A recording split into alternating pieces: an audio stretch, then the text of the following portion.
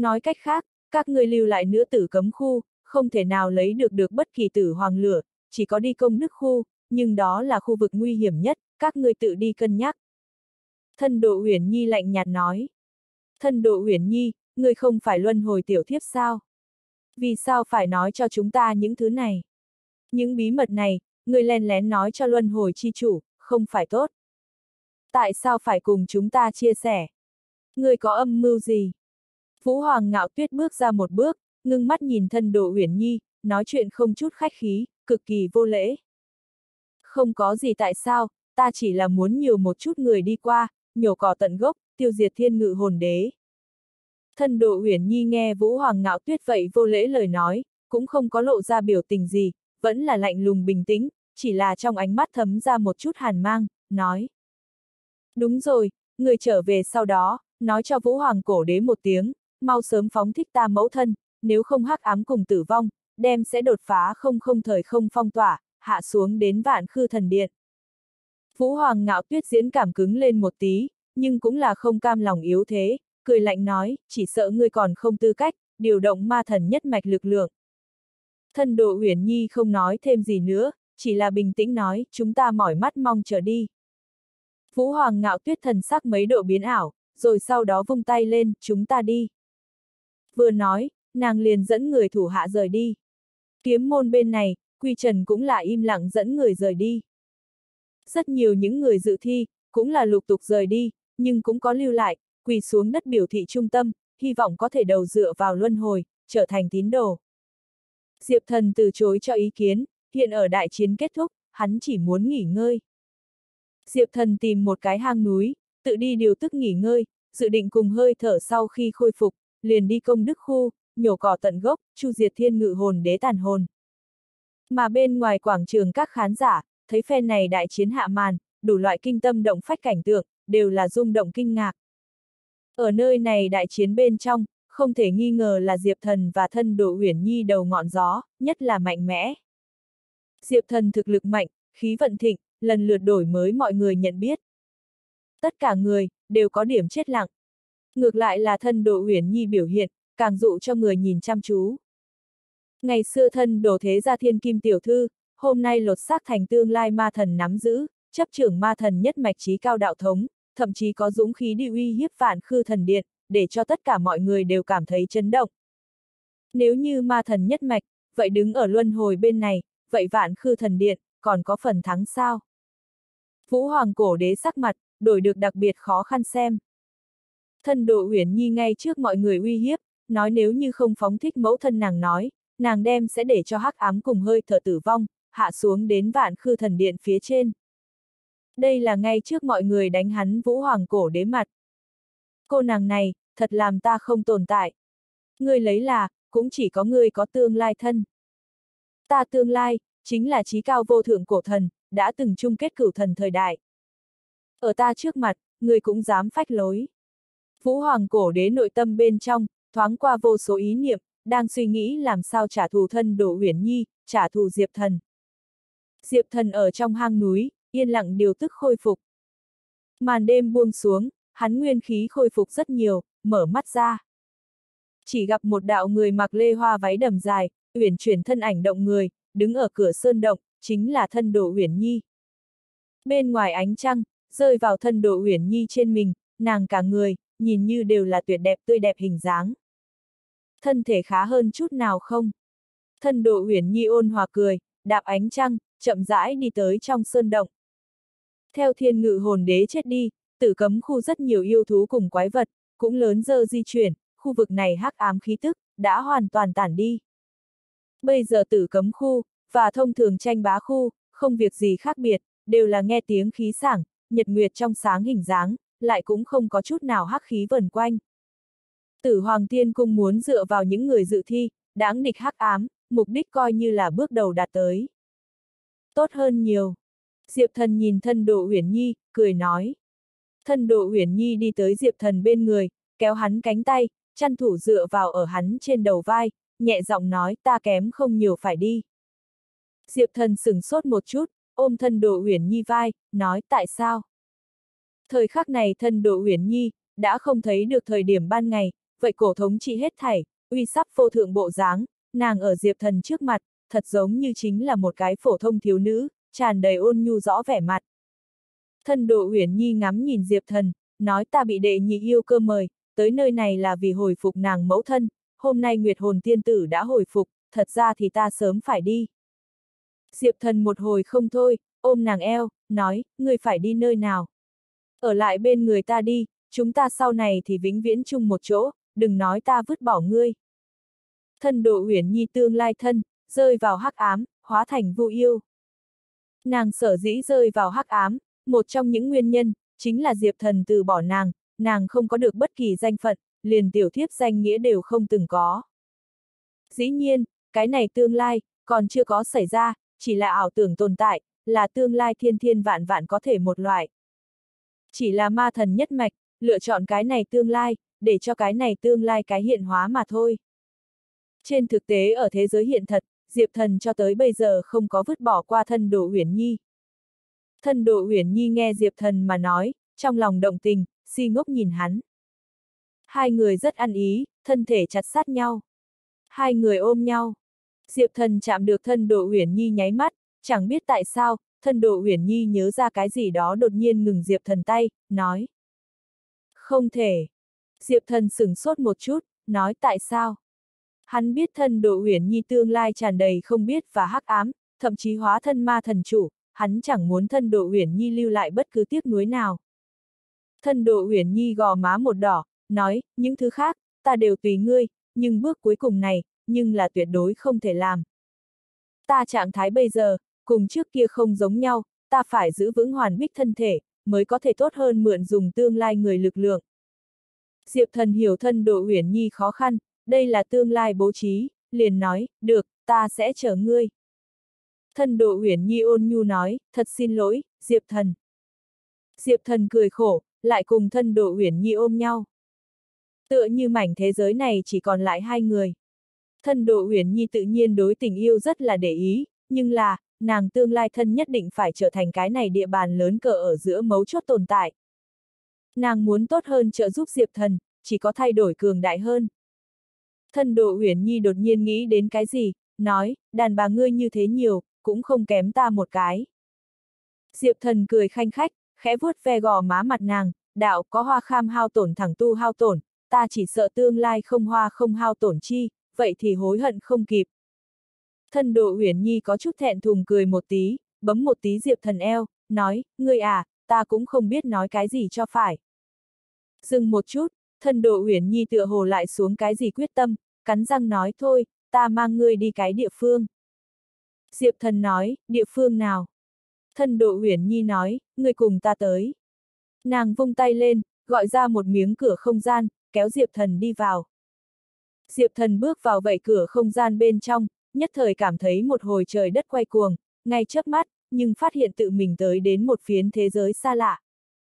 Mảnh thế giới này, khắp nơi đều là tung bay lông vũ, một phiến phiến lông vũ bay múa đầy trời, cấu trúc thành một cái thuần trắng ôn nhu hương. Nơi này là địa phương nào? Diệp thần ngạc nhiên hỏi. Là mộng thế giới. Thân độ uyển nhi kéo Diệp thần tay, nhẹ giọng nói. Mộng thế giới. Diệp thần sửng sốt một chút, lại không nghĩ rằng thân độ uyển nhi, sẽ mang mình tiến vào mộng. Ừ, ta ở thế giới hiện thật, rất nhiều hạn chế, nhưng mộng bên trong, liền không có hạn chế, có lẽ chúng ta có thể chung đụng càng vui vẻ. Thân độ uyển nhi cắn môi, mở miệng nói. Không có hạn chế. Những lời này, Diệp thần nghe vào trong tai, như văn sấm, đầu ầm ầm kịch chấn, tựa hồ rõ ràng liền cái gì. Ho! Diệp thần có chút tay chân luống cuống. Diệp thần, ta không biết tương lai có xa lắm không, nhưng giờ khắc này, người chính là ta tương lai. Thân độ Uyển Nhi mở miệng nói, gò má mặt nàng đỏ nhanh hơn nếu có thể nặn ra nước. Diệp thần ôm thân độ Uyển Nhi, có chút không dám tin tưởng. Nơi này thật sự là mộng sao? Vì sao hết thảy trước mắt, đều là như vậy chân thực?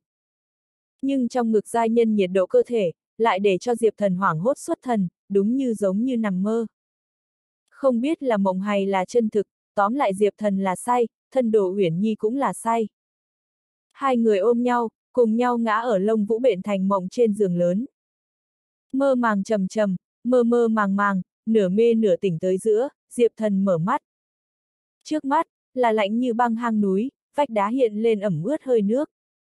Sáng sớm gió lạnh, từ bên ngoài sơn động thổi vào, để cho Diệp Thần cả người cũng nổi lên một cái dùng mình, đầu óc ngay tức thì thanh tỉnh. Hắn ngây dại, ngơ ngác nhìn bốn phía. Bốn phía chính là lạnh như băng vô tình đá, nơi nào còn có thân độ uyển nhi bóng người. Vậy đầy trời tung bay lông vũ ảo mộng, vậy không thấy được chút, trước mắt trống rỗng, làm người ta tuyệt vọng. Diệp thần cảm thấy trước đó chưa từng có thất lạc, hét lớn, Uyển Nhi, Uyển Nhi. Thanh âm xa xa truyền ra, ở trong sơn động vọng về, ở trong rừng rậm vọng về, ở thiên sơn vạn hác gian vọng về, nhưng không có được chút nào đáp lại. Diệp thần tim vô hình một hồi quặn đau, hít thở một cái không khí, thấu tim lạnh như băng. Trong hang núi, lại cũng không thấy được thân độ uyển nhi bóng dáng, chỉ ở diệp thần trong tay, có một đạo kim sắc phù chiếu. Phù chiếu phía trên, in kim trương hoàng cực bốn chữ. Điều này hiển nhiên là thân độ uyển nhi lưu lại, phù chiếu bên trong niêm phong kim trương hoàng cực trận bí pháp. Nhưng, thân độ uyển nhi cũng đã không thấy, nàng không biết đi lúc nào. Diệp thần cùng nàng lưu luyến triền miên, chỉ là một chàng hư ảo xuân mộng, tỉnh mộng, hết thảy dấu vết liền biến mất đi. Diệp thần luôn miệng kêu gọi, cũng là kinh động hạ nhược tuyết, kỳ tư thanh các nàng. Các nàng đi tới trong hang núi, nhìn Diệp thần thất hồn lạc phách hình dáng, một hồi kinh ngạc cùng lo âu. Hạ nhược tuyết nói, Diệp thần, người thế nào? Diệp thần nói, các người xem đến Uyển Nhi liền sao? Hạ nhược tuyết nói, Uyển Nhi tối hôm qua không phải cùng ngươi cùng nhau sao?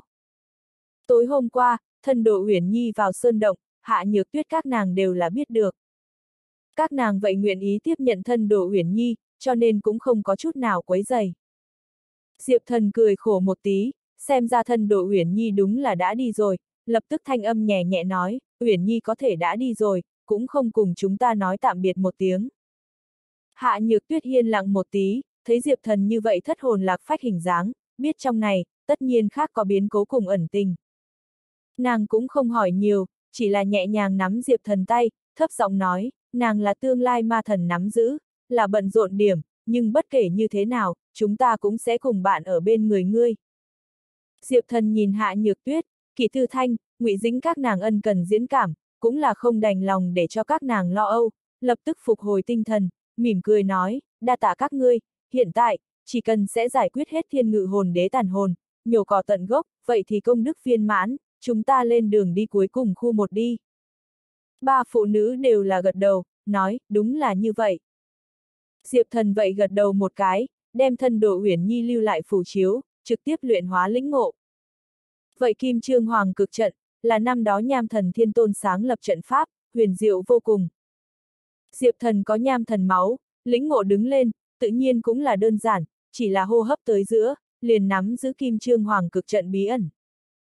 Vậy Kim Trương Hoàng cực trận, trên thực tế là một môn thần thông, cũng không phải là giới hạn tại trận pháp, chỉ là dùng trận pháp thi triển, có thể đem hiệu quả phát huy đến mạnh nhất mà thôi. Nham hết sức, chính là Hoàng Kim. Kim Trương hai chữ, đại biểu nham đất trình độ cao nhất. Hoàng cực hai chữ, chính là đế hoàng khí phách tượng trưng. Kim Trương Hoàng cực, nham đế hoàng, chấn thiên vô địch, nắm giữ thần thông như vậy, nhất định có vận may lớn, đại thiên uy, không cách nào vô lượng, cực kỳ mạnh mẽ. Diệp thần cảm ngộ kim trương hoàng cực diệu pháp, ở tinh túy hoàn toàn nắm trong tay sau đó, chính là mang hạ nhược tuyết, kỳ tư thanh, ngụy dĩnh các nàng, còn có tinh nguyệt thần giáo, sống chết vực, biển cả giới các đệ tử, hướng công đức khu đi tới. Ở diệp thần trước, vạn khư trận doanh, kiếm môn trận doanh, còn có rất nhiều tán tu các cường giả, đã sớm mạo hiểm tiến vào công đức khu.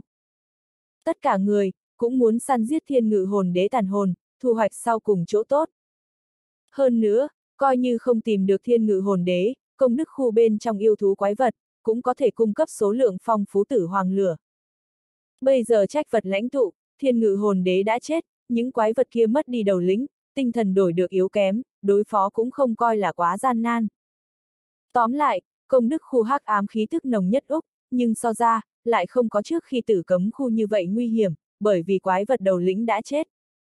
Diệp thần mang đám người, trực tiếp xuyên qua tử cấm khu, bước vào cuối cùng khu 1, công đức khu bên trong.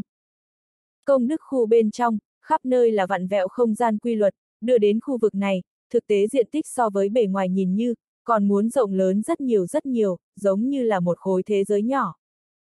Tử cấm khu hắc ám khí tức đã tản đi, nhưng công đức khu hắc ám dơ bẩn, vẫn là vô cùng nồng nặc. Diệp thần các người đặt chân đi vào, giống như từ ban ngày bước chân vào hắc ám, liền không khí cũng đổi được kiềm chế, chung quanh hắc vụ minh minh, không thấy được chân thực. Vậy thiên ngự hồn đế, cũng không biết tránh đi nơi nào. Diệp thần thử nghiệm bắt thiên ngự hồn đế hơi thở, nhưng phát hiện thiên cơ hắc vụ bao phủ, khó mà thấy rõ hư thật. Tính toán một tí, Diệp thần chính là hướng hạ nhược tuyết các người nói, chúng ta phân tán tìm. Hạ nhược tuyết cả kinh, nói, lại phải tách ra sao? Vạn nhất xảy ra cái gì bất ngờ. Diệp thần cười nói, không cần sợ, cái này công đức khu, còn không có lúc ban đầu tử cấm khu nguy hiểm, hơn nữa, liền coi là xảy ra ngoài ý muốn, chúng ta cũng có thể dùng cái này linh phù liên lạc. Diệp thần tay nắm chặt, kim quang hội tụ, kim trương hoàng cực thần thông thi triển, ngưng tụ thành từng tờ một kim trương phù. Những thứ này kim trương phù, là ta đặc thù luyện chế, coi như ở trên trời cơ hội phong bế công đức khu bên trong, chúng ta cũng có thể lẫn nhau liên lạc. Diệp thần cầm trong tay kim trương phù, phân phát xuống. Những thứ này kim trương phù, hội tụ cực hạn nham thổ khí tức, có thể cùng địa mạch câu thông. Tuy nói ở công đức khu, thiên cơ phong tỏa, nhưng địa mạch linh khí, là từ đầu đến cuối không ngừng đang lưu truyền. Cho nên, dựa vào kim trương phù, có thể cùng địa mạch đồng tình, truyền tin tức. Đám người thấy Diệp thần thần thông cường hãn như vậy, lại có biện pháp đột phá công đức khu phong tỏa, đều là kinh ngạc cùng bội phục. Hạ nhược tuyết cầm trong tay kim trương phù, cũng là mừng rỡ, nói, nếu như có thể giữ liên lạc, vậy thì không tốt hơn nữa. Diệp thần gật gật đầu nói, ừ, nếu như có gì ngoài ý muốn, hoặc là phát hiện thiên ngự hồn đế, chúng ta sẽ dùng cái này kim trương phù liên lạc. Đám người cùng nói, ưm. Kế hoạch quyết định, lập tức đám người chính là phân tán đi, chia nhau đi tìm kiếm thiên ngự hồn đế tung tích. Diệp thần cũng là một mình lên đường, ở hắc ám rừng rậm mê vụ bên trong đi. Không biết là ảo giác hay là cái gì, hắn luôn cảm giác luân hồi mộ địa, tựa hồ có mới đại năng, sắp thức tỉnh, mới mộ bia thật giống như đang chấn động. Ừ, chẳng lẽ có tân đại năng muốn xuất thế sao? Diệp thần trong lòng động một cái, muốn phải cẩn thận tra xem. Nhưng bỗng nhiên tới giữa, một cái sắc bén móng vuốt, từ trong bóng tối giết ra, đâm thẳng hướng tim hắn. Kim Trương Thiên Đao. Diệp thần lanh tay lẹ mắt, trong tay nham thổ khí tức trình độ cao nhất hội tụ, bộc phát ra hoàng kim ánh sáng, hóa thành một đạo đao mang, hung hăng chém đánh tiếp. Đây là kim trương hoàng cực đạo bên trong bí kỹ, kêu kim trương thiên đao. Kim trương hoàng cực đạo, cộng có thiên địa người quỷ thần năm loại biến hóa, cái này năm loại biến hóa, có thể dùng trận pháp liên lạc tới một chỗ, bộc phát ra kinh thiên động địa uy lực. Diệp thần một người mà nói, tự nhiên không thể nào năm pháp tề tụ, nhưng muốn thi triển trong đó một loại biến hóa, đó là dễ như trở bàn tay. Kim Trương Thiên đao chém đánh tiếp, vậy chỉ đánh lén móng vuốt, lập tức bị Diệp Thần chặt đứt, máu tươi văng tung tóe. Bên cạnh hắc ám sương mù bên trong, truyền ra một hồi nhọn tiếng kêu thảm thiết. Diệp Thần xua tan sương mù dày đặc vừa thấy, liền thấy một con quái vật, không cách nào hình dạng hình dáng, có chút giống hình người, giống như là một đầu con khỉ, lại hình như là cái gì vặn vẹo đồ, tóm lại có thể khẳng định là, đó là không chẳng trách vật. Lấy Diệp Thần hôm nay thực lực, thông thường không chẳng trách vật, tự nhiên không thể nào thương tổn tới hắn. Phốc xích, Diệp Thần ra lại một đao, đem quái vật kia chém rớt, một đóa hỏa liên từ quái vật trên thi thể rơi ra ngoài. Chỉ là thông thường quái vật, thì có như thế phong phú khen thưởng. Diệp Thần trong lòng vui mừng, đem vậy đóa hỏa liên thu. Một đóa hỏa liên, tương đương với 100 đạo tử hoàng lửa, linh khí vô cùng đậm đà. Xem ra công đức khu hắc ám khí tức, mặc dù nồng nặc, nhưng cái này bên trong có thể lấy được tử hoàng lửa, số lượng cũng là vượt xa ngoại giới. Ở thu cất sen lửa kia sau đó, Diệp thần tinh thần, lần nữa hội tụ ở luân hồi mộ địa bên trong. Hắn mới vừa rõ ràng cảm giác được, luân hồi mộ địa khác thường động, nhưng hiện đang ngưng thần xem kỹ xem, cũng không gặp chút nào khác thường. Chẳng lẽ là ta ảo giác? Diệp thần nhíu mày một cái, lẩm bẩm một tiếng. Sau đó, hắn lắc đầu một cái, sự chú ý lần nữa trở lại ngoại giới. Có tân đại năng thức tỉnh, tự nhiên cực kỳ tốt nhất, nhưng coi như không có, vậy cũng không đáng ngại. Bây giờ Diệp Thần, đã có một mình đảm đương một phía năng lực.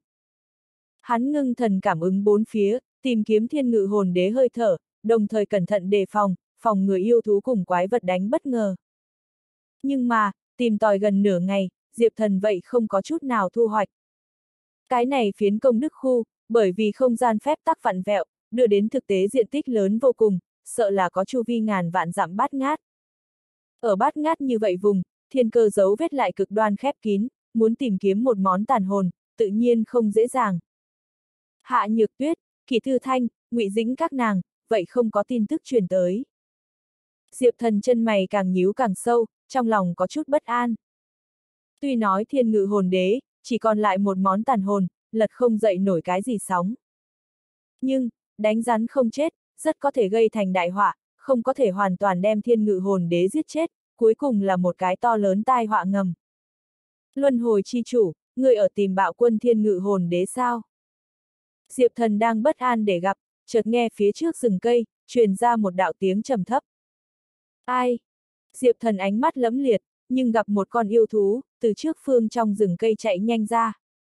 Đó là một đầu toàn thân sáng chói, vàng óng huy hoàng sơn dương, cả người tràn ra cổ xưa hồng hoang hơi thở, trên đầu dài hai sừng, lại như thiên kiếm vậy sắc bén.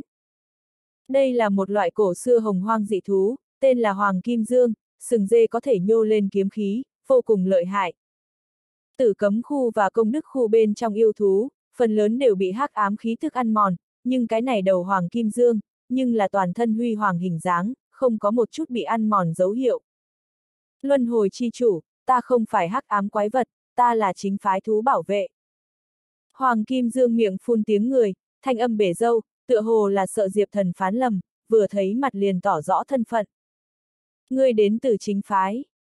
Diệp Thần hỏi. Ưm, ta chủ nhân, chính là chính phái cường giả, hắn sắp suy hủ mà chết, luân hồi chi chủ, mong rằng ngươi thủy ban cho ân từ, cứu vãn chủ nhân ta. Hoàng Kim Dương móng, tại chỗ dục dịch, lộc cộc vang dội, lộ vẻ được bất an. Nếu như ngươi có thể cứu vãn chủ nhân ta, ta có thể nói cho ngươi, thiên ngự hồn đế rơi xuống. Nó tựa hồ là sợ Diệp thần cự tuyệt, mở ra điều kiện. Ngươi biết thiên ngự hồn đế ở nơi nào? Diệp thần ánh mắt sáng lên. Hoàng Kim Dương gật đầu, nói, ừ, biết, nhưng ngươi trước phải cứu chủ nhân ta. Diệp thần trong lòng lướt qua rất nhiều ý niệm, cuối cùng gật gật đầu nói, ngươi trước mang ta đi xem xem. Hoàng Kim Dương thân thể hơi cong, nói, được, ngươi lên tới. Diệp thần nhảy lên Hoàng Kim Dương sống lưng, Hoàng Kim Dương móng đi về trước chạy gấp, tốc độ cực nhanh. Theo dọc đường, rất nhiều trong bóng tối quái vật, tựa hồ cũng đang kiêng kỵ Hoàng Kim Dương hơi thở, ẩn núp, không dám đi ra xúc phạm. Diệp thần trong đầu nghĩ, đầu này Hoàng Kim Dương, xem ra không đơn giản. Hoàng Kim Dương chở Diệp thần, rất nhanh đi tới một cái bí ẩn trong hang mặt. Hang mờ tối, hơi nước ẩm ướt, tí tách, phủ đầy rêu xanh. Chủ nhân ngươi đâu? Diệp thần từ Hoàng Kim Dương sống lưng trên dưới tới, một bước vào hang, liền đánh hơi được một hồi thật không tốt ngửi mùi vị. Đó là người già mùi đặc thù, tràn đầy suy hủ tuổi xế chiều hơi thở, làm người ta rất không thoải mái. Hắn ở bên trong. Hoàng Kim Dương vội vàng mang Diệp Thần, đi tới hang chỗ sâu. Chỉ gặp nơi này dùng cỏ dại cửa hàng một cái đơn sơ giường, một cái cụ già nằm ở phía trên. Vậy lão nhân đã lão được không giống, cả người đều là suy hủ cùng hư hại hơi thở, trên da từng tầng một nếp nhăn trồng, thậm chí có chút da đã toát ra thi ban, đặc biệt quỷ dị. Nhà ngươi chủ nhân, làm sao giả yếu đến đây? Diệp thần lấy làm kinh hãi, cho tới bây giờ không gặp qua già như thế cụ già. Thiên cơ thấy rõ dưới, hắn mơ hồ thấy lão nhân qua lại, đích xác là đã từng chính phái cường giả, nhưng năm tháng bể dâu, mài mòn không ngừng gia tăng, lại bị hắc ám khí tức ăn mòn, đã giải yếu đến như gỗ mục vậy bước. Diệp thần liền giọng nói, cũng không dám quá lớn. Hắn sợ quá lớn tiếng nói, thanh âm sẽ trực tiếp đem cái cụ già này nghiền nát.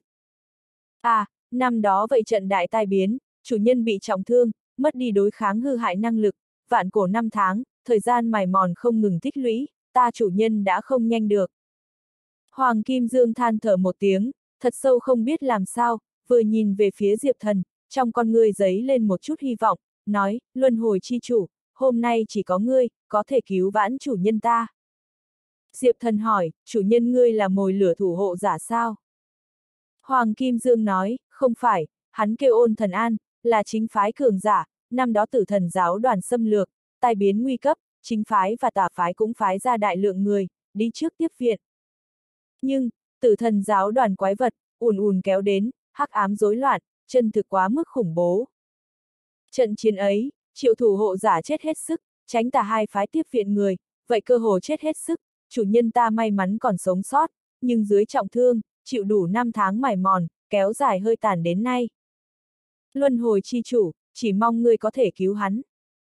Diệp thần trao mày, nhìn cụ già như vậy suy hủ hình dáng, vậy cảm thấy khó giải quyết. Ta lại thử một chút. Diệp thần móc ra một cái bình ngọc, đổ ra một viên dịu dàng đan dược. Viên đan dược này, tên là hồi xuân diệu đan, là diệp thần ban đầu, từ cựu nhật chi chủ trong bảo tàng lấy được. Cựu nhật chi chủ, bảo tàng phong phú, tất cả loại đan dược đều là hàng hà xa số, dùng vô tận, nhưng lần trở lại này xuân diệu đan, nhưng là 10 phần chân quý thưa thớt.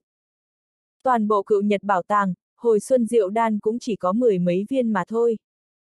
Loại đan dược này, có thể đối kháng mài mòn, để cho người khôi phục trẻ tuổi. Diệp thần ban đầu đi xử thi thế giới, tìm cựu nhật bảo tàng thời điểm, thiên sơ đế quốc nắm giữ thiên sơ thánh tổ, liền ủy thác hắn tìm hồi xuân diệu đan. Thiên sơ thánh tổ trung tình thiên nữ, muốn dựa vào hồi xuân diệu đan khôi phục trẻ tuổi, hắn cũng đích xác đạt thành nguyện vọng, chỉ là coi như hắn khôi phục trẻ tuổi, thiên nữ vậy không thích hắn mà thôi. Nhưng mà, Diệp thần trước mắt cái cụ già này, mài mòn già yếu sâu, có thể so với ngày xưa thiên sơ thánh tổ, muốn nghiêm trọng được hơn. Diệp thần đem hồi xuân diệu đan bóp vỡ, dược khí tràn ngập ra, hóa thành một đoàn màu xanh ánh sáng, hội tụ ở trong tay hắn. Ưng ực, ưng ực, ưng ực. Diệp thần cầm trong tay màu xanh lá cây dược khí, bơm vào đến giả trên thân thể người. Cụ già vậy suy hủ khô héo thân thể, giống như bọt biển hút nước vậy, lại là ngay tức thì đem tất cả dược khí, toàn bộ hút vào bên trong cơ thể. Trở về xuân diệu đan bồi bổ hạ, cụ già khô mục nát thân thể, thoáng khôi phục một chút tức giận, trên da nếp nhăn, cũng là nhạt đi rất nhiều. Có hiệu quả. Diệp thần trong lòng vui mừng, lúc này xuân diệu đan, tuy không có thể để cho cụ già hoàn toàn khôi phục, nhưng dấu vết hư hại, hóa giải không thiếu. Chủ nhân. Hoàng Kim Dương thấy cụ già tình huống chuyển biến tốt, cũng là lớn vui hô kêu một tiếng. Ừ. Cụ già cổ họng khó khăn phát ra một giọng nói, từ cỏ trải ngồi dậy, cả người xương cốt rắc rắc sát vang dội, hàng năm không hoạt động dưới, đột nhiên hoạt động, thật giống như đều phải đoạn bể vậy. Ngươi là, trong truyền thuyết, luân hồi chi chủ. Ông cụ ánh mắt nhìn Diệp Thần, vậy đục ngầu ánh mắt, bắn ra tinh mang, tràn đầy kinh ngạc khiếp sợ ý. Chủ nhân, không sai, hắn chính là luân hồi chi chủ, có luân hồi chi chủ ở chỗ này, người được cứu rồi. Hoàng Kim Dương khóc thế nói. Cụ già cũng là một hồi kích động, nhìn từ trên xuống dưới Diệp Thần, lẩm bẩm nói, trời tội nghiệp, trời tội nghiệp. Diệp Thần vội vàng nói, tiền bối, đừng nói trước, ngươi suy hủ mài mòn vô cùng nghiêm trọng, hôm nay chỉ là thoáng khôi phục, ngươi cần nghỉ ngơi. Cụ già nhưng khoát khoát tay, nói, không sao, ta đã sớm là một người chết, năm đó vậy trận đại tai biến, ta thật ra thì chết rồi. Ta không có chết, chỉ là bởi vì có một cái sứ mạng, còn chưa hoàn thành, ta cưỡng ép treo một hơi. Diệp thần theo bản năng hỏi, cái gì sứ mạng? Lão nhân nói, phong thần đạo thống, vẫn chưa có người nào thừa kế, ta không thể để cho phong thần giấu vết, từ cõi đời này biến mất, người hôm nay đi tới ta trước mặt, nhất định là phong thần chỉ dẫn. Nếu như phong thần đạo thống, có thể truyền tới luân hồi trong tay, vậy thì thật là không có thể tốt hơn nữa. Diệp thần nói, phong thần. Cụ già gật gật đầu nói, không sai, người hẳn nghe qua phong thần thiên tôn danh hiệu chứ. Hắn là chín thần một trong, ta là phong thần tín đồ, đã từng bất ngờ lấy được phong thần đạo thống truyền thừa. Nhưng, cổ xưa thần linh truyền thừa, không đại khí vận người không thể chấp trưởng Ta không biết tự lượng sức mình, chiếm đoạt phong thần đạo thống, ở đại tai biến bên trong chết, chịu đủ mài mòn thống khổ, đau khổ vạn cổ, kéo dài hơi tàn đến nay, muốn đến cũng là phong thần cho ta trừng phạt đi. Cụ già nói xong lời cuối cùng, lộ ra một cái cười khổ, thanh âm tương đối đắng chát. Diệp thần suy nghĩ xuất thần, không nghĩ tới cái này cụ già, lại và đã từng là phong thần thiên tôn có liên quan. Cụ già thoáng chấn định tinh thần, nói ta không tư cách chiếm đoạt phong thần đạo thống, luân hồi chi chủ, cái này thế gian, chỉ có ngươi có tư cách, ta muốn đem phong thần đạo thống chuyển cho ngươi, ngươi ý như thế nào? Diệp thần ngẩn người, suy tư một tí, nói tiền bối, hiện tại ta còn muốn tham gia thái thượng công đức chiến, đạo thống truyền thừa chuyện, chúng ta phía sau bàn lại.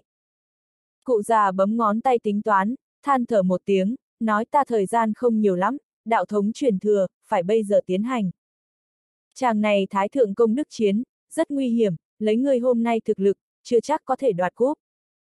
Nhưng, chỉ cần ngươi lấy được phong thần truyền thừa, vậy hết thảy vấn đề, cũng có thể giải quyết dễ dàng. Diệp thần yên lặng. Cụ già lại nói, luân hồi thiên phú siêu phàm, người cảm ngộ truyền thừa, tối đa một đêm thời gian.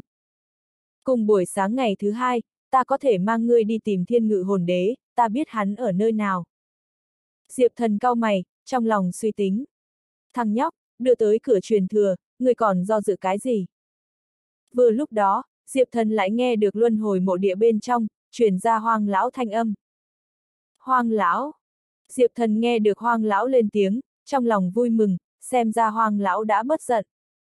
Hoang lão thanh âm mang một chút cắn răng nghiến lợi ý, nói, ngươi có biết hay không, phong thần thiên tôn là người nào, đây chính là trí cao chín thần một trong, tự do thần minh, phong thần đạo thống đặt ở ngươi trước mặt, ngươi chẳng lẽ còn muốn cự tuyệt sao?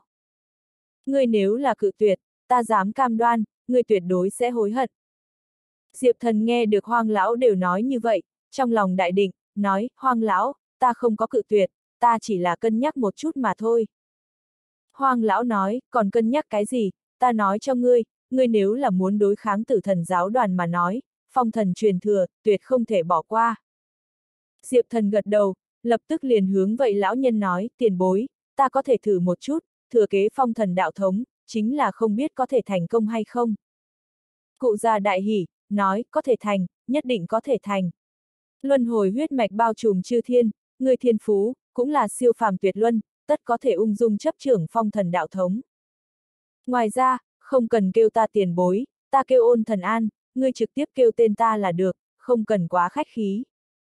Nghe được Diệp thần chịu thừa kế đạo thống, cái này kêu ôn thần an cụ già, trạng thái tinh thần cũng là tốt lắm rất nhiều, mặt mày hớn hở. Hắn bàn tay khô gầy đưa ra, linh khí phóng thích, cắt kim loại hư không. Hang bên trong, nhất thời bị mở ra một cái màu xanh thế giới nhỏ. Cái này thế giới nhỏ, khắp nơi tràn ngập màu xanh nếp sống, thấm vào lòng người. Ôn thần an ngồi ngay ngắn ở tiểu thế giới một đầu, quanh thân chim quanh quẩn, nếp sống lưu truyền. Hắn ngắm nhìn Diệp thần, chậm rãi nói, phong thần đạo thống, hạch tâm nghĩa sâu xa, chính là tự do hai chữ. Phong thần, là tượng trưng cho tự do thần minh.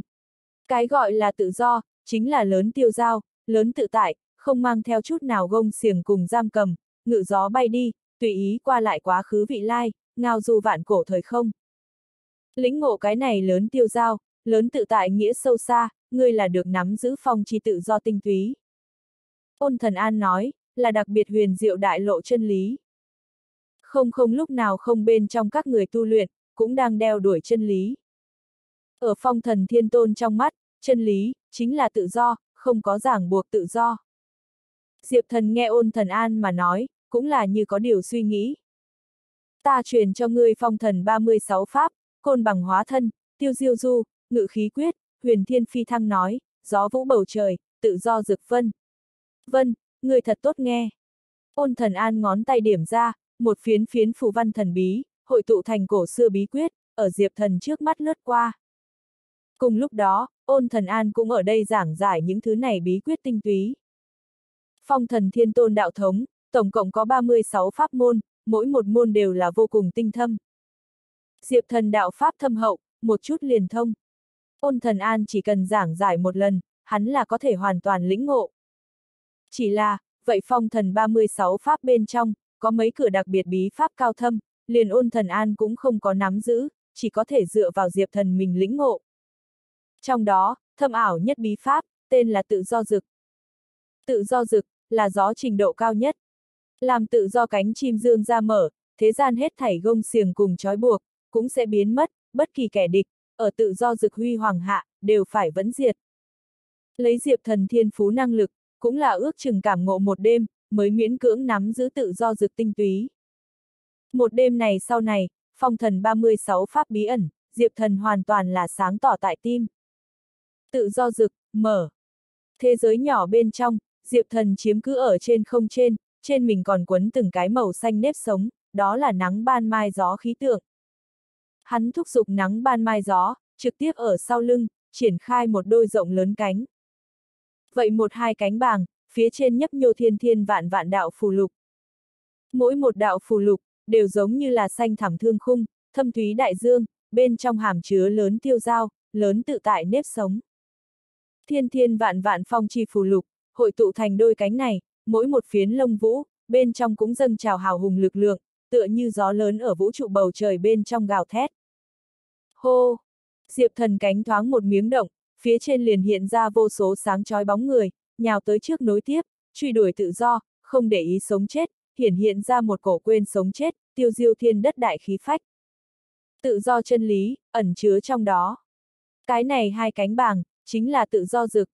Ôn thần an thấy Diệp thần triển khai tự do dực, tại chỗ sợ ngây người, rung giọng nói, tự do dực. Cái này, điều này sao có thể?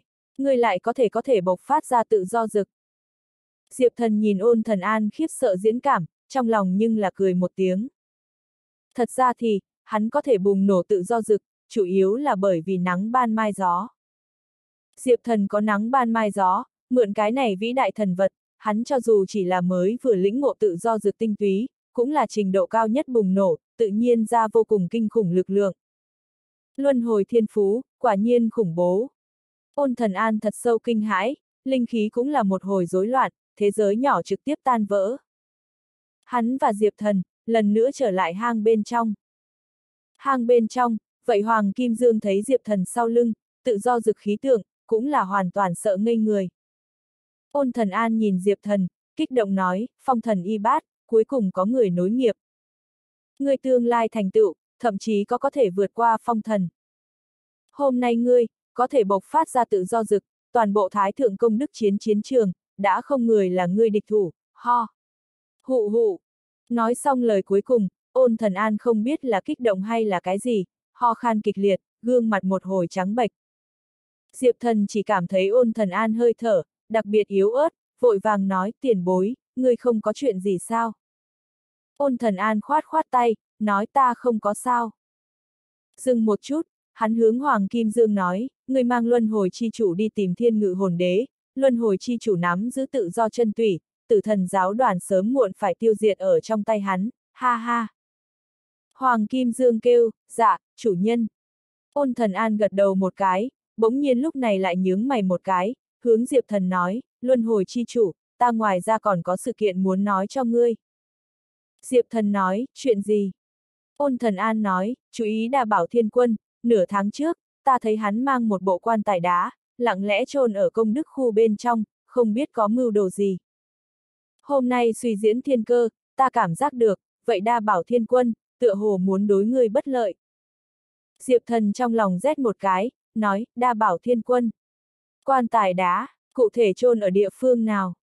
Ôn thần an nói, vị trí cụ thể, ta không xác thực định, phù này chiếu ngươi cầm, nếu như quan tài đá ở ngươi vùng lân cận, ngươi liền lập tức có thể cảm ứng được. Ôn thần an linh khí hội tụ, hóa ra một tấm phủ chiếu, giao cho Diệp thần. Hắn lại tiêu hao linh khí, ngay sau đó một hồi ho khan kịch liệt, gương mặt càng trắng bệch, nếp nhăn cùng dấu vết hư hại, càng nghiêm trọng hơn. Tiền bối, ngươi nghỉ ngơi cho khỏe đi. Diệp thần nhận lấy phủ chiếu, lại lo âu ôn thần an, nói. Ôn thần an cười một tiếng, nói, không sao, ngươi đi đi, phong thần y bát có người nối nghiệp, ta sứ mạng hoàn thành, sống chết tại ta mà nói, đã không trọng yếu. Diệp thần thật sâu bái tạ, sau đó liền cưỡi Hoàng Kim Dương, rời đi hang. Lần này hắn lấy được phong thần đạo thống, có thể nói là thiên đại cơ duyên. Đúng như ôn thần an mà nói, thừa kế phong thần thiên tôn y bát, ở nơi này trên chiến trường, Diệp thần đã là vô địch. Luân hồi chi chủ, thiên ngự hồn đế ở chính giữa dãy núi, ta cái này thì mang ngươi đi. Hoàng Kim Dương chở Diệp thần, nhanh chóng đi về trước chạy gấp. Trung ương dãy núi sao? Diệp thần ánh mắt nhìn ra xa hướng phương xa, đáng tiếc hắc phụ bao phủ, cái gì vậy không thấy được. Vậy cái trung ương dãy núi, có thể nói là tử thần giáo đoàn lãnh địa, bọn họ còn muốn triệu hoán cường đại hơn tồn tại hạ xuống. Hoàng Kim Dương nói, cường đại hơn tồn tại. Diệp thần có chút hiếu kỳ. Đúng vậy, thiên ngự hồn đế ở tử thần giáo đoàn bên trong, chỉ là hạng thứ 10 tiệc hộ pháp, ở hắn phía trên, còn có rất nhiều cường giả. Chỉ là những cường giả kia, bởi vì quy tắc hạn chế, rất khó hạ xuống đến thế giới hiện thật. Giống như là biệt hiệu là hắc ám mặt trời, đồng hồ cát chảy, ma nữ, bánh xe vận mệnh, hoàng hôn cự nhân vân. Vân tầng chót hộ pháp, bọn họ hơi thở quá mạnh mẽ, một khi hạ xuống đến thế giới hiện thật, lập tức liền sẽ phải chịu chân lý cảm cho đòi, lại lần nữa trở lại không không, căn bản không cách nào dừng lại. Những cường giả kia muốn phủ xuống nói, cần đặc thù nghi thức, ở vạn thế trước, đại tai biến mới vừa bùng nổ thời điểm, tử thần giáo đoàn liền ở chính giữa trên dãy núi mặt, bố trí một cái triệu hoán nghi thức, muốn triệu hoán hoàng hôn cự nhân hạ xuống. Hoàng Kim Dương nói ra cổ xưa bí mật, con người lưu chuyển mãi mãi bí ẩn. Hoàng hôn cự nhân. Diệp thần nhẹ giọng nhớ tới, chỉ là nhẹ giọng lẩm bẩm cái danh hiệu này, hắn liền cảm thấy có một cổ hào hùng uy áp, hạ xuống, giống như là chư thần hoàng hôn, thế giới ngày tận thế. Đúng vậy, hoàng hôn cự nhân là một cái biệt hiệu, đúng như thiên ngự hồn đế biệt hiệu, tên là bạo quân. Ở tử thần giáo đoàn bên trong, hoàng hôn cự nhân xếp hạng thứ sáu tiệc, có thể so với thiên ngự hồn đế lợi hại hơn. Một khi hoàng hôn cự nhân phủ xuống nói, có thể toàn bộ tử hoàng tiên cung, cũng không có người có thể trấn áp, trừ phi trưởng giáo đại nhân tự mình ra tay. Hoàng Kim Dương nhắc tới buổi hoàng hôn này người khổng lồ thời điểm, giọng tràn đầy kiêng kỵ. Hiển nhiên vậy hoàng hôn cự nhân, vô cùng lợi hại, lợi hại đến toàn bộ tử hoàng thiên cung, trừ đạo đức thiên tôn ra, không người có thể địch. Giác giác sát. Bỗng nhiên, Diệp Thần phát hiện luân hồi mộ địa bên trong, lại truyền ra dị động. Một khối mới mộ bia, xuất hiện mấy cái kẽ hở. Thật giống như mới đại năng, cảm giác được hoàng hôn người khổng lồ nhân quả, muốn hồi phục vậy. Mộ bia kịch liệt rung một tí, nhưng rất nhanh lại chìm xuống. Ừ. Diệp thần kinh nghi bất định, chẳng lẽ nói sắp thức tỉnh tân đại năng, lại cùng hoàng hôn cự nhân có liên quan sao? Hoàng Kim Dương cũng không nhìn thấy Diệp Thần khác thường diễn cảm, tiếp tục nói, ta tối hôm qua nhận ra được trung ương dãy núi bên kia, truyền ra đáng sợ dị động. Diệp Thần tim căng thẳng, nói cái gì dị động? Chẳng lẽ hoàng hôn cự nhân hạ xuống? Hoàng Kim Dương nói, không phải, hoàng hôn người khổng lồ thực lực quá mạnh mẽ, so thiên ngự hồn đế còn cường hãn hơn trăm lần, kinh khủng như vậy tồn tại, làm sao có thể như thế dễ dàng liền hạ xuống. Tử thần giáo đoàn triệu hoán nghi thức, kéo dài không biết nhiều ít vạn năm, từ đầu đến cuối không thể thành công. Tối hôm qua dị động, ta xem là có người ở ăn cắp tử thần giáo đoàn hắc ám tế phẩm. Diệp thần nói, ăn cắp, hắc ám tế phẩm.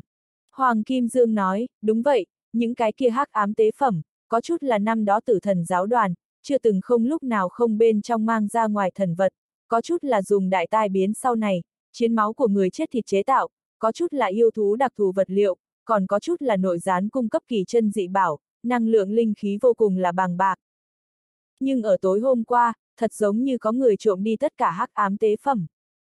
Diệp thần thầm giật mình, nói, là ai lá gan lớn như vậy? Hoàng Kim Dương nói, ta cũng không biết, nhưng hẳn là các ngươi lần này một trong người dự thi. Diệp thần trong mắt hơi co lại, người dự thi bên trong, có ai lá gan lớn như vậy, bản lãnh lớn như vậy, lại dám ăn cắp tử thần giáo đoàn hắc ám tế phẩm.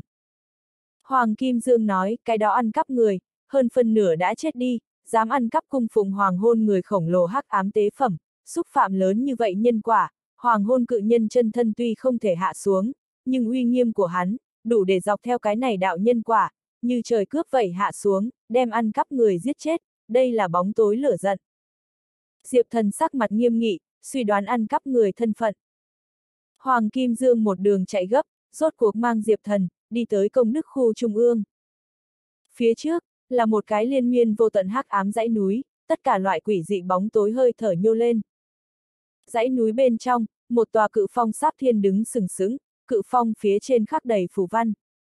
Nếu như cẩn thận quan sát, là có thể thấy những phù văn kia, trong mơ hồ tạo thành một cái cổ xưa đồ đằng, là một cái người khổng lồ đồ đằng, trong tay nâng một vòng nắng chiều, sau lưng có hoàng hôn tháng lững lờ.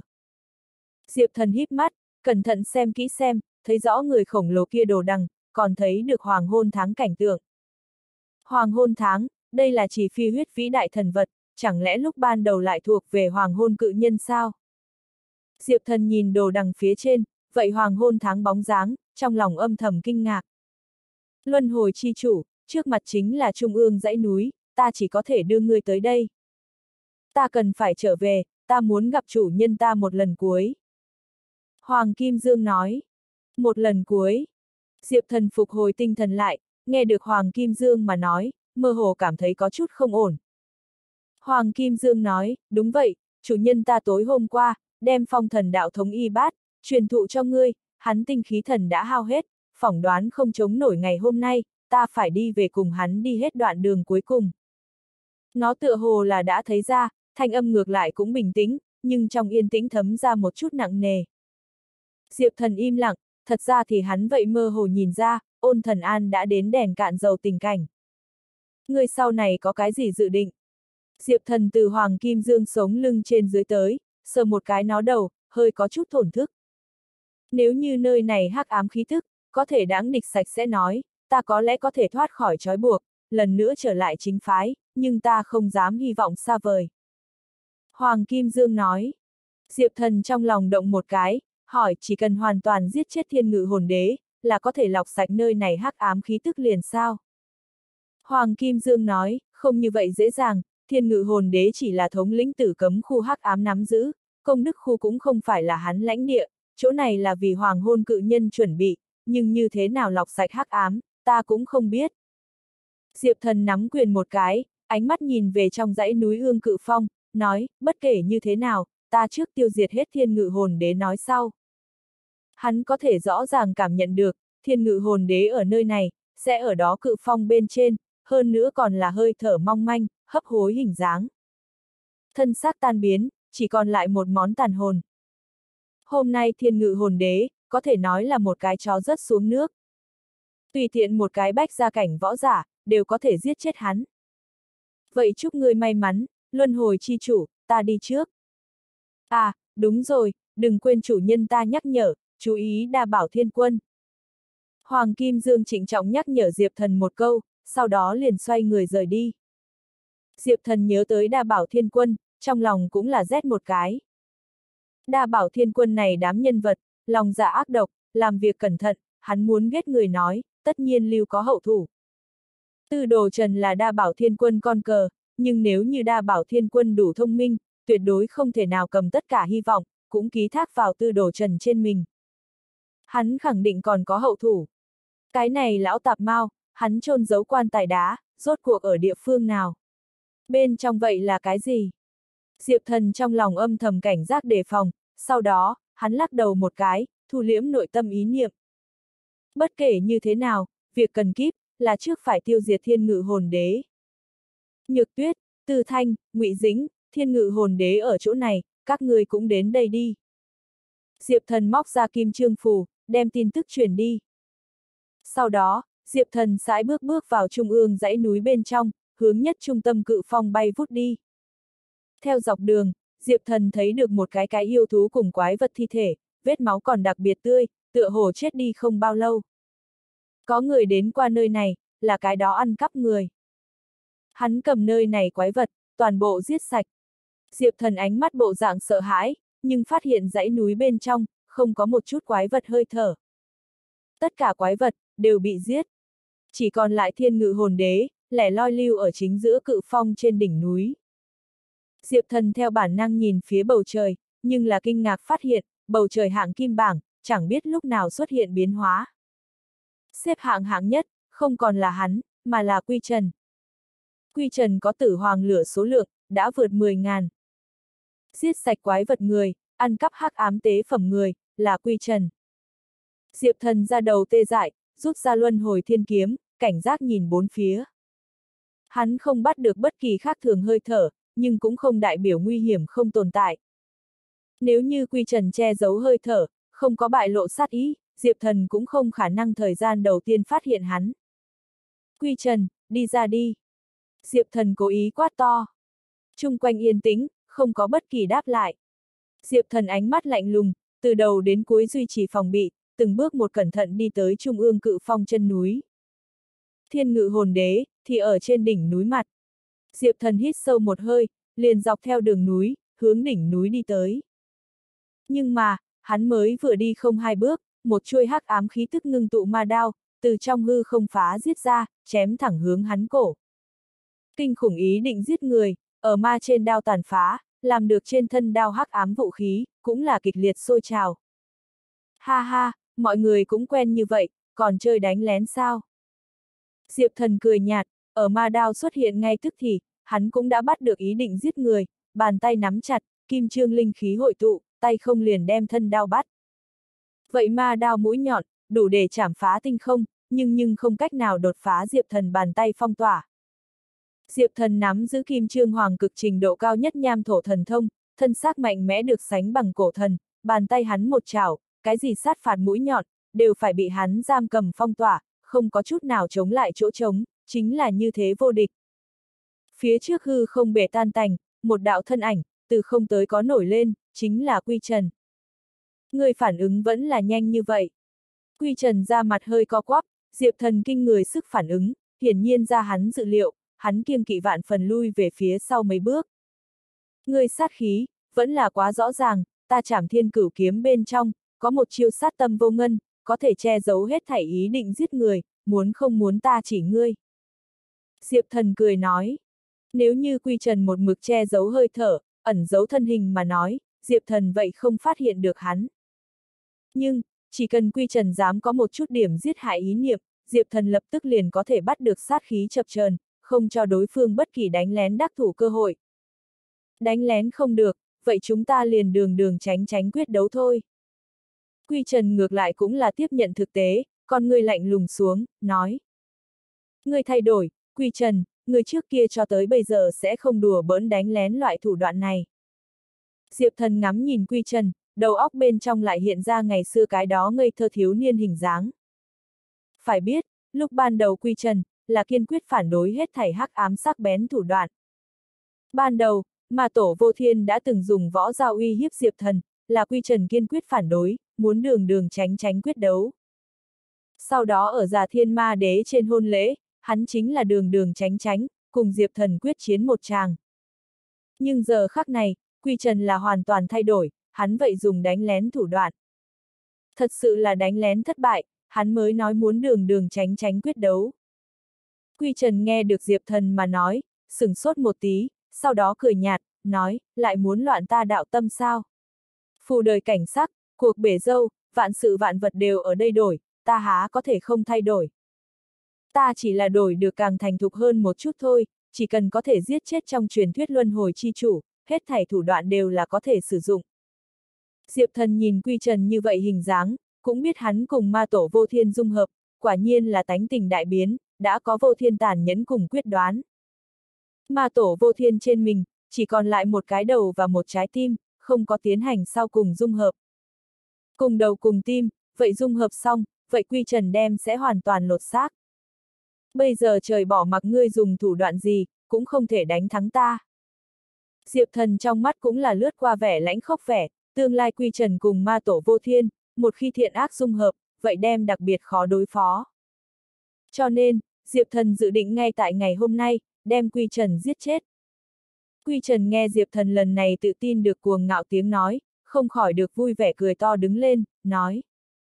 Đừng lấy vì ngươi lấy được nham thần máu, thì thật vô địch, ta tối hôm qua đạt được đại lượng hắc ám tế phẩm, ngày hôm nay muốn giết ngươi, đó là dư sức có thừa. Tiếng nói rơi xuống, quy trần vậy như pho tượng hoàn mỹ trong sáng bàn tay, bỗng nhiên giết ra, năm ngón tay nắm quyền, một quyền sen lẫn kinh khủng ả khí, hung hăng đánh phía diệp thần ngực. Ung ung, quy trần một quyền này đánh ra ngay tức thì, trên người có một khối hắc khí lượn quanh không vô thần khí mảnh vỡ, trực tiếp bị hiến tế nổ. Vậy không vô thần khí mảnh vỡ, mặt trên có chứa tử thần giáo đoàn hơi thở, rõ ràng chính là tử thần giáo đoàn hắc ám tế phẩm, dùng để triệu hoán hoàng hôn người khổng lồ. Tử thần giáo đoàn vì triệu hoán hoàng hôn cự nhân, chuẩn bị vô số tế phẩm. Mà những tế phẩm này, rất có thể đều bị quy trần toàn bộ ăn cắp. Một khối không vô thần khí mảnh vỡ, chân quý như vậy tồn tại, quy trần giống như là không cần tiền vậy, lại là tại chỗ hiến tế. Thần khí hiến tế, bộc phát ra cực kỳ kinh khủng năng lượng, toàn bộ hội tụ đến nắm đấm của hắn trên. Nắm đấm của hắn, ma hi nhô lên, lực lượng uy mãnh bá đạo đến không thể tưởng tượng nổi bước. Trước đây, Diệp Thần hiến tế tội ác thuyền, đánh bại Quy Trần và Tư Đồ Trần. Hiện tại, Quy Trần cũng là dùng giống nhau thủ đoạn, cũng là hiến tế không vô thần khí, muốn mượn không không lực lượng, một quyền đánh giết Diệp Thần. Nham thần hộ thuẫn. Diệp Thần ánh mắt đông lại một cái, biết Quy Trần một quyền này, cực kỳ hung mãnh, cứng đối cứng cũng không lý trí. Hắn lập tức lui về phía sau một bước, hai tay chống một cái, nham thổ linh khí hội tụ, hóa ra một cái kim trung vậy nham thần hộ thuẫn, vững vàng bảo vệ tự thân. Phịch, Quy Trần hung mãnh một quyền, hung hăng đánh tới, lập tức liền đem Diệp Thần nham thần hộ thuẫn, đánh được nghiền. Nhưng, nham thần hộ thuẫn bể tan tành đồng thời, vậy hóa giải được Quy Trần quả đấm phần lớn lực lượng. Còn thừa lại lực lượng, cũng không có thể thương tổn tới Diệp Thần thân thể. Diệp Thần có nham thần máu, thân xác đặc biệt cứng rắn. Hừ. Quy Trần hừ lạnh một tiếng, cũng không có chút nào nổi giận, thần khí hiến tế năng lượng, còn không có phát huy xong, hắn hội tụ còn sót lại năng lượng, lần nữa một quyền đánh ra, lực như băng thiên. Thay đổi, kim trương nặng vách đá. Diệp thần thần sắc bình tĩnh, thi triển ra kim trương hoàng cực bí pháp, điều động mặt đất hơi thở, ở trước người hóa ra một mặt kim trương nặng vách đá, như chặn một cái thật dày tấm thuẫn, một lần nữa chặn lại quy trần quả đấm. Cái này kim trương hoàng cực bí pháp, là thân độ huyền nhi để lại cho Diệp thần, đặc biệt huyền diệu, có thiên địa người quỷ thần năm loại biến hóa. Trong đó, địa biến hóa, liền là tuyệt đối phòng ngự, như mặt đất phong phú, phòng thủ kiên cố, không gì phá nổi. Quy Trần thấy Diệp Thần không cùng tầng xuất thủ đoạn phòng ngự, cũng không khỏi được sắc mặt trầm xuống. Luân hồi chi chủ, hoa dạng của ngươi, thật đúng là kêu người hoa cả mắt à. Ta còn muốn tỉnh chút bảo bối, hiến tặng cho lão tổ, xem ra ngày hôm nay muốn toàn bộ dùng ở trên người ngươi. Quy Trần ánh mắt run lên, sau lưng ma khí lững lờ, hiện ra một kiện kiện pháp bảo, tất cả loại quý giá vật liệu, nghi thức đạo cụ, đan dược cực phẩm, thiên tài địa bảo, thậm chí còn có chút vĩ đại thần vật, không không thần khí tồn tại. Những thứ này, hiển nhiên là tối hôm qua hắn ăn cắp được hắc ám tế phẩm. Rắc rắc sát. Một kiện kiện hắc ám tế phẩm, ở quy trần ý chí hạ, dối rít nổ tung, liền trực tiếp bị hiến tế hết, lăn lăn như nước thủy triều hắc ám năng lượng, gào thét ra, bao phủ đến quy trần trên mình. Nháy mắt tức thì, quy trần hơi thở bạo tăng, sau lưng nổi lên một tôn thiên địa pháp tướng, phơi bày thiên thủ trăm mắt quỷ dị khí tượng. Người trộm hoàng hôn người khổng lồ tế phẩm, đối diện không tức giận sao. Diệp thần cảm nhận được quy trần cuồng tiêu hơi thở, trong lòng cũng là ngưng trọng, nhưng ngoài mặt tỉnh bơ, dừng dưng hỏi, muốn thăm dò quy trần lai lịch. Quy trần trộm hoàng hôn người khổng lồ tế phẩm, tất nhiên gặp trời nổi giận. Hoàng hôn người khổng lồ thực lực, so với thiên ngự hồn đế cường hãn trăm lần, nếu như hoàng hôn người khổng lồ uy nghiêm hạ xuống, quy trần không có bình yên vô sự đạo lý. Nhưng hiện tại, ở quy trần trên mình, Diệp Thần nhưng không thấy được có một chút khác thường. Chẳng lẽ, hắn ăn cắp hắc ám tế phẩm, lại liền một chút trừng phạt cũng không có. Vậy không khỏi rất thư thái một ít. Chuyện ta, còn không dùng ngươi để ý tới. Quy Trần trong mắt lạnh lùng, cũng không có gì nói nhảm, sau lưng thiên thủ trăm mắt thiên địa pháp tướng, thần thông hiển hóa, tàn bạo hướng Diệp Thần lướt đi. Vậy một tôn thiên địa pháp tướng, thiên thủ tất cả chấp binh khí, trăm mắt bắn tán loạn ma quang, các loại quỷ bí hơi thở tách thả ra, nhiếp đoạt người tâm thần. Diệp Thần có luân hồi thánh hồn thiên bảo vệ, nhưng là không bị ảnh hưởng. Nhưng, Quy Trần không ngừng hiến tế hắc ám tế phẩm, bộc phát ra lực lượng, chân thực cường hãn, liền Diệp Thần cũng không dám khinh thường. Gió, đáp lại ta đi. Phong thần nói, côn bằng cổ pháp. Diệp thần quát to một tiếng, thúc giục nắng ban mai gió, câu thông trong sâu thẳm phong thần hơi thở. Ở ôn thần an dưới sự chỉ điểm, Diệp thần đã thừa kế phong thần đạo thống, ở phong thần trúc phù hộ hạ, nắng ban mai gió cũng đổi được càng cường đại hơn. Ung ung. Trong nháy mắt, Diệp thần quanh thân màu xanh nếp sống nổ, gió lốc lớn điên cuồng gào thét, sung nhét thiên địa. Một hồi minh mông kim quang, cũng là từ Diệp thần trên mình nổ lên. Hắn sau lưng, mơ hồ nổi lên một đầu cổ xưa côn bằng khí tượng. Trong truyền thuyết, rất xa gió, so phương xa còn muốn xa xôi. Ở đó một xa xôi thời đại cổ xưa, tồn tại một đầu côn bằng dị trùng, là phong thần quyến thuộc. Phong thần đạo thống, phong thần 36 pháp bên trong, có một môn thần thông, chính là côn bằng cổ pháp, có thể để cho người hóa thân côn bằng, nắm trong tay lớn tiêu dao, lớn tự tại lực lượng, gió lực lượng. Rắc rắc. Giờ khắc này, Diệp Thần trực tiếp hiển hóa ra côn bằng khí tượng, bàn tay kim quang tách thả ra, hóa thành một cái to lớn bằng móng, chỉ móng sắc bén tựa như đao kiếm, cương phong gào thét.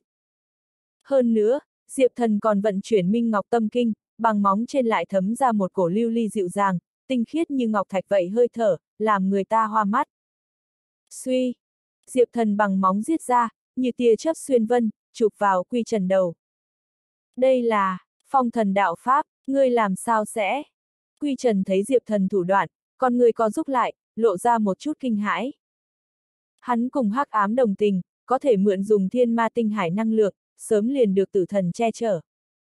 Cho nên, đối với cổ xưa cửu thần thời đại, rất nhiều bí mật, hắn hết sức quen thuộc. Hiện tại, vừa nhìn thấy Diệp thần thủ đoạn, Quy Trần liền nhận ra, vậy là đặc biệt cổ xưa phong thần bí pháp, tượng trưng cho gió lực lượng, đã sớm trên đời gian thất truyền. Ha ha!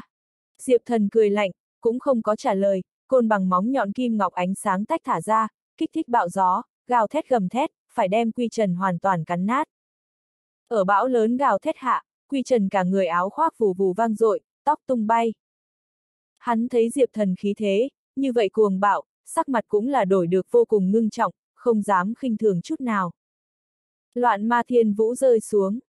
Quy Trần cuồng quát một tiếng, nghiêm ngặt ma khí bùng nổ, trực tiếp triển khai một cái ma đạo kết giới. Một đóa đóa xương trắng hoa sen, từ kết giới trong hư không hiện lên, là tả bay xuống, như vậy loạn ma thiên vũ. Diệp thần côn bằng móng nhọn, hung hăng cùng cái này loạn ma thiên vũ va chạm, kim ngọc trói lọi, gió lốc lớn khí tượng, ma đạo cùng xương trắng khí tượng, kịch liệt va chạm nổ, long trời lở đất.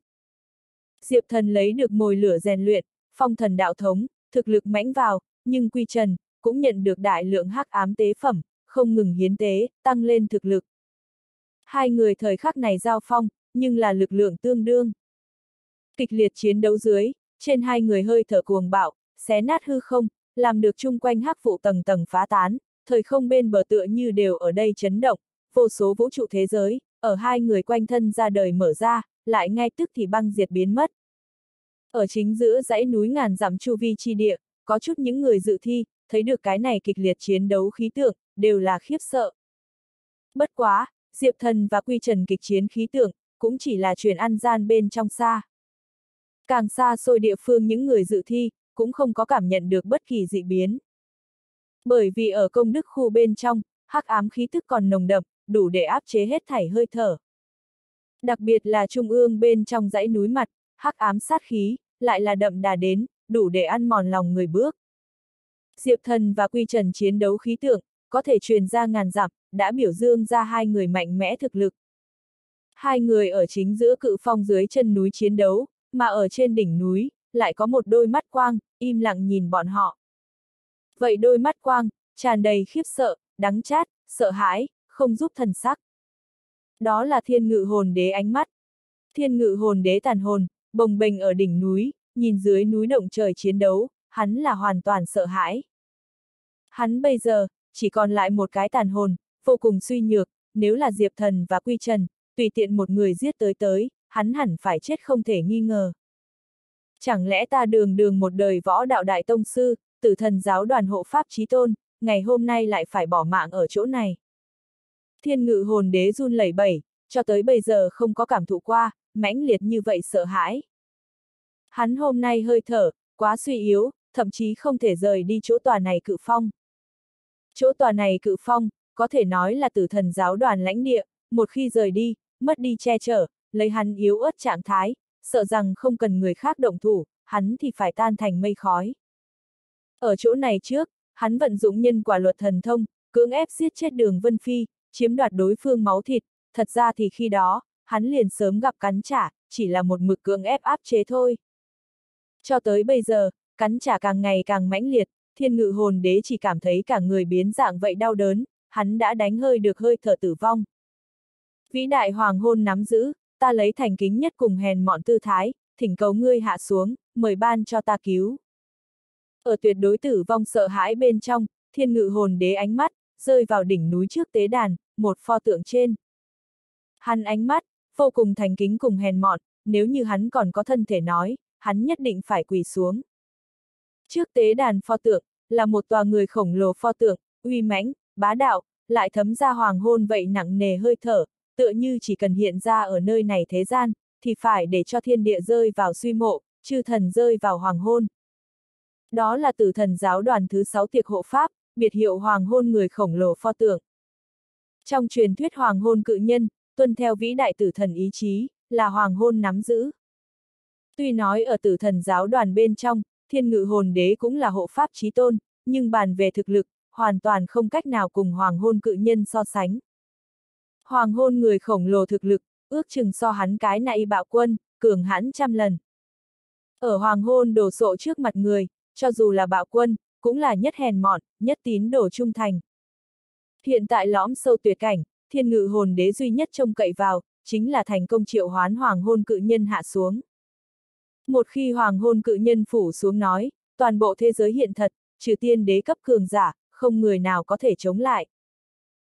Dưới núi, Diệp Thần và Quy Trần kịch chiến, đã đến ác liệt bước. Thật ra thì, Diệp Thần còn chưa sử dụng toàn lực. Bởi vì, hắn muốn để lại lực, đi tiêu diệt thiên ngự hồn đế, lại đề phòng có thể đến bất chắc. Nhưng Quy Trần ương ngạnh, vẫn là ra Diệp Thần dự liệu. Hắn nếu như không dùng tới toàn lực nói, sợ rằng thật vẫn không cách nào đánh bại đối phương. Suy suy suy. Vừa lúc đó, từng đạo lưu mang, từ bốn phương tám hướng phóng tới, từng đạo bóng người hạ xuống. Quy Trần con người co giúp một cái, nhìn bốn phía bắn tới bóng người, đó là Kỳ Tư Thanh, Hạ Nhược Tuyết, Ngụy Dĩnh các nàng, còn có một cái cái tinh nguyệt thần giáo, biển cả giới, sống chết vực, thiên tinh cung đệ tử, toàn bộ là luân hồi trận doanh người. Kỳ Tư Thanh các nàng thấy Diệp Thần cùng Quy Trần chiến đấu, đều là kinh hãi. Các nàng nhận được Diệp Thần tin tức, nói là phát hiện thiên ngự hồn đế, nhưng nào nghĩ tới giờ phút này cùng Diệp Thần giao chiến người, nhưng là Quy Trần. Thiên ngự hồn đế ở nơi nào? Diệp Thần thấy kỳ tư thanh các nàng tới, cũng là mừng rỡ, kêu lên, thiên ngự hồn đế ở trên đỉnh núi, các ngươi lên đi, trước giải quyết hết hắn. Kỳ tư thanh, hạ nhược tuyết, ngụy dĩnh ba phụ nữ nghe, nhìn nhau, nhưng là ngưng trọng. Diệp thần đang cùng quy trần kịch chiến, đánh được khó phân nan giải, các nàng muốn trợ lực. Nhưng, hai người chiến đấu, khí tượng quá kịch liệt, như vậy cổ xưa phong thần cùng tử thần hồi phục, ở trần thế gian biểu dương ra thần linh uy nghiêm, như thế kịch liệt chiến đấu, cho dù là các nàng, cũng khó mà nhúng tay vào. Không cần phải để ý đến ta, trước hết giết thiên ngự hồn đế, miễn sinh chi tiết. Diệp thần trầm giọng nói, côn bằng cổ pháp thúc dục, bàn tay bão gầm thét, ngàn vạn gió kiếm chém chết hướng quy trần. Nếu như động dùng toàn lực mà nói, Diệp thần có tuyệt đối lòng tin, có thể đem quy trần giết chết. Quy trần thấy Diệp thần như vậy hung hãn hình dáng, cũng là vội vàng hiến tế mấy kiện chân quý hắc ám tế phẩm, ngoan cố chống đỡ. Kỷ tư thanh, hạ nhược tuyết, ngụy dĩnh các nàng, thấy Diệp thần chiến đấu chiếm thượng phong, trong lòng hơi định. Chúng ta trước hết giết vậy thiên ngự hồn đế. Kỷ tư thanh nhìn hai cô gái, trong tay nhắc tới chu tước kiếm. Hạ nhược tuyết, ngụy dĩnh hai cô gái cũng là gật đầu một cái. Sau đó, ba phụ nữ sóng vai đi trên đỉnh núi bay đi, mười mấy luân hồi trận doanh cường giả, đi theo ở các nàng ba phụ nữ sau lưng, vậy bay về phía đỉnh núi. Diệp thần trong lòng hơi định, chỉ muốn giết chết thiên ngự hồn đế, vậy thì lại cũng không có cái gì tai họa ngầm. À à à! Bỗng nhiên, giữa sườn núi, truyền tới một hồi nhọn tiếng kêu thảm thiết. Mới vừa muốn đi đỉnh núi mọi người, tất cả đều chật vật chạy về, trước sau không tới nửa nén hương thời gian. Kỳ Tư Thanh, Hạ Nhược Tuyết, Ngụy Dĩnh ba người, trên mặt đều là vẻ kinh hoàng vẻ, lộ vẻ được đặc biệt sợ hãi. Các nàng tu vi không tầm thường, đạo tâm cường hãn, theo lý mà nói, coi như đối mặt tiên đế, đối mặt chỗ chết, đều sẽ không lộ ra như thế chấn động to lớn diễn cảm. Nhưng hiện tại, các nàng nhưng là vô cùng hốt hoảng, một mặt sợ hãi, đạo tâm dung được lợi hại. Vốn là đi theo bọn hắn, còn có mười mấy luân hồi trận doanh cường giả, nhưng hiện tại chỉ trở về mấy cái, những người khác toàn bộ xảy ra ngoài ý muốn. Chuyện gì xảy ra? Diệp thần sắc mặt trầm xuống, cũng là cảm thấy bất an, hỏi. Kỷ tư thanh hít thở sâu một hơi, trước nhất ổn định lại, nói, trên núi có cảm bẫy. Đặc biệt quỷ dị, người một đạp lên, sẽ lâm vào hoàng hôn vậy suy hủ, chúng ta thiếu chút nữa chúng chiêu. cảm bẫy. Diệp thần trong mắt có giúp một cái, lại không nghĩ rằng còn có này cùng biến cố.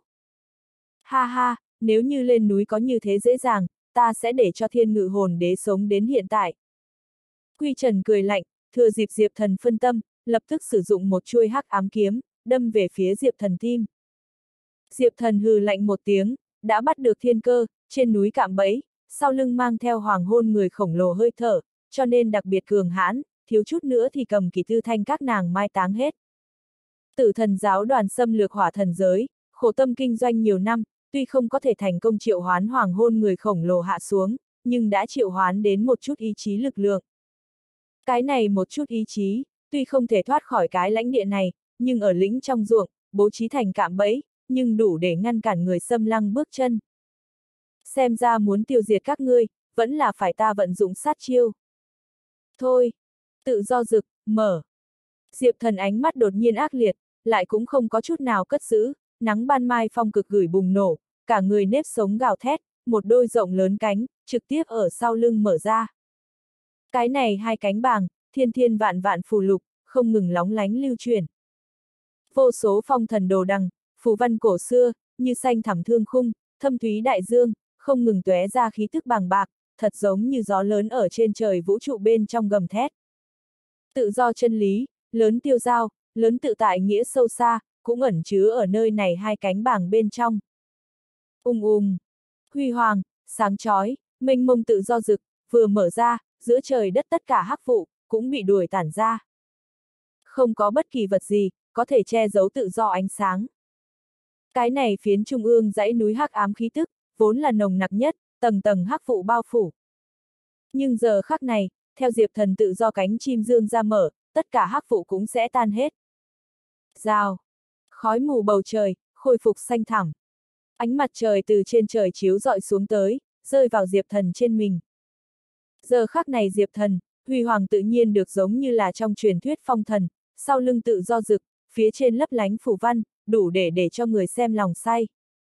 Đó là nơi có sinh linh khát vọng, tự do hơi thở, không chịu trói buộc, không chịu chèn ép, không chịu bóc lột, tự do tự tại, vĩnh hưởng vô cùng vui. Tự do, là phong thần lý niệm. Trong truyền thuyết, đã từng là phong thần thiên tôn, muốn cấu trúc ra một cái đất nước tự do, để cho tất cả người, cũng có thể ung dung tự tại còn sống, không cần lo lắng bất kỳ chèn ép cùng giết hại. Diệp thần sau lưng tự do rực, đang ký thác cổ xưa phong thần, đối tự do khát vọng. Cái này hai cánh bàng, không có một chút điểm khí thức giết hại, nhưng để cho mỗi một cái người xem, cảm thấy linh hồn rung động, cả người phát run. Tất cả người, cũng cảm nhận được một cổ nóng bỏng nguyện vọng, đó là đối tự do truy đuổi, không phải hết thảy hắc ám có thể áp chế. Theo hắc phụ tản đi, chiến trường bên ngoài, thánh thành trên quảng trường, tất cả mọi người đều thấy được công đức khu trung ương dãy núi hình ảnh.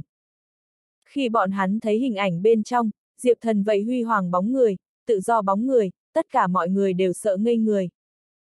Võ giả tu luyện, theo đuổi, thật ra thì liền là tuyệt đối tự do.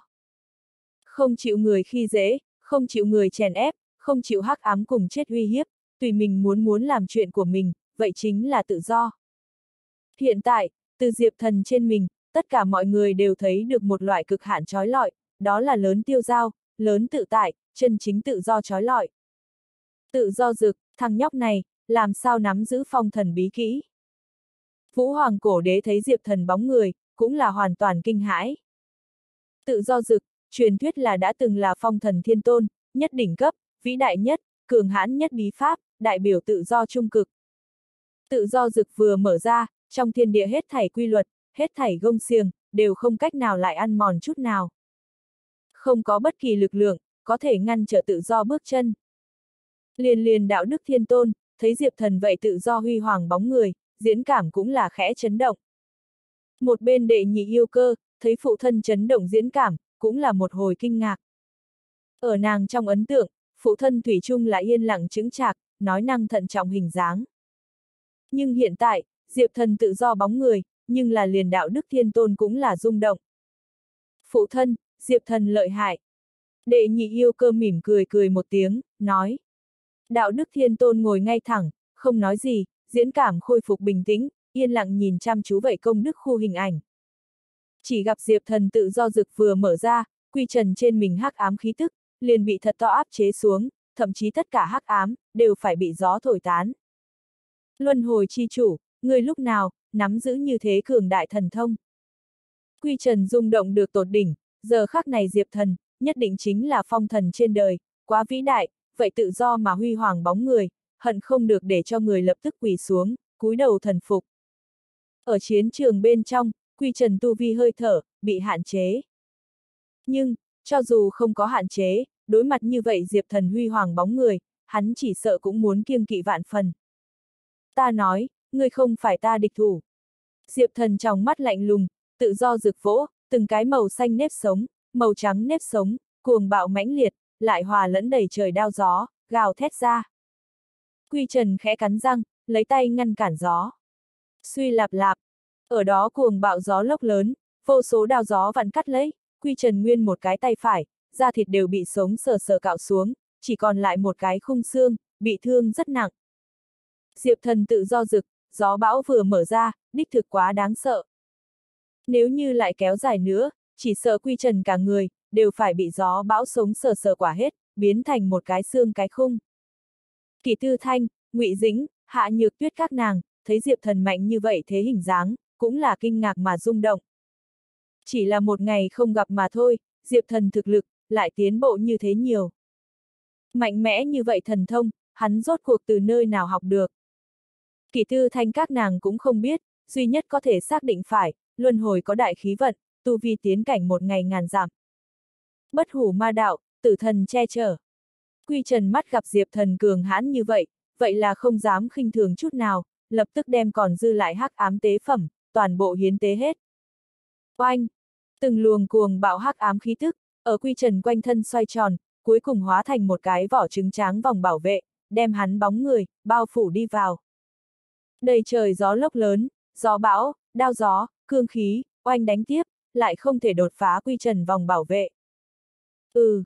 Diệp thần nhướng mày một cái, liền gặp vòng bảo hộ kia phía trên, hắc ám phủ văn lóng lánh, phía trên mơ hồ lưu chuyển một cái đồ đằng, đó là trong truyền thuyết tử thần, hải vương ma tôn đồ đằng. Quy trần gặp không địch lại diệp thần, trực tiếp chọn lựa phòng thủ sách lược, đem toàn bộ hắc ám tế phẩm hiến tế, cháy máu tươi, cùng trong chỗ u minh tử thần câu thông, mở ra mở một cái tử thần che chở vòng bảo vệ, ngăn trở Diệp thần gió bão đánh giết. Diệp thần muốn phá hỏng cái này vòng bảo vệ nói, sợ rằng không thoải mái. Người muốn làm con rùa đen giúp đầu, không như vậy dễ dàng. Chờ ta giết thiên ngự hồn đế, hồi đầu lại giết ngươi.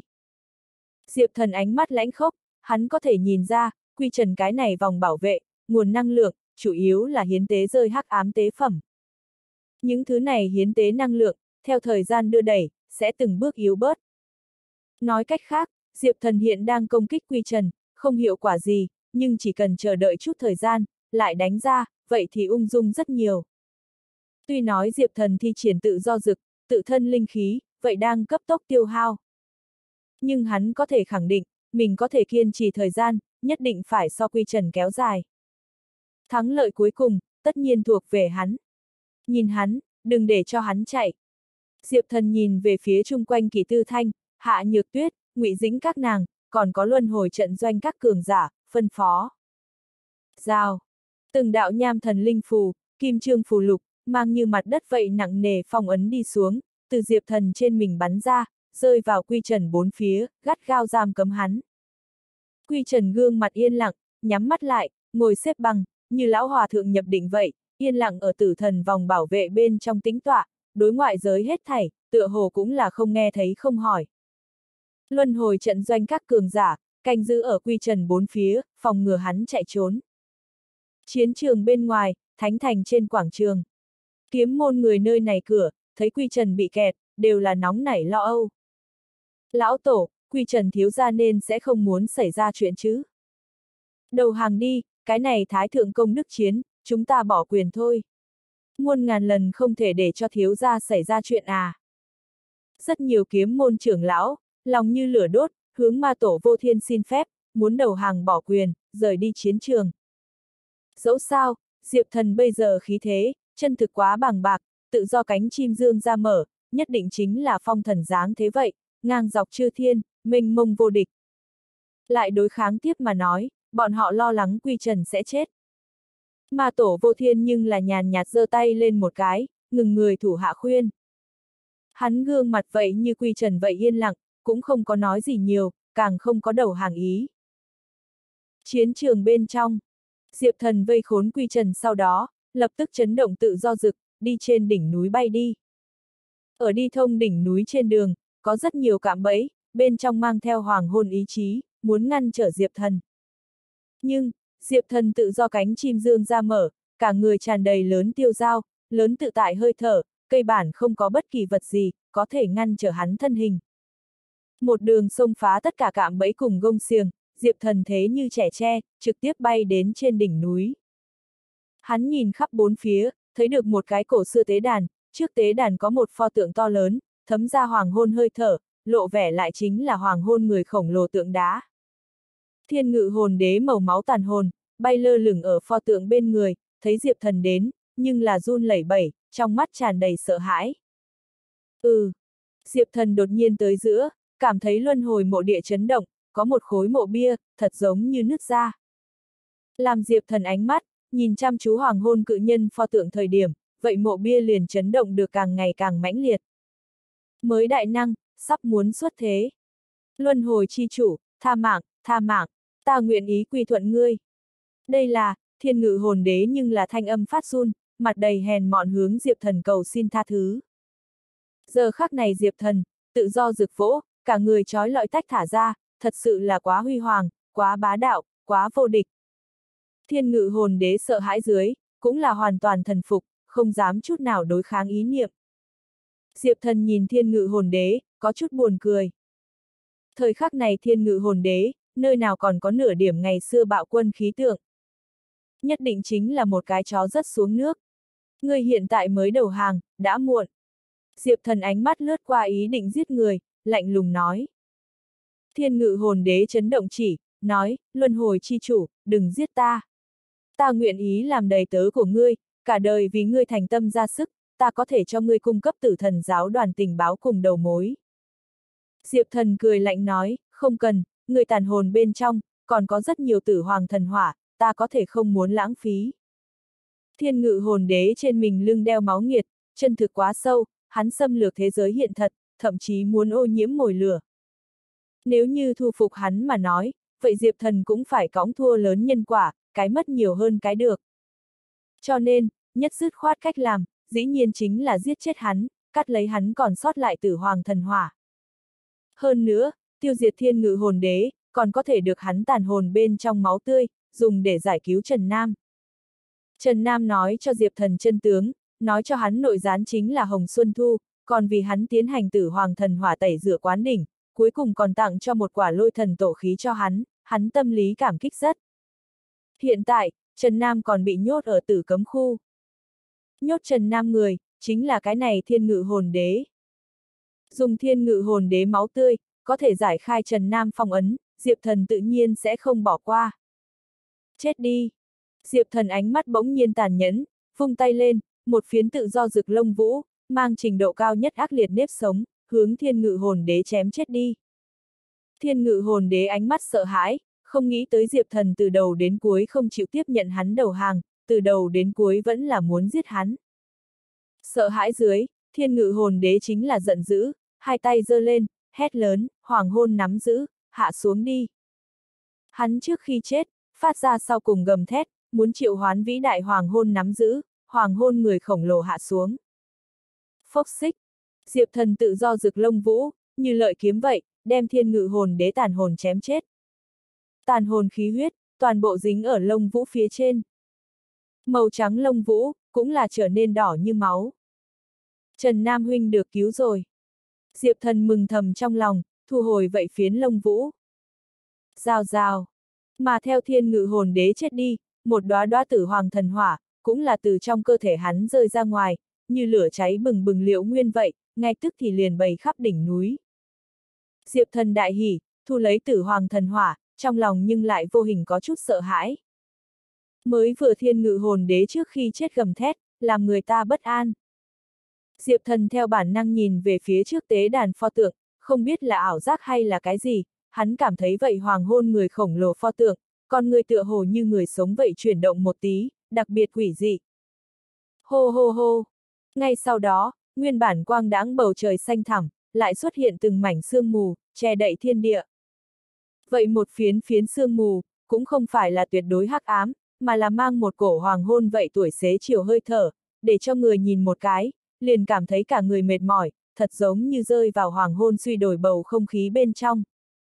Diệp thần tự do rực, lại thì không cách nào xua tan hết những cái kia quỷ dị hoàng hôn sương mù. Thậm chí, vậy từng tầng một hoàng hôn sương mù, còn càng ngày càng nồng đậm. Đến cuối cùng, thiên địa đã biến thành hoàng hôn thế giới, mặt trời vậy biến thành nắng chiều, tựa hồ tùy thời muốn xa vào đi xuống. Hết thảy hết thảy, cũng thấm ra không thể danh trạng, vô cùng quỷ dị, làm người ta tủng sợ hãi hơi thở. Diệp thần, kỷ tư thanh, ngụy dính, hạ nhược tuyết các người, đều là kinh ngạc nhìn chung quanh biến hóa. Toàn trường yên tĩnh như chết, chỉ có hoàng hôn ánh sáng, ở chiếu sáng. hắc ám vòng bảo vệ xuống quy trần, cũng là từ từ mở mắt, nhìn chung quanh quỷ dị thay đổi, hắn cũng là vô hình sợ hãi. Bỗng nhiên, bầu trời bên trong, truyền ra từng trận cổ xưa trầm thấp tiếng ngâm sướng, giống như là hoàng hôn trương nhạc, linh hồn nhịp điệu, ở trên tang lễ âm điệu, chim sơn ca rên rỉ. Một cái tay, một cái bàn tay, một cái che trời bàn tay, từ trên bầu trời nổi lên, xuyên qua trùng trùng sương mù, chậm rãi hạ xuống đến thế giới hiện thật. Vậy chỉ che trời bàn tay, tràn đầy hào hùng khí thức uy nghiêm, thật giống như để cho chư thần rơi vào hoàng hôn địa phương, một hạ xuống, thiên địa đều ở đây chết đi. Diệp thần nhìn vậy chỉ che đậy bầu trời bàn tay, cũng là kinh hãi, chỉ cảm thấy một cổ không cách nào hình dung lực lượng, ùn ùn kéo đến dưới áp chế tới. Đó là thế giới hiện thật, tuyệt đối không khả năng tồn tại lực lượng, vĩ đại, huy hoàng, bá đạo, che khuất bầu trời, nghiền ép hết thảy. Cơ hồ là trong nháy mắt, Diệp Thần liền có thể xác định, đó chính là hoàng hôn người khổng lồ bàn tay. Xa xôi thời không chỗ sâu hoàng hôn cự nhân, lại có thể thật nghe được thiên ngự hồn đế kêu gọi, hơn nữa không biết dùng thủ đoạn gì, lại đột phá không không cùng thực tế giữa hạn chế, để cho mình uy nghiêm, hạ xuống đến chỗ này đời bầu trời. Vậy chỉ che trời bàn tay, chính là hoàng hôn cự nhân uy nghiêm hiển hóa. Cái này cái bàn tay, không có nhằm vào người bất kỳ, chỉ là nhằm vào Diệp Thần. Bàn tay ủng ủng hạ xuống, trực tiếp hướng đỉnh núi đè đi. Thế giới hiện thật bên trong, không có bất kỳ lực lượng, có thể ngăn trở cái này cái bàn tay uy áp. Rắc rắc sát, cả tòa trung ương dãy núi, hoàn toàn sụp đổ. Diệp thần dưới chân cự phong, cũng là ở ngay tức thì sụp đổ thành bột. Cự phong bên trong, mấy chục ngàn năm tích lũy tử hoàng lửa, rơi ra ngoài, hội tụ thành ngọn lửa nham thạch nóng chảy con sông, bốn phía dâng trào. Diệp thần bóng người, ở cái tay khổng lồ này chấn áp xuống, và dưới chân cự phong cùng nhau, hoàn toàn phai mờ, biến mất không thấy. Diệp thần, kỳ tư thanh, hạ nhược tuyết, ngụy dĩnh các nàng, kinh hoàng kêu to, hoàn toàn sợ hãi. Các nàng mới vừa thời điểm lên núi, thật ra thì liền cảm nhận được liền hoàng hôn cự nhân ý chí đáng sợ. Thế nhưng chỉ là một chút yếu ớt ý chí.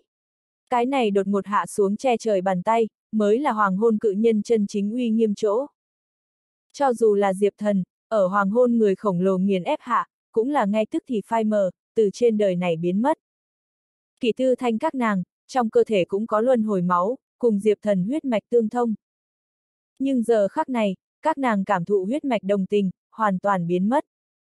Diệp Thần, chết. Cái này đột ngột mà to lớn, khủng bố dữ tợn sự thật, chân thực quá làm người ta khiếp sợ sợ hãi, các nàng cũng không dám tin tưởng. Nhưng các nàng đích thực, không có lại cảm nhận được Diệp Thần hơi thở. Bầu trời kim bảng hạng, cũng là xuất hiện biến hóa. Xếp hạng thứ hai Diệp Thần, tên chữ trực tiếp bị xóa đi. Thật giống như Diệp Thần sinh mạng, cũng bị xóa đi. Vậy chỉ che trời bàn tay, ở nghiền tiêu diệt Diệp Thần sau đó, liền chậm rãi lui về bầu trời chỗ sâu, cuối cùng không gặp bóng dáng. Trong thiên địa hoàng hôn hơi thở, cũng là theo gió tản đi. Đậm đà hắc ám sương mù, lần nữa gào thét tới, bao phủ hết thảy. Chiến trường bên ngoài, thánh thành trên quảng trường. Bởi vì hắc ám vũ khí lần nữa bao phủ, các khán giả lại không thấy được công đức khu bên kia hình ảnh.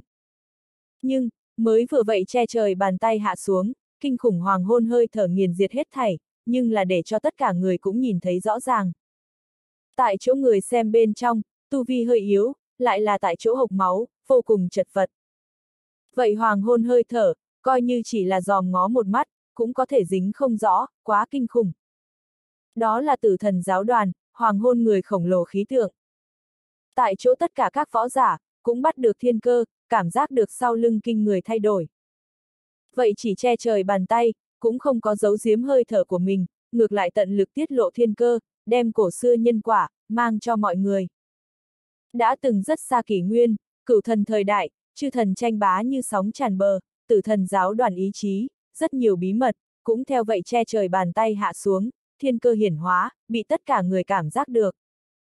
Rất nhiều người vẫn là lần đầu tiên, biết cửu thần thời đại tồn tại, còn có tử thần giáo đoàn tồn tại. Hoàng hôn cự nhân, ở tử thần giáo đoàn bên trong, chỉ là thứ sáu tiệc hộ pháp.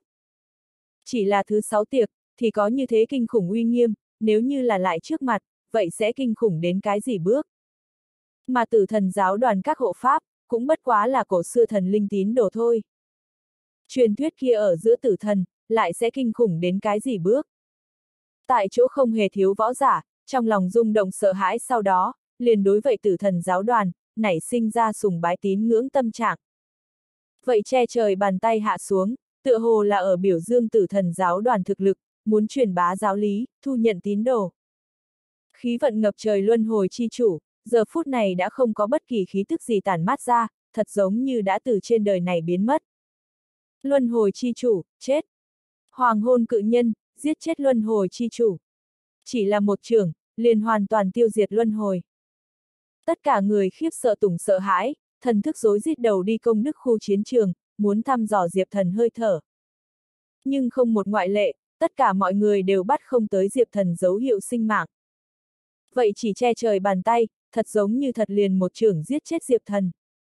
Đó là vượt qua trần thế, tầng thứ cao hơn lực lượng, thật là là không cách nào tưởng tượng đại khủng bố.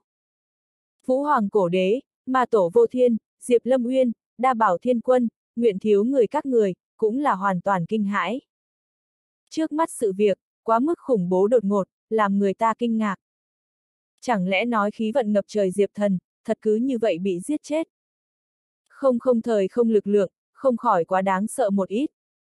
Tại chỗ bên trong, rất nhiều võ giả, từ giờ khắc này bắt đầu, cũng đối thần bí kia không không lúc nào không, tràn đầy ngưỡng mộ cùng vẻ kính sợ. Có thể khẳng định, ở không không lúc nào không bên trong, xem hoàng hôn cự nhân cường giả loại này, khẳng định không chỉ một. Ở cái thế giới kia, khẳng định còn có vô số cường đại tồn tại, siêu thoát thực tế phép tắc lực lượng. Tiểu thư, luân hồi chi chủ hắn. Tử hoàng cung điện bên trong, chỉ phi huyết che miệng ba, không thể tin, ánh mắt mang theo sợ hãi nhìn về phía đệ nhị yêu cơ. Nàng tuyệt đối không tin, Diệp thần sẽ cứ như vậy chết đi. Vậy tiểu tử, hắn tuyệt sẽ không chết. Đệ nhị yêu cơ hàm răng cắn một cái, thân thể mềm mại nhưng cũng là run rẩy, tràn đầy bất an. Nàng nhìn về phía đạo đức thiên tôn, vội vàng hỏi, phụ thân, diệp thần hắn còn sống, đúng không? Đạo đức thiên tôn yên lặng, sắc mặt âm trầm đến đáng sợ, khe khẽ gõ một cái bàn. Một đạo thân ảnh, ở sau lưng hắn hiện lên, đó là chính phái lãnh tụ, Trùng Dương chân nhân. Trùng Dương, tử thần giáo đoàn càng ngày càng càn rỡ, lại dám dưới con mắt nhìn chằm chằm của mọi người giết người, người đi liên lạc Hồng Quân, chúng ta là thời điểm phản kích. Đạo Đức Thiên Tôn từ từ nói. Ưm, trưởng giáo đại nhân. Trùng Dương chân nhân chắp tay đáp ứng, sau đó bóng người lại dần dần không nhìn thấy ở trong hư không. Đạo Đức Thiên Tôn sắc mặt, chính là âm tình bất định. Phụ thân, Diệp thần hắn còn sống không? Đệ nhị yêu cơ nội tâm hỗn loạn, lại cũng không cách nào giữ những ngày qua chấn định, lại một lần nữa hỏi. Phải chết đi, hoàng hôn người khổng lồ uy nghiêm, không phải hắn có thể ngăn cản. Đạo đức thiên tôn nhàn nhạt nói. Những lời này, nhưng như núi lỡ vậy, để cho đệ nhị yêu cơ sau khi nghe, hoàn toàn chấn động ngạc. Diệp thần, thật đã chết rồi sao? Chiến trường bên trong, Quy Trần thấy Diệp thần biến mất, cũng là kinh nghi bất định. Hắn không dám tin tưởng Diệp thần chết, nhưng cẩn thận bắt dưới, đích xác không có lại cảm ứng được Diệp Thần hơi thở. Suy suy suy. Lúc này, từng đạo ánh sáng, từ khắp nơi bắn tới. Mới vừa vậy che trời bàn tay hạ xuống, khí tượng quá bàng bạc, trực tiếp kinh động toàn bộ chiến trường. Tất cả những người dự thi, cũng từ bốn phương tám hướng chạy tới. Bọn họ cảm giác được thiên cơ thay đổi, cảm nhận được luân hồi biến mất khí tượng, cũng là hoàn toàn kinh hãi. Luân hồi chi chủ đã chết. Không thể nào, hắn nhưng mà thế giới hiện thật khí vận nhất hào hùng người, hắn làm sao sẽ như thế dễ dàng liền chết. Ai biết được, dám đắc tội cổ xưa thần minh, hắn không chết người đó chết. Hi hi, luân hồi chi chủ chết, vậy lần này Thái Thượng Công Đức Chiến, chúng ta sẽ không có một cái mạnh mẽ đối thủ cạnh tranh. Đám người nghị luận thanh âm vang lên, tại chỗ những người dự thi, nhìn đầy đất tử hoàng thần hỏa, trong mắt lại lộ ra nóng rực thần sắc. Điều này trung ương dãy núi, vốn là tử thần giáo đoàn cứ điểm, mấy chục ngàn năm qua, bên trong tích lũy đại lượng mồi lửa năng lượng khí tức. Giờ phút này, theo trung ương dãy núi bể tan tành, những cái kia tử hoàng thần hỏa, toàn bộ rơi ra ngoài, hiện ra ở trước mắt mọi người. Trước mắt tử hoàng thần hỏa, số lượng vô cùng nhiều, so với săn giết yêu thú có thể thu hoạch được, còn muốn nhiều được hơn, hơn nữa năng lượng tinh thuần. Ai quản luân hồi sống hay chết, như thế nhiều tử hoàng thần hỏa, mọi người cướp à. Không biết là ai kêu một tiếng, sau đó tất cả những người dự thi, chính là điên cuồng cướp đoạt tán rơi xuống đất tử hoàng thần hỏa. Băng thần ân uy, bao phủ khắp nơi. Đây là, vạn khư trận doanh bên trong, một đạo cô gái đồ trắng bóng người bay ra, cả người băng tuyết hơi thở tách thả ra, bao phủ mặt đất, đem vậy từng đạo tử hoàng thần hỏa, toàn bộ đóng băng ở, chính là vũ hoàng ngạo tuyết. Cực hạn khí tức băng hàn bùng nổ, để cho được không thiếu người dự thi, đều là liền vội vàng lùi về phía sau, rất sợ gặp phải băng tuyết xâm nhập. Vũ hoàng ngạo tuyết, người có ý gì? Không thiếu người dự thi quát hỏi. Các ngươi muốn cướp đoạt thần hỏa nói, hỏi trước qua ta nói sau. Vũ Hoàng ngạo tuyết lạnh lùng cười một tiếng, hiển nhiên là muốn chiếm đoạt tất cả thần hỏa. Vũ Hoàng ngạo tuyết, người còn không có như thế bá đạo tư cách.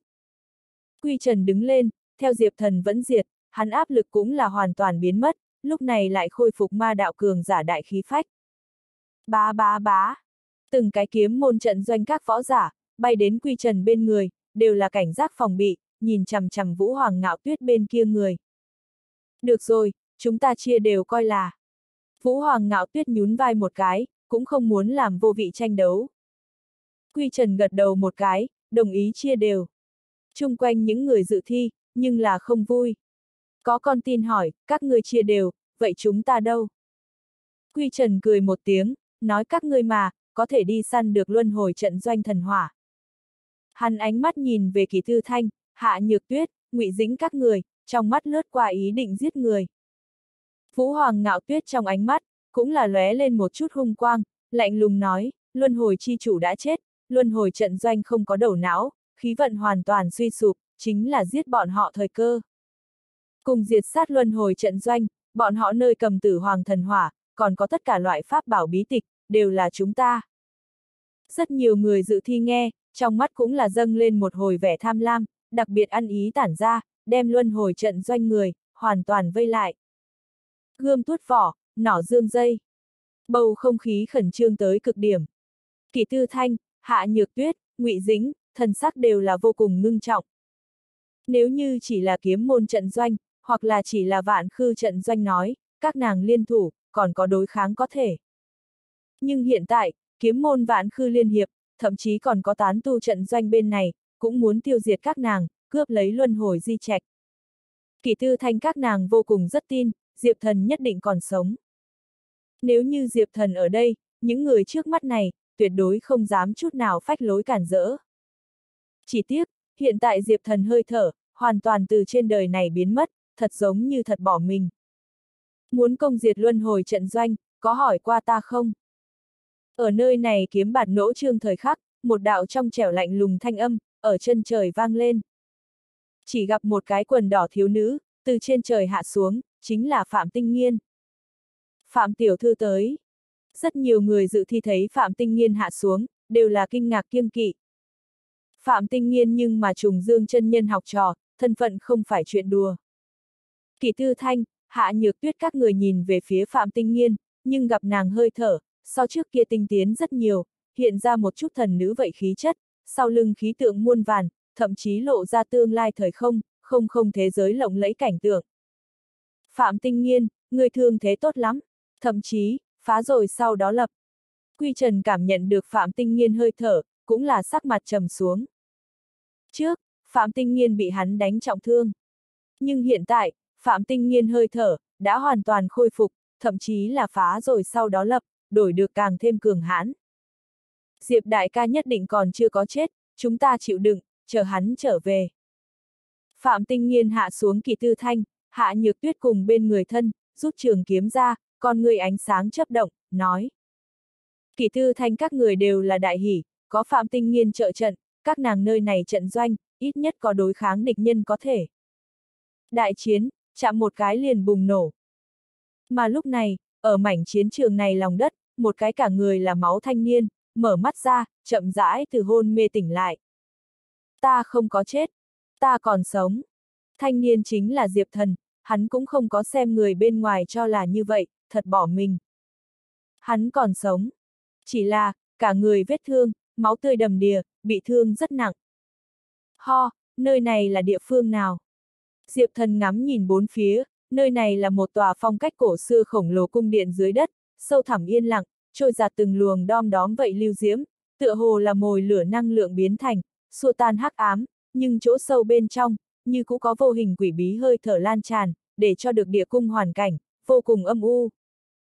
Diệp thần có thể cảm đến trên mặt đất năng lượng ba động, quy trần hơi thở, vũ hoàng ngạo tuyết hơi thở, kỳ tư thanh, hạ nhược tuyết, ngụy dính, phạm tinh nhiên đám người hơi thở, hắn cũng có thể rõ ràng bắt được. Những khí tức kia rằng co, rồi sau đó đột nhiên triển khai va chạm kịch liệt, kinh thiên động địa tiếng đánh nhau, truyền tới địa cung bên trong, nhưng địa cung kiến trúc, nhưng là ngoài ý liệu vững chắc, không có chút nào bị dung chuyển hình dáng. Lúc đầu dãy núi này phía dưới, lại có một tòa địa cung, ta mất vào tay giặc đến đây, còn chưa có chết. Diệp thần vùng vẫy bỏ dậy, chỉ cảm thấy cả người xương cốt vang động, kinh mạch biến dạng vậy đau đớn. Hoàng hôn cự nhân một trường kia, uy thế quá kinh khủng, thiếu chút nữa thì cầm Diệp thần giết chết. Thật may, Diệp thần luyện hóa nham thần máu, tu luyện minh ngọc tâm kinh, thân xác so với trước kia, không biết mạnh mẽ nhiều ít, lại là ở hoàng hôn người khổng lồ uy nghiêm hạ, thành công còn sống sót. Đó chính là vượt qua tiên đế, tầng thứ cao hơn lực lượng sao. Quả nhiên là không nói phải trái mạnh mẽ. Bất quá, thật may ta cũng là lớn khí vận người, chỉ cần ta không chết, chung có nghịch chuyển cơ hội. Diệp thần khẽ cắn răng, thấp giọng lầm bầm, một bên vận chuyển bát quái thiên đan thuật, ăn vào một ít chữa thương đan dược, thoáng ổn định mình thương thế. Nhưng, hắn nhưng phát hiện, trong cơ thể hắn còn quấn từng tia khí tức quỷ dị, đó là hoàng hôn hơi thở, thấm ra tuổi xế chiều, thê lương, suy hủ năng lượng ba động, không ngừng ăn mòn hắn thân thể. Đáng chết, vậy hoàng hôn người khổng lồ năng lượng khí tức, còn lưu lại ở trong cơ thể ta sao? Diệp thần cảm thấy một chút nghiêm trọng, trong cơ thể quỷ bí hơi thở, lộ ra chư thần hoàng hôn tuổi xế chiều khí tượng, ở nơi này cổ hơi thở ăn mòn, hắn thân thể đang chậm rãi suy hủ. Nắng ban mai gió, cho ta xua tan. Diệp thần miễn cưỡng vận chuyển nắng ban mai gió, mượn nữa dùng phong thần lực lượng, trong cơ thể hoàng hôn hơi thở, nhất thời thoáng bị đuổi tản ra liền một ít. Diệp thần mừng thầm trong lòng, thật may hắn lấy được phong thần đạo thống, mượn dùng gió lực lượng, có thể để xua tan hết thảy hắc ám cùng nhiệt chướng. Lập tức, Diệp thần ngồi xếp bằng, tiếp tục chữa thương. Trên mặt đất, từng trận kịch liệt tiếng chiến đấu, không ngừng truyền tới. Diệp thần rất là lo âu, mình không có ở đây, kỳ thư thanh các nàng, phải đối mặt vạn khư và kiếm môn cường giả, chắc là đặc biệt khó khăn. Một bên chữa thương, một bên ngưng thần cảm ứng bốn phía, Diệp thần nhưng là phát hiện, địa cung không gian khép kín, quy luật rối loạn, hắn vậy không tìm được đường đi ra ngoài. Hắn có thể rớt xuống, là bất ngờ xúc động một cái không gian vòng xoáy chảy loạn, cũng là hắn đại khí vận chỗ, bị thiên địa che chở, nếu không, hắn rất có thể phải bị hoàng hôn cự nhân giết chết. Chữa thương một mực kéo dài đến ban đêm, Diệp thần nguyên khí thoáng khôi phục, nhưng phát hiện ban đêm giữa địa cung, đổi được quỷ dị hơn. Từng cái đặc thù phù văn, còn có tử hoàng tiên cung đồ đằng đóng dấu, ở trên vách tường nổi lên. Chỗ này, hẳn là tử hoàng tiên cung âm thầm xây dựng, khắp nơi đều là phù văn cùng cấm chế. Thật may Diệp Thần ban ngày không có chạy loạn, nếu không, kích động cấm chế, rất có thể không hề đo lường họa. Nhưng mà, để cho Diệp Thần cảm thấy khó giải quyết, cũng không phải là địa cung cấm chế, mà là hắc ám khí tức chập chờn. Ở ban đêm, từng tia quỷ dị hắc ám khí tức, không biết từ vì sao tới, xâm nhập vào trong địa cung. Nguyên bản bình tĩnh địa cung, cũng là nổi lên từng tia hắc vụ, không thiếu cổ quái vô hình thanh âm, từ trong hắc vụ truyền ra. Những thứ này hắc vụ hơi thở, vô cùng mãnh liệt, thậm chí xé không gian. Một phiến mảnh không gian, bị biến dạng ra một cái khe. Kẽ hở sau lưng, là vực sâu vậy thế giới hắc ám, rất nhiều quỷ bí vô hình quái vật, từ cái đó thế giới hắc ám bên trong xuyên qua tới. Diệp thần sớm có phòng bị, che giấu hơi thở, ẩn thân ở trong một cái góc mặt, cũng không có bị những quái vật kia phát hiện. Những quái vật này, là từ thứ năm khu tới đây. Diệp thần nhìn địa cung bên trong toát ra tất cả quái vật, còn có vậy từng cái vết nứt không gian, nhất thời bắt được một cổ đặc thù hơi thở, như hư vô vực sâu. Hắn nhớ trùng dương chân nhân nói qua, mảnh chiến trường này, thật ra thì phân chia năm cái khu vực. Trừ tranh bá khu, phụ u khu, tử cấm khu, công đức khu bên ngoài, còn có thứ năm khu, có thể gọi là ư vô khu. Năm đó, tử thần giáo đoàn xâm lược hỏa thần giới, cùng mồi lửa triệu thủ hộ giả, bùng nổ động trời giết hại chiến đấu. Trận chiến ấy, triệu thủ hộ giả chết hết sức, hỏa thần giới có một phương thiên địa băng diệt, lâm vào là giả không. Vậy phiến băng diệt hư vô thiên địa, chính là hư vô khu. Giờ khắc này, Diệp Thần rõ ràng cảm thấy, địa cung bên trong xuất hiện quái vật, đều là hư vô khu bên trong leo tới đây. Địa cung bên trong vòng quanh hắc ám sương mù, mà thôi là tới từ hư vô khu. Vậy phiến hư vô khu, liền giống như là vực sâu, hoàn cảnh đặc biệt tồi tệ, cũng chỉ có quái vật có thể sinh tồn. Diệp thần thấy bên cạnh mình, thì có mấy cái không giữa khe hở nứt ra. Dọc theo những thứ này vết nứt không gian, có thể trực tiếp bước vào hư vô khu bên trong. Nhưng, cái này cùng tự tìm cái chết kém không nhiều. Hư vô khu, là năm xưa vậy trận đại tai biến, kinh khủng nhất chiến trường. Ở đó phiến bên trong chiến trường, tích lũy trước vô số chiến hồn oán khí, vô số tội nghiệt bóng tối hơi thở, nếu là đánh mất tiến vào, ngang hàng là rơi vào tối tăm nhất vực sâu, tàn khốc nhất luyện ngục, chỉ có một con đường chết. Diệp thần nhìn bên cạnh mình vết nứt không gian, cũng là cảm thấy uy hiếp. Vạn nhất hắn không cẩn thận mất vào tay giặc đi vào, hoặc là kẽ hở sau lưng, có quái vật gì bò ra, vậy thì nguy hiểm. Lập tức, Diệp thần dè đặt, di động bước chân, chuẩn bị rời đi vị trí. Rắc rắc. Nhưng mà lúc này, một cái vệt trắng vặn vẹo, phía trên phủ đầy mục nát côn trùng quỷ dị bàn tay, từ vết nứt không gian sau lộ ra, hướng Diệp thần cổ bắt đi. Diệp thần sắc mặt trầm xuống, vội vàng lui về phía sau. Nhưng gặp một đầu quái vật hình người, cả người tản ra hôi thối, từ vậy bên trong vết nứt không gian bỏ ra ngoài. Luân hồi, là ngươi sao? Quái vật hình người kia, phát ra nhọn ách giọng, ảm đạm con ngươi hiện ra huyết quang, như vậy địa ngục quỷ quái, tựa hồ nhận ra Diệp thần. Diệp thần nhất thời ngưng trọng. Quái vật hình người kia, bỗng nhiên ra tay, lại là thúc giục một bên địa cung cấm chế, hóa ra muôn vàn kiếm khí, ùn ùn kéo đến, hướng Diệp thần chém chết đi. Cái này con quái vật, giữ tợn quỷ dị, tràn đầy hắc ám tà ác hơi thở, nhưng hắn bộc phát ra kiếm khí, nhưng là thần quang đường đường, tử hoàng hơi thở khoáng đạt, cùng hắn bề ngoài quá mức không tướng sấn. Diệp thần biết, đây không phải là cái quái vật này lực lượng, mà là tử hoàng tiên cung cấm chế lực lượng. Ở nơi địa cung này bên trong, khắp nơi đều là tử hoàng tiên cung bố trí cấm chế, không biết có gì chỗ dùng. Từ hư vô khu leo tới đây các quái vật, lại là có thể mượn dùng những cấm chế này lực lượng. Nếu như là ngày thường, Diệp Thần tự nhiên không sợ. Nhưng hiện tại, hắn bị thương rất nặng, những cấm chế kia kiếm khí lực lượng, cũng rất có thể muốn mạng hắn. Thiết ngai vàng, sắt thép pháo đài. Nguy cấp bên trong, Diệp Thần cưỡng ép thúc giục thiết ngai vàng hơi thở, cấu trúc ra một cái lạnh lùng nghiêm ngặt sắt thép pháo đài, vững vàng đem mình bảo vệ được. Len keng tranh. Vậy từng đạo cấm chế kiếm khí, chém ở sắt thép trong pháo đài, phát ra vang dội chém tiếng. Diệp thần ở sắt thép pháo đài dưới sự bảo vệ, không có bị thương nữa. Nhưng, hắn nhưng phát hiện, nơi này thanh âm, trực tiếp đem vùng lân cận quái vật, toàn bộ hấp dẫn tới đây. Tất cả vặn vẹo bóng tối quái vật, còn có đếm không hết đồ sộ sâu lớn, mục nát xúc tu, từ địa cung bốn phương tám hướng tràn tới, rất nhanh hội tụ thành một phiến hắc chiều, chi chít đem Diệp Thần vây lại. Tất cả quái vật trong mắt, đều lộ ra hung quang, gắt gao nhìn chằm chằm vậy một tòa sắt thép pháo đài. Chúng có thể cảm thấy, ở nơi này sắt thép pháo đài bên trong, có đặc biệt mới mẻ máu thịt hơi thở. Chỉ cần công phá tòa pháo đài này, chúng là có thể hưởng dụng nhất vô thượng món ăn ngon. Oanh! Tất cả quái vật, phát ra các loại các dạng thét chói tai cùng kêu gào, điên cuồng xông về Diệp Thần chỗ ở sắt thép pháo đài. Địa cung ở giữa cấm chế, cũng bị từng đạo kích động. Vô số hắc ám khí tức, hòa lẫn cuồn cuộn tử hoàng trói lọi, hung hăng hướng Diệp Thần lướt đi. Chẳng lẽ ta ngày hôm nay, thật phải bỏ mạng ở chỗ này? Diệp Thần ngược lại hít một hơi khí lạnh, như thế kinh khủng giết hại công kích, coi như là hắn đỉnh cấp thời điểm, đều phải kiêng kỵ ba phần, chớ nói chi là hiện tại bị thương.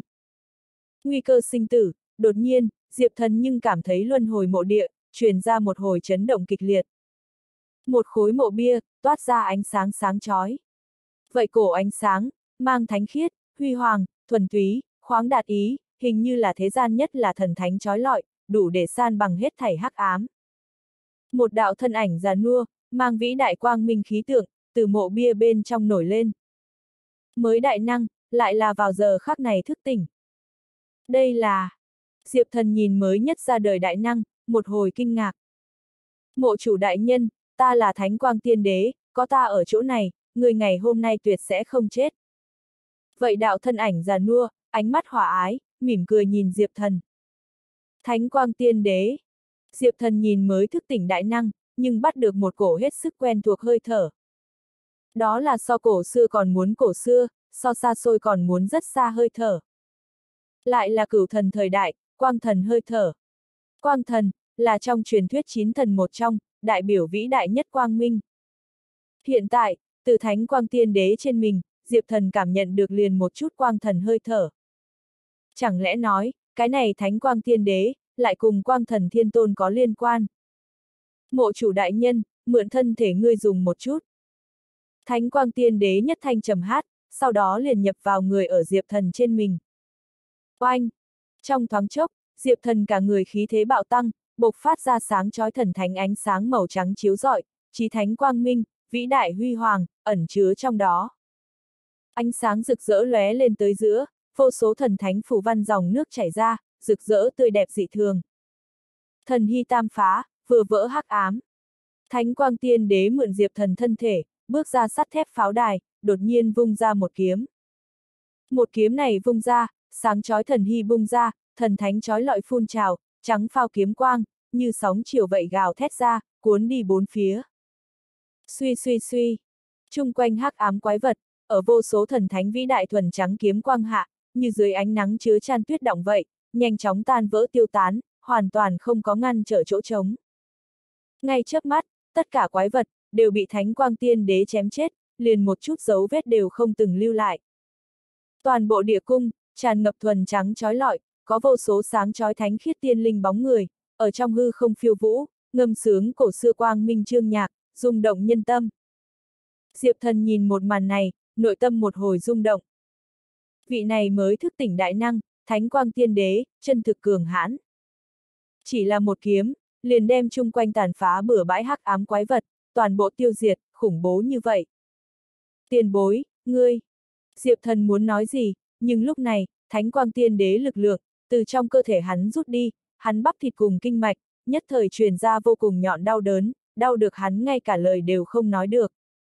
Thánh quang tiên đế lực lượng, thật là là mạnh mẽ vô địch, Diệp thần mượn dùng này cùng lực lượng, tự thân vậy thừa nhận to lớn áp lực.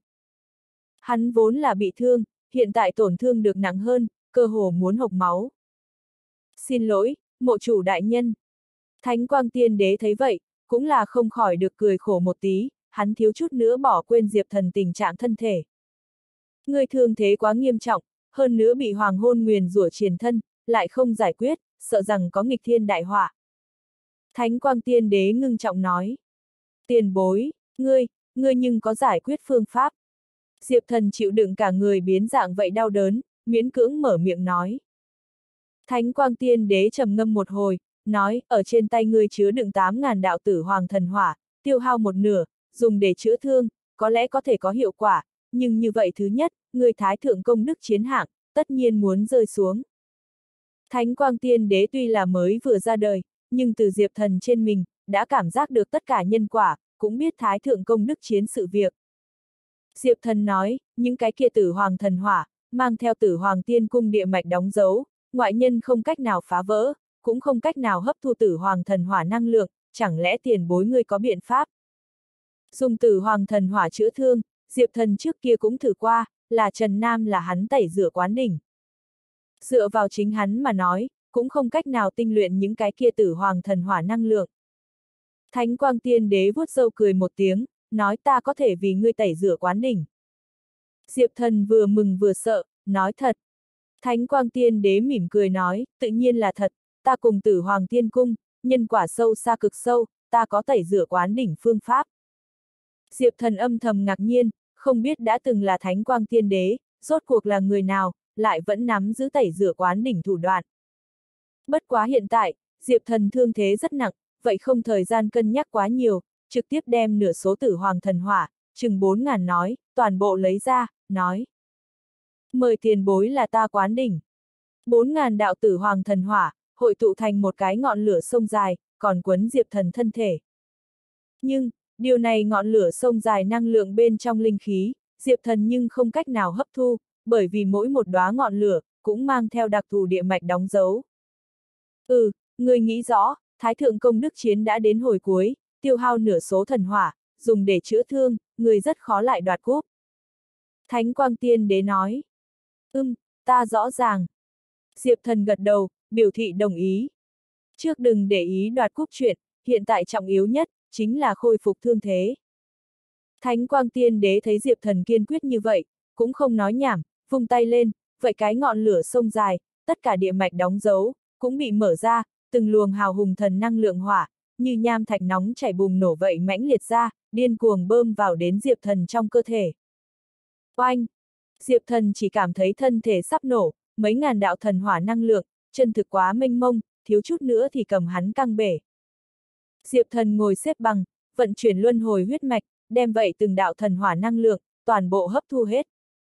Ở mênh mông thần năng lượng hỏa bên trong, Diệp Thần lại cảm thấy một cổ thần thánh quang minh huyền lực, vậy hiển nhiên là thánh quang tiên đế hơi thở. Ở nơi này cổ quang minh huyền lực bồi bổ hạ, Diệp thần thân thể khôi phục được nhanh hơn.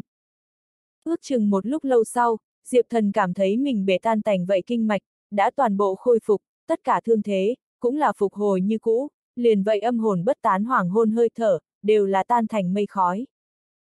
Thậm chí, Diệp thần tu vi, vậy vào giờ khắc này, đột phá hạn chế, một bước bước vào bách gia cảnh tầng thứ 8. Giao.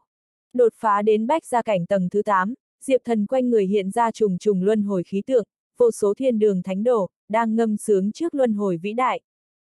Từng cái vũ trụ thế giới, ở Diệp Thần trong tế bào mở ra đi ra, vô số vĩ đại thần thánh lực lượng, từ rất xa thời không hạ xuống, để cho Diệp Thần tinh khí thần, ổn định tăng vọt.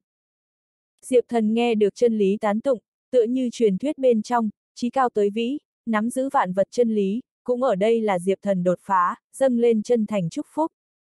Bách gia cảnh tầng thứ 8, rốt cuộc đột phá. Diệp Thần mừng rỡ không thôi, đột phá đến bách gia cảnh tầng thứ 8 mà nói, hắn cách trong truyền thuyết thiên quân cảnh giới, thiên huyền cảnh, đã là đặc biệt đến gần. Ở Diệp Thần quanh người, một đóa đóa vô danh hoa, không ngừng tách thả ra, khí tượng lộng lẫy. Mà ở nhóm hoa vây quanh, Diệp Thần nhưng lộ ra một cổ nắm giữ quân vương vậy khí phách, thương thế đã hoàn toàn khôi phục. Thánh quang tiên đế ngơ ngác nhìn Diệp Thần, thời khắc này Diệp Thần, nhất định chính là thế gian vĩ đại nhất, thần thánh nhất quân vương vậy, chấp trưởng trí cao luân hồi trật tự. Nhất niệm hoa nở, quân lâm thiên hạ. Tiền bối, đa tạ ngươi là ta quán đỉnh. Diệp Thần chắp tay nói cảm ơn, cảm kích không thôi. Thánh quang tiên đế nói, không sao, có thể phụ tá luân hồi, là ta vô thượng vinh hạnh.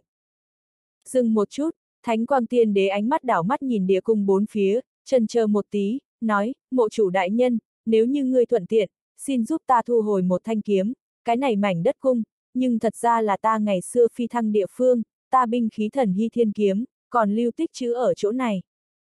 Diệp thần sửng sốt một tí, đạo, người phi thăng địa phương. Hắn tuyệt đối không nghĩ tới, Thánh Quang Tiên Đế cùng chỗ tòa này địa cung, liên lạc lại là như vậy mật thiết.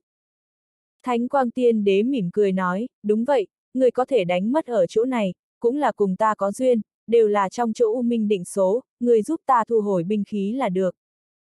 Diệp thần khẽ cao mày, trên mặt đất tiếng đánh nhau, càng ngày càng kịch liệt, hắn rất muốn lập tức trở về đi, trợ giúp kỳ tư thanh các nàng. Thánh quang tiên đế tựa hồ vậy nhìn ra liền diệp thần tâm tư, nói, mộ chủ đại nhân, không cần lo âu, người luân hồi trận doanh, có hỏa thần thiên tôn người thừa kế chấn giữ, người ngoài muốn công diệt, cơ hồ không thể nào. Người trước hay là thay ta tìm về binh khí, nếu không chúng ta lần sau muốn lại tới, vậy thì khó khăn.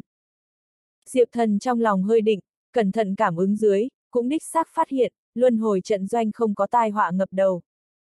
Tiền bối, ta vì ngươi tìm về binh khí là được. Lập tức, Diệp thần chính là đáp ứng. Đi bên này. Thánh quang tiên đế chỉ một phương hướng. Diệp thần gật đầu một cái, dọc theo thánh quang tiên đế chỉ, về phía trước phương đi tới. Hiện tại Diệp thần mới vừa đột phá, luân hồi khí tượng to lớn, mỗi một bước đi ra, đều có từng bụi thần thánh đóa hoa tách thả ra, để cho cái này phiến u ám địa cung, vậy nhiều hơn một chút đại đạo hay uẩn. Tiền bối, người và tử hoàng tiên cung, rốt cuộc là quan hệ như thế nào? Diệp thần vừa hướng đi về phía trước, một bên hỏi. Thánh quang tiên đế trầm mặc một tí, ánh mắt mê ly, tựa hồ rơi vào nhớ lại bên trong. Đang trầm mặc sau một lúc lâu, hắn mới chậm rãi mở miệng nói, ta coi như là đạo đức thiên tôn bằng hữu đi. Diệp thần sửng sốt một chút, nói, bằng hữu. Thánh quang tiên đế nói, đúng vậy, bất quá, ta cũng không biết, hắn có nhận biết hay không ta người bạn này. Dẫu sao, ở đạo đức thiên tôn trong mắt, chỉ có mồi lửa. Hắn là là bảo vệ mồi lửa mà sinh người, cơ hồ không có bất kỳ cảm tình chập chờn, đầu óc lạnh yên tĩnh đến đáng sợ, vì bảo vệ mồi lửa, chuyện gì cũng làm được. Nghe Thánh Quang Tiên Đế, đối đạo Đức Thiên Tôn đánh giá, Diệp Thần cũng là sâu sắc cho là đúng gật đầu một cái. Thánh Quang Tiên Đế nói tiếp, thời kỳ tột cùng ta, có tiên đế cảnh giới tu vi, sau đó đạo Đức Thiên Tôn, ở nơi này mảnh đất trong cung, là ta xây dựng tế đàn, giúp ta phi thăng. Đáng tiếc, ta là quang thần thiên tôn tín đồ, một phi thăng tới không không lúc nào không, lập tức đưa tới tử thần giáo đoàn chú ý. Ta gặp phải hoàng hôn người khổng lồ chặn đánh, tiếc nuối chết. Diệp thần ngây ngẩn, thánh quang tiên đế lời nói này, lượng tin tức quá lớn, hắn có chút ngẩn ra. Thánh quang tiên đế, đã từng là ở nơi này mảnh đất trong cung phi thăng, hơn nữa sau lưng có đạo đức thiên tôn trợ lực. Hắn còn tin phụng quang thần thiên tôn, cuối cùng thậm chí gặp phải hoàng hôn người khổng lồ chặn đánh.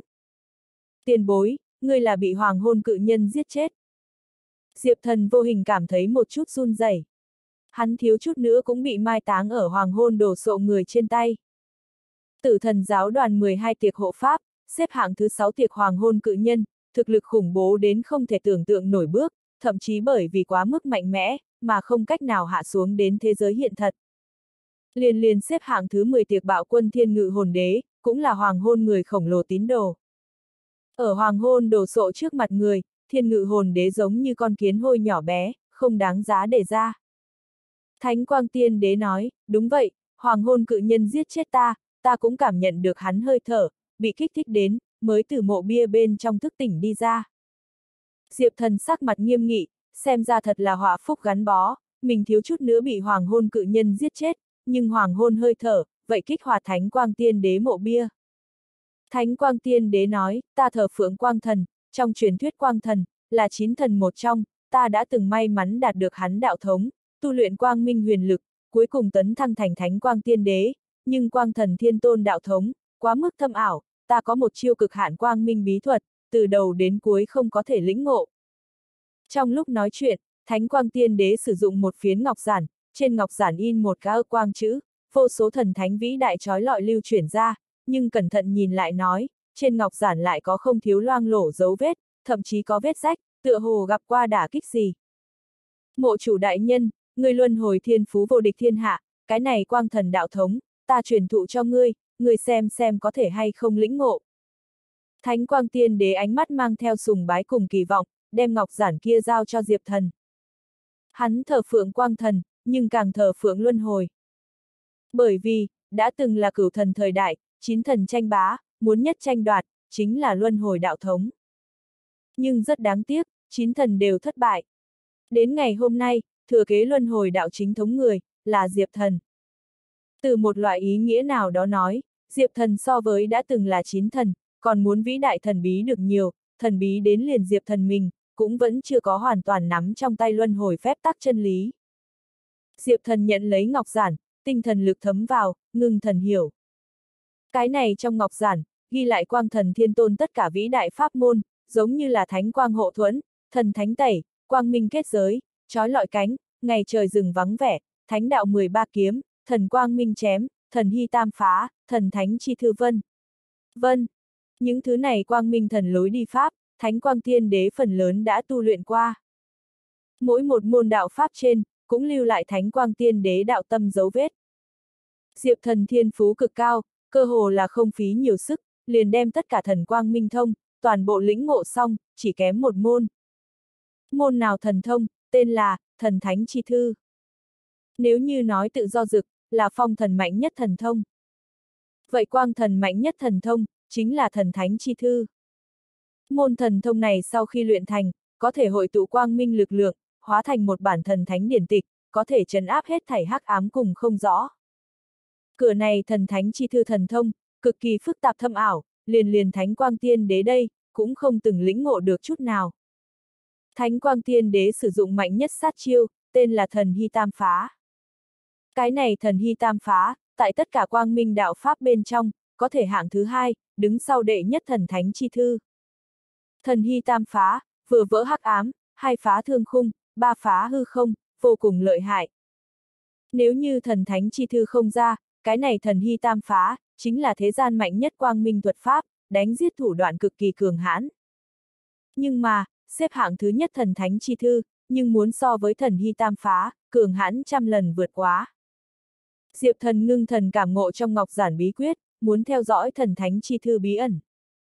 Nhưng, hắn nhưng kinh ngạc phát hiện, cái này thần thánh chi thư bí quyết, là không lành lặn không hoàn toàn. Tiền bối, trong ngọc giản bí quyết, có thiếu sót. Diệp thần mở mắt ra, theo một môn cửa quang minh đạo pháp lĩnh ngộ, trên người hắn cũng là toát ra thuần trắng trói lọi, nhưng hắn ánh mắt cũng không có gì vui sướng, mà là mang nghi vấn. Thánh quang tiên đế cười khổ một tí, nói, năm đó ta gặp phải hoàng hôn người khổng lồ chặn đánh, cái này quang thần đạo chính thống bí quyết ngọc giản, vậy bị thương nặng, thần thánh chi thư pháp quyết, như vậy bị tổn thương, đổi được không lành lặn. Diệp thần có chút lòng ngứa ngáy, nói, nhưng có khôi phục phương pháp. Thánh quang tiên đế có chút không biết làm sao, suy nghĩ một tí, nói, khôi phục là không thể nào, nhưng nếu như ngươi có thể tìm được thiên quân phong thần bia mà nói, có lẽ có thể lại đạt được bản nguyên vẹn thần thánh chi thư bí quyết. Diệp thần trong lòng chấn động một cái, nói thiên quân phong thần bia. Thánh quang tiên đế cười nói, người có thể biết chế tạo thiên quân phong thần bia người là ai? Diệp thần nói, chẳng lẽ là quang thần thiên tôn? Thánh quang tiên đế gật đầu một cái, nói thiên quân phong thần bia, lai lịch phức tạp thần bí, nhưng ta nhưng có thể khẳng định, năm đó quang thần thiên tôn, từng tham dự thiên quân phong thần bia chế tạo, hắn là đúc bia người một trong. Thiên quân phong thần bia, năng lượng bàng bạc minh mông, có thể cho người cầm được mang đến đại khí vận che chở. Như vậy che chở, hàm chứa tới vĩ trí thánh quang minh lực lượng, đó là quang thần thiên tôn di trạch. Tại thiên quân phong thần trên bia mặt, khác nơi có quang minh đạo pháp, bao gồm thần thánh chi thư pháp môn. Người nếu như có thể đạt được thiên quân phong thần bia, tự nhiên cũng có thể chấp trưởng thần thánh chi thư bí ẩn. Diệp thần bên trong lòng có chút rung động, hắn thật ra thì vẫn luôn tìm thiên quân phong thần bia. Chỉ là, hắn không nghĩ tới, ngày này quân phong thần bia, lại có thể cùng quang thần thiên tôn có liên quan. Thậm chí, quang thần thiên tôn, chính là đúc bia người một trong. Tại thiên quân phong thần trên bia mặt, có hoàn chỉnh quang minh đạo thống, bao gồm thần thánh chi thư. Diệp thần nội tâm, nhất thời một hồi nóng rực khát vọng. Nếu như có thể đạt được thiên quân phong thần bia mà nói, vậy cũng tốt. Một đường tiến về trước. Diệp thần suy nghĩ, lại đột nhiên bị một cổ thần bí khí tức cổ xưa hấp dẫn. Trong bất chi bất giác, Diệp thần đã tới địa cung trung ương. Nơi này, có một cái trắng tinh tế đàn, không biết dùng làm bằng vật liệu gì chế tạo, phía trên tràn ngập từng cổ một khí tức thần thánh, trải qua năm tháng bể dâu, đến ngày hôm nay lại còn bung ra thuần trắng trói lọi. Đây là... Diệp thần nhìn cái tế đàn này, một hồi ngạc nhiên. Bởi vì hắn phát hiện, cái tế đàn này hơi thở, lại cùng Thánh Quang Tiên Đế tương thông. Chẳng lẽ nói, năm đó Thánh Quang Tiên Đế, chính là ở chỗ này phi thăng. Là ta phi thăng địa phương. Thánh Quang Tiên Đế thấy cái tế đàn này, cũng là thản nhiên mở miệng, giọng vô tận bể dâu. Phải không? Diệp thần ánh mắt mong hướng bốn phía, muốn tìm kiếm cái gì, nói tiền bối, binh khí của ngươi, liền tàn ở lại chỗ này sao? Cẩn thận tìm kiếm dưới, Diệp thần lại không có phát hiện cái gì khác thường hơi thở. Không phải, nếu như ta suy tính không sai, ta kiếm, hẳn là bị đạo đức thiên tôn cầm đi bày trận. Thánh quang tiên đế tay phải ngón tay, không ngừng bấm đốt ngón tay trước, tựa hồ muốn diễn toán cái gì cổ xưa nhân quả bí ẩn. Dừng một chút, hắn ánh mắt có chút thê lương và hoảng hốt, sử dụng đây lẩm bẩm vậy giọng hướng Diệp Thần nói. Bất quá, ngươi nếu đã tới nơi này, liền để cho ngươi xem xem, ta năm đó phi thăng thời điểm cảnh tượng, đối đem ngươi tới phi thăng không không, cũng có chỗ ích lợi. Diệp Thần ngẩn ngơ, phi thăng không không, hắn nhưng cho tới bây giờ không có hy vọng xa vời qua. Muốn phi thăng không không, chân thực quá gian nan. Theo Diệp Thần biết, từ cổ chí kim, chân chính có giấy tư cách đạo không không người, chỉ có hồng quân lão tổ cùng võ tổ mà thôi. Thánh quang tiên đế thần hồn bóng người, từ luân hồi mộ địa bên trong bay ra, vang vọng ở phía trên tế đàn, hai tay nặn quyết, một cổ khói mù bao phủ bốn phía. Thật ra thì, năm đó ta tuy là tiên đế, nhưng vậy không giấy tư cách đạo không không. Chứng đạo không không, chân thực quá gian nan, ta nhất đỉnh cấp thời điểm, vậy kém hơn Hồng Quân lão tổ cùng võ tổ hai người. Ta là ở đạo đức thiên tôn trợ lực hạ, cưỡng ép phi thăng không không lúc nào không. Thánh quang tiên đế chắp hai tay sau lưng, thong thả nói. Theo hắn tiếng nói rơi xuống, chung quanh khói mù vần quanh, hiện ra cổ xưa thiên cơ hình ảnh. Hình ảnh bên trong, thánh quang tiên đế đứng ở trên tế đàn, chung quanh là vô số tử hoàng tiên cung cường giả. Những cái kia tử hoàng tiên cung cường giả, lấy đạo đức thiên tôn cầm đầu, đa bảo thiên quân và trùng dương chân nhân, đứng ở trái và phải. Thần sắc của bọn họ, đều là vô cùng ngưng trọng. Trung quanh tế đàn, bày đầy thiên tài địa bảo, tất cả loại chân quý thần vật. Không gian vặn vẹo, từng cái không gian nếp nhăn bên trong, hiện ra từng cái vũ trụ đại thế giới. Ở đó từng cái vũ trụ lớn trong thế giới, trăm triệu tỷ vạn tín đồ, đang thấp giọng ngâm sướng khấn cầu. Vô số tín ngưỡng lực lượng, toàn bộ hội tụ đến thánh quang tiên đế trên mình. Diệp thần có chút rung động, bởi vì hắn biết, thánh quang tiên đế cũng không có tư cách phi thăng không không, cái tế đàn này nghi thức, là dựa vào hy sinh vô số chân quý bảo vật, lại hội tụ vô số tín đồ tín ngưỡng năng lượng, muốn cưỡng ép đưa thánh quang tiên đế tiến vào không không lúc nào không. Như vậy cưỡng ép thủ đoạn, không hề xem hồng quân lão tổ như vậy quang minh tránh đại, coi như đi không không lúc nào không, căn cơ vậy là đặc biệt phù phiếm. Khả năng này, cũng là thánh quang tiên đế, cuối cùng thua ở hoàng hôn đổ sộ người trên tay, bị giết chết nguyên nhân. Mà hình ảnh bên trong, càng để cho Diệp Thần rung động, vẫn là tế đàn bên ngoài, hiện đầy đặc biệt đậm đà hắc ám khí tức, làm người ta nghẹt thở. Ta phi thăng thời điểm, chính là tử thần giáo đoàn xâm lược, tai biến nhất là thời điểm nghiêm trọng. Lúc ấy, tử hoàng tiên cung mồi lửa thủ hộ giả, ước chừng triệu người, cơ hồ chết hết sức. Đạo đức thiên tôn khẩn cấp điều khiển tránh tà hai phái, vô số cường giả tiếp viện, vậy cơ hồ toàn quân tiêu diệt. Thế cục đến thời điểm nguy hiểm nhất, trừ phi đạo đức thiên tôn ra tay, nếu không không cách nào trấn áp. Thánh quang tiên đế nói ra cổ xưa bí mật, bàn tay động một cái, khói mù hình ảnh biến hóa, hiện ra vô cùng chiến tranh tàn khốc cảnh tượng. Vào năm đó, Thánh quang tiên đế trên đất trong cung, chuẩn bị phi thăng thời điểm. Trên mặt đất, nhưng là khói lửa đầy trời.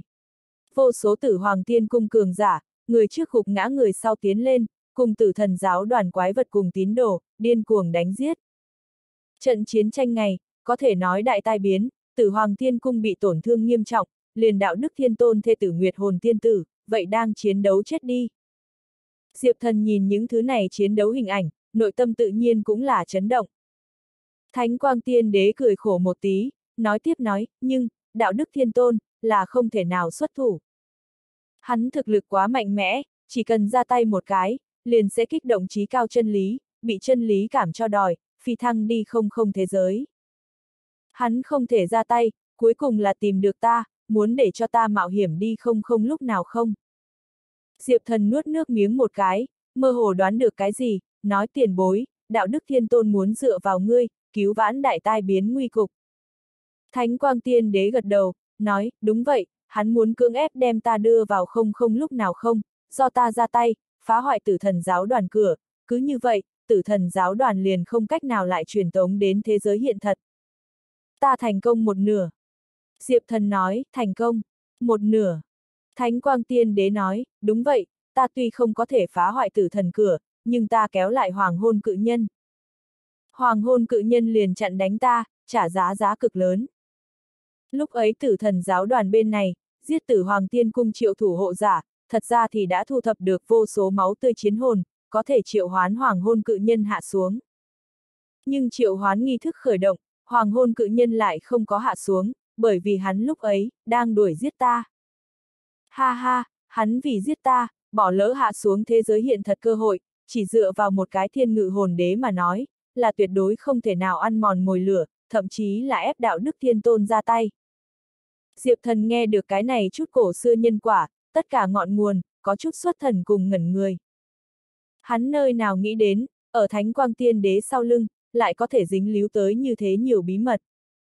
Năm đó đại tai biến, còn có sau lưng ẩn núp hoàng hôn cự nhân, cũng cùng thánh quang tiên đế có liên quan. Tiền bối, nói như vậy, vậy tử hoàng tiên cung còn thật phải cảm ơn ngươi. Nếu như không phải là ngươi, sợ rằng tử thần giáo đoàn bên kia, đã hoàn toàn xâm nhập thực tế chứ. Diệp thần nói. Thánh quang tiên đế khoát tay một cái, nói, không có vấn đề cảm ơn cùng không cảm ơn, đây chỉ là một trận giao dịch. Hướng văn đạo, tịch chết có thể vậy, ta tấn thăng tiên đế sau đó, vẫn luôn muốn theo dõi không không bí ẩn, đáng tiếc từ đầu đến cuối không thể thành công. Đạo đức thiên tôn hao phí vô số tâm huyết, đem ta đưa vào không không lúc nào không, vậy coi là để cho ta qua một cái hiền. Vậy phiến thời không, thật đúng là thần bí thâm thúy sao, so với thế giới hiện thật phong phú hơn. Thế giới hiện thật, chỉ có thực tế một cái thời gian tuyến. Nhưng ở không không lúc nào không, lại có thiên thiên vạn vạn cái chi tuyến mạch lạc, ta ở bên kia ngắn ngủi dừng lại mấy ngày thời gian bên trong, đã trải qua mấy ngàn loại người bất đồng sinh, vậy thì thật là vô cùng sảng khoái thể nghiệm, ha ha, đáng tiếc đời này lại cũng không lãnh hội được. Nhắc tới không không thời không thời điểm, Thánh Quang Tiên Đế trong giọng nói, cũng là tràn đầy hoài niệm. Diệp thần sau khi nghe, cũng có chút động tâm. Không không lúc nào không, là vô số tương lai xen lẫn lưới. Ở đó phiến thời không bên trong, người nơi có thể cảm nhận được, không chỉ là lạnh như băng thực tế, còn có trong ảo tưởng tương lai. Ở ảo tưởng bên trong, tất cả mọi người đều có thể trải qua phong phú đời người, tất cả mọi người đều có cơ hội, trở thành thế giới nắm giữ. Mặc dù đó là trong ảo tưởng thế giới, nhưng thật thật giả giả, hư hư thật thật, ai có thể hoàn toàn phân rõ. Diệp thần ánh mắt mê ly, lần nữa nhìn về phía tế đàn. Chỉ gặp phía trên tế đàn, khói mù hình ảnh hội tụ, tái hiện ngày xưa thánh quang tiên đế phi thăng tình cảnh. Ở đạo đức thiên tôn, trùng dương chân nhân, đa bảo thiên quân các người, khao khát ánh mắt bên trong, ở vô số lực lượng ra chỉ xuống, thánh quang tiên đế rốt cục thì phá không phi thăng. Rào, rào, rào. Từng đạo thần thánh ánh sáng trắng, như sao sông rủ xuống vậy, rơi vào thánh quang tiên đế chung quanh. Ánh sáng trắng bên trong, truyền ra vĩ đại ngâm sướng, đối quang minh ngâm sướng, đối chân lý tán tụng. Vậy một tia tia ánh sáng trắng, lại ngưng tụ thành từng cái quy luật xích thần, mỗi một cái quy luật xích thần phía trên, cũng đóng dấu trước chân lý phủ văn, tràn đầy trí cao nghĩa sâu xa. Giác giác sát, thánh quang tiên đế tránh phá vậy từng cái quy luật xích thần, trực tiếp siêu thoát thế giới hiện thật, vui vẻ cười to trước, phi thăng tiến vào rất xa không không lúc nào không. Diệp thần nhìn thánh quang tiên đế phi thăng khí tượng, còn có những cái kia quy luật thần liên khí tượng, mơ hồ tới giữa, có chút hiểu ra. Những thứ này khí tượng, đặc biệt chân quý, dẫu sao vạn cổ tới nay, trừ hồng quân và võ tổ bên ngoài, còn không có bất kỳ người, có tư cách phi thăng đi không không thế giới. Học hỏi những thứ này phi thăng khí tượng, có thể tăng lên đối chân lý cảm ngộ, đối tu vi rất có ích lợi. Cảm giác như thế nào? Có từng lĩnh ngộ được cái gì? Thánh quang tiên đế vung tay lên, tất cả khói mù hình ảnh, đều là tản đi. Diệp thần cúi đầu, như có điều suy nghĩ, nói thật giống như lĩnh ngộ được cái gì, nhưng mơ hồ, tựa hồ cách một tầng khinh yên sương mù, từ đầu đến cuối không thể theo dõi rõ ràng. Không nghi ngờ chút nào, Thánh Quang Thiên Đế năm đó phi thăng khí tượng, đúng là mang cho Diệp Thần không ít hiểu ra. Nhưng không biết làm sao, Diệp Thần tu vi, chỉ có bách ra cảnh tầng thứ 8, cả ngày quân đều không phải là, khoảng cách phi thăng không không, còn vô cùng xa xôi. Phi thăng không không bí ẩn, còn có sau lưng ẩn chứa chân lý, tự nhiên không phải thời khắc này Diệp Thần, có thể thân thể đầy đủ ngộ. Thánh Quang Tiên Đế cười nói, không sao, chỉ cần ngươi nhớ giờ khắc này cảm thụ, cùng tương lai ngươi phi thăng không không, tự nhiên sẽ hiểu được trong đó hay lý. Đến lúc đó, ngươi muốn cảm ngộ chân lý, vậy sẽ đơn giản rất nhiều. Diệp thần bất đắc dĩ nói, bây giờ ta, còn xa xa không tư cách phi thăng không không. Thánh Quang Tiên Đế nói, người sớm muộn sẽ có một ngày như vậy, đi thôi, tiếp tục tìm tìm ta kiếm, hẳn ở nơi này không xa. Chỉ hướng phía trước. Diệp thần gật đầu một cái, liền thu liếm tâm niệm, tiếp tục đi về phía trước. Địa cung diện tích cực lớn, Diệp thần dọc theo lối đi, lại đi một lớn đoạn khoảng cách, ước chừng một nén hương thời gian sau đó, rốt cuộc đã tới một cái, nhìn như đặc biệt chỗ đặc thù. Đây là một phiến phủ đầy vết máu quảng trường, năm tháng bể dâu, những vết máu kia đã sớm động lại, nhưng vẫn quỷ dị phát ra mùi máu tanh, làm người ta bất an. Giữa quảng trường, là một cái đá lớn xây hình đài, mặt trên còn có đao phủ thủ lưu lại đao phủ, đao phủ cạnh còn có một viên bộ xương trắng đầu, quỷ hỏa nhảy động, hung ác nghiêm ngặt hơi thở, tràn ngập bốn phía. Nhất chọc người nhìn chăm chú, chính là hình trong đài lúc đó, đổ cắm một thanh kiếm. Thanh kiếm kia, tràn đầy vĩ đại thần thánh trói lọi, cho dù chung quanh hung ác hơi thở lan tràn, cũng không thể ăn mòn thanh kiếm này chút nào. Vô số chảy trói lọi, sản sinh ra từng cái từng cái yêu nhã tiên linh, ở tung bay múa lên, ngâm tụng cổ xưa thánh khiết trương nhạc, từng cái bạch hồng như cầu vậy duyên triển ra, mắc ở trong hư không, thật giống như đem người tiếp đón đi vĩ đại thánh đường. Hình đài, đao phủ, xương trắng chém đầu, trói lọi kiếm, ở diệp thần trước mắt, cấu trúc thành một bức kỳ quỷ tuyệt luân hình ảnh, làm run sợ lòng người. Tiền bối, vậy sẽ là của ngươi binh khí sao? Diệp thần nhìn trên hình dài kiếm, kinh nghi hỏi. Đúng vậy, đó chính là ta đã từng là binh khí, thần hy thiên kiếm. Cái này cầm thần hy thiên kiếm, nhận quang thần thiên tôn trúc phù hộ, có vô thượng quang minh hơi thở, có thể trấn áp hết thảy hắc ám. Đạo đức thiên tôn dùng ta thanh kiếm này, bố trí thành kiếm trận, một bên áp chế vĩnh đêm ma thần oán nghiệp, một bên chống cự tử thần giáo đoàn xâm lược, thật là thật là thủ đoạn sao. Ta cũng không nghĩ tới, ta kiếm, có thể phát huy ra tác dụng lớn như vậy, chỉ có thể nói đạo đức thiên tôn người này, thần thông chân thực quá mức cường hãn, một chút xíu trói lọi, ở trong tay hắn, cũng có thể diễn biến thành mặt trời vậy trói mắt lực lượng. Thánh quang tiên đế ánh mắt bể dâu, nhìn vậy cầm thần hy thiên kiếm, cũng là liền liền khen ngợi đứng lên, bội phục đạo đức thiên tôn thủ đoạn. Diệp thần nhìn kỹ lại, quả nhiên phát hiện, lấy thần hy thiên kiếm là trung tâm, một cái trận pháp huyền ảo, ở chung quanh mở ra, bên trong hàm chứa âm dương lưu chuyển trí lý. Audio điện tử võ tấn bền. Trên hình dài hung ác huyết khí, là âm. Thần hy thiên kiếm, là dương. Âm dương hòa vào nhau, hội tụ thành trận, bảo vệ thế giới hiện thật. Lấy diệp thần trận pháp thành tựu, tự nhiên có thể nhìn ra, trận pháp này tuyệt diệu, âm dương biến hóa, như nhật nguyệt lưu chuyển, vĩnh hằng bất diệt. Đạo đức thiên tôn thủ đoạn, có thể gặp một ban. Tiền bối, chúng ta nếu là mang đi thanh kiếm này, biết hay không có hậu quả gì không? Diệp thần hỏi. Cái này cầm thần hy thiên kiếm, là thủ hộ trận pháp tuyệt đối hạch tâm, nếu như mang đi nói, trận pháp tán loạn, hắc ám khí tức rất có thể phải ăn mòn đi vào. Không sao, người mang đi là được. Kiếm trận bể tan tành, đúng là sẽ để cho hắc ám tàn phá, thậm chí có thể đưa tới nghiêm trọng tai biến. Nhưng đại tai biến hạ xuống, cũng không không có chỗ xấu, đến lúc đó, đạo đức thiên tôn cưỡng bức áp lực, nhất định sẽ đích thân ra tay. Thánh quang tiên đế khóe miệng gợi lên vẻ mỉm cười, trong nụ cười nhưng mang một chút lãnh khốc nghiêm ngặt ý.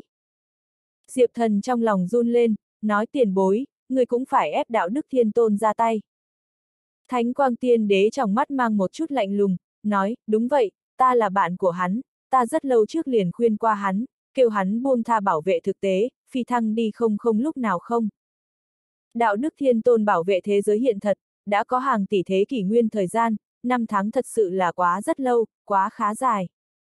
Ở đây sao rất dài trong năm tháng, ta hoài nghi thế giới hiện thật mồi lửa, đã ở trong lơ đáng, gặp phải hắn ý chí ăn mòn, mặc dù đó cũng không phải hắn chủ ý. Một khi thực tế mồi lửa, gặp phải tư nhân ý chí ăn mòn, không cần không không xâm lược, mồi lửa cũng sẽ tắt. Thủ hộ giả u mê không tỉnh, cuối cùng vậy sẽ trở thành là người phá hư. Đúng như một câu ngạn ngữ nói, người giết rồng cuối cùng thành ác long. Hôm nay đạo đức thiên tôn, đã đem mồi lửa coi là tư sản của hắn, hắn rất có thể đã biến thành ác long. Diệp thần nghe xong Thánh Quang Tiên Đế lời nói này, nội tâm hoàn toàn chấn động. Hắn tuyệt đối không nghĩ tới, đạo đức thiên tôn cái này thủ hộ giả, lại có biến thành người phá hư có thể. Thánh Quang Tiên Đế nói tiếp, thanh kiếm rút ra đi, đó vốn chính là ta binh khí, hôm nay chỉ là vật quy nguyên chủ thôi. Đến lúc đó, kiếm trận tan vỡ, hắc ám tàn phá, tử thần giáo đoàn lần nữa ổ ạt xâm phạm, đạo đức thiên tôn tất nhiên phải ra tay. Một khi hắn ra tay, lấy hắn thông thiên tu vi, khẳng định sẽ phải chịu chân lý cảm cho đòi, phi thăng đi không không thế giới. Hắn phi thăng, vô luận là đối hắn mà nói, hay là đối với thế giới hiện thật mà nói, đều là một cái giải thoát, lưỡng toàn kỳ mỹ. Diệp thần yên lặng, đang suy nghĩ cái gì? Một khi rút kiếm, không có cái kiếm trận này chấn áp, hắc ám khí thức tàn phá, đưa tới tai biến rối loạn, tất nhiên cấp cho thế giới hiện thật, mang đến to lớn tai nạn. Nhưng không rút kiếm nói, đạo đức thiên tôn không có đầy đủ áp lực, liền sẽ không ra tay, từ đầu đến cuối ngoan cố bảo vệ mồi lửa. Một khi hắn tư nhân ý chí, xâm nhập tắt lửa loại mà nói, cũng là kinh thế tai họa. Đang suy nghĩ cân nhắc một phen sau đó, Diệp thần ánh mắt ngưng luyện, nhìn phía trước trên hình giải kiếm, trong lòng có quyết định. Hắn quyết định rút kiếm. Tiền bối, ta rút kiếm là được. Diệp thần từng bước một hướng hình đài đi tới, chung quanh hung ác sát khí, cảm nhận được Diệp thần đến gần, hô hô xoay tròn, khí tức thâm trầm đang nổi lên. Làm Diệp thần đi tới hình trước đài, chung quanh lệ khí cổn đáng, im hơi lặng tiếng, lại là hiển hóa ra hai đạo lệ hồn bóng người. Vậy hai đạo lệ hồn bóng người, hình như chiến tướng, ánh mắt hung ác, nhìn như cũng không phải là hắc ám quái vật, mà là một loại đặc thù nào đó tồn tại. Đây là... Diệp thần cảm nhận được từng cơn hung ác hơi thở, xâm nhập tâm thần, không khỏi được sắc mặt trầm xuống. Là vĩnh đêm ma thần oán niệm, hối tụ thành lệ hồn, chưa đủ là mắc, người tiêu diệt là được. Thánh quang tiên đế nói. Vĩnh dạ ma thần là... Diệp thần hỏi. Thánh quang tiên đế nói, vĩnh dạ ma thần mà, hắn là ta đã từng là bạn thân, cũng là ta địch thủ cũ. Ta thờ phượng quang minh, hắn nhưng dấn thân vào liền hắc ám. Hắn hắc ám tín niệm, cảm động tử thần giáo đoàn. Tử thần giáo đoàn dự định đem hắn thu là thứ 13 tiệc hộ pháp, biệt hiệu vĩnh đêm, nhưng cuối cùng, hắn còn chưa kịp gia nhập tử thần giáo đoàn, liền bị tử hoàng tiên cung chu diệt. Cái này hình đài, chính là năm đó chu diệt vĩnh đêm ma thần địa phương. Thánh quang tiên đế lời nói này nói xong, ở luân hồi mộ địa bên trong, có một khối mới mộ bia, phát ra ủng ủng chấn động, tựa hồ muốn hồi phục. Nhưng cái này cổ chấn động, vang động sau một hồi, lại lắng xuống. Thật giống như cảm cho đòi lực lượng, còn chưa đủ. Diệp thần ngẩn ngơ, nói chẳng lẽ cái kế tiếp muốn thức tỉnh đại năng, chính là vĩnh dạ ma thần. Thánh quang tiên đế cười nói, người đã đoán đúng, năm đó ta phi thăng ngày, chính là vĩnh dạ ma thần bị chu diệt lúc đó, đã từng ta cùng hắn có số mệnh ân oán, nhưng cho tới bây giờ, năm tháng đã đem cửu hận che giấu, chúng ta đều bị mai táng ở luân hồi mộ địa bên trong, chỉ là ta trước hắn một bước tỉnh lại. Diệp thần lẩm bẩm nói, thì ra là như vậy. Suy, đây là, phía trước hai đạo lệ hồn bóng người, trong tay nhưng là hóa ra đao kiếm, vô cùng ác liệt hướng Diệp thần chém tới. Phong chi vô cùng, vẫn giết. Diệp thần ánh mắt run lên, thúc giục nắng ban mai gió, hóa ra một đạo màu xanh phong trụ, mang vô cùng hung mãnh lực lượng, đem vậy hai đạo lệ hồn bóng người, đồng loạt xuyên qua, tại chỗ liền tiêu diệt. Hiện tại Diệp thần thương thế đã hoàn toàn khôi phục, hơn nữa lại tấn thăng đến bách gia cảnh tầng thứ 8, chính là lệ hồn, muốn muốn tổn thương hắn, đó là tuyệt không khả năng sự việc. Tiêu diệt lệ hồn sau đó, Diệp thần sải bước bước lên hình đài, đưa tay đem vậy thần hy thiên kiếm rút ra. Vậy thần hy thiên kiếm, đổ cắm ở trên hình dài, chung quanh lại có trận pháp cấm chế, nếu như người ngoài muốn rút kiếm nói, không thể nghi ngờ là khó hơn lên trời. Nhưng Diệp Thần, thừa kế Thánh Quang Tiên Đế ý chí, lại đạt được Quang Thần Thiên Tôn đạo thống, cùng thanh kiếm này hơi thở tương thông, cho nên dễ dàng, liền đem kiếm rút ra, thậm chí liền trận pháp cấm chế cũng không có kích động. Một kiếm nơi tay, Diệp Thần nhất thời cảm thấy vô số thần thánh ánh sáng, hội tụ ở trên người mình, toàn thân đều là từng cơn thoải mái, vô cùng vui thích. Cái này cầm thần hy thiên kiếm, đã từng đã từng quang thần thiên tôn chúc phúc, Diệp Thần cầm kiếm nơi tay, cũng giống như lấy được quang thần bảo vệ, đối thần bí kia quang minh đạo pháp, lĩnh ngộ tiến một bước càng sâu. Ung ung. Theo thần hy thiên kiếm bị rút ra, toàn bộ hình đài, cũng là ùng ùng lay động, sắp sụp đổ. Diệp thần bay xuống hình đài, vậy hình đài cũng là hoàn toàn sụp đổ, bụi đất tung tóe. Vù vù. Lúc này, Diệp thần nhưng cảm thấy trong cơ thể có một đạo phù chiếu, truyền ra không tầm thường dị động. Ừ. Diệp thần nhướng mày một cái, đem vậy phù chiếu sử dụng. Đạo bùa này chiếu, là ôn thần an giao cho hắn. Ôn thần an nói qua, đa bảo thiên quân âm thầm ở công đức khu bên trong, trôn giấu một bộ quan tài đá, thành tựu hậu thủ, muốn phải đối phó Diệp Thần. Nếu như vậy quan tài đá, xuất hiện ở Diệp Thần vùng lân cận nói, đạo bùa này chiếu sẽ có phản ứng. Giờ phút này, phù chiếu chấn động, rõ ràng khác thường đổi đem sinh. Diệp Thần nhìn chăm chăm vừa thấy, liền thấy hình đài sụp đổ, kiếm trận bể tan tành sau đó, quả nhiên hiện ra một bộ phong cách cổ xưa quan tài đá. Thần hy thiên kiếm bị rút ra, kiếm trận bể tan tành, bị chấn áp hắc ám khí tức, cũng là lặng lẽ trào động lực.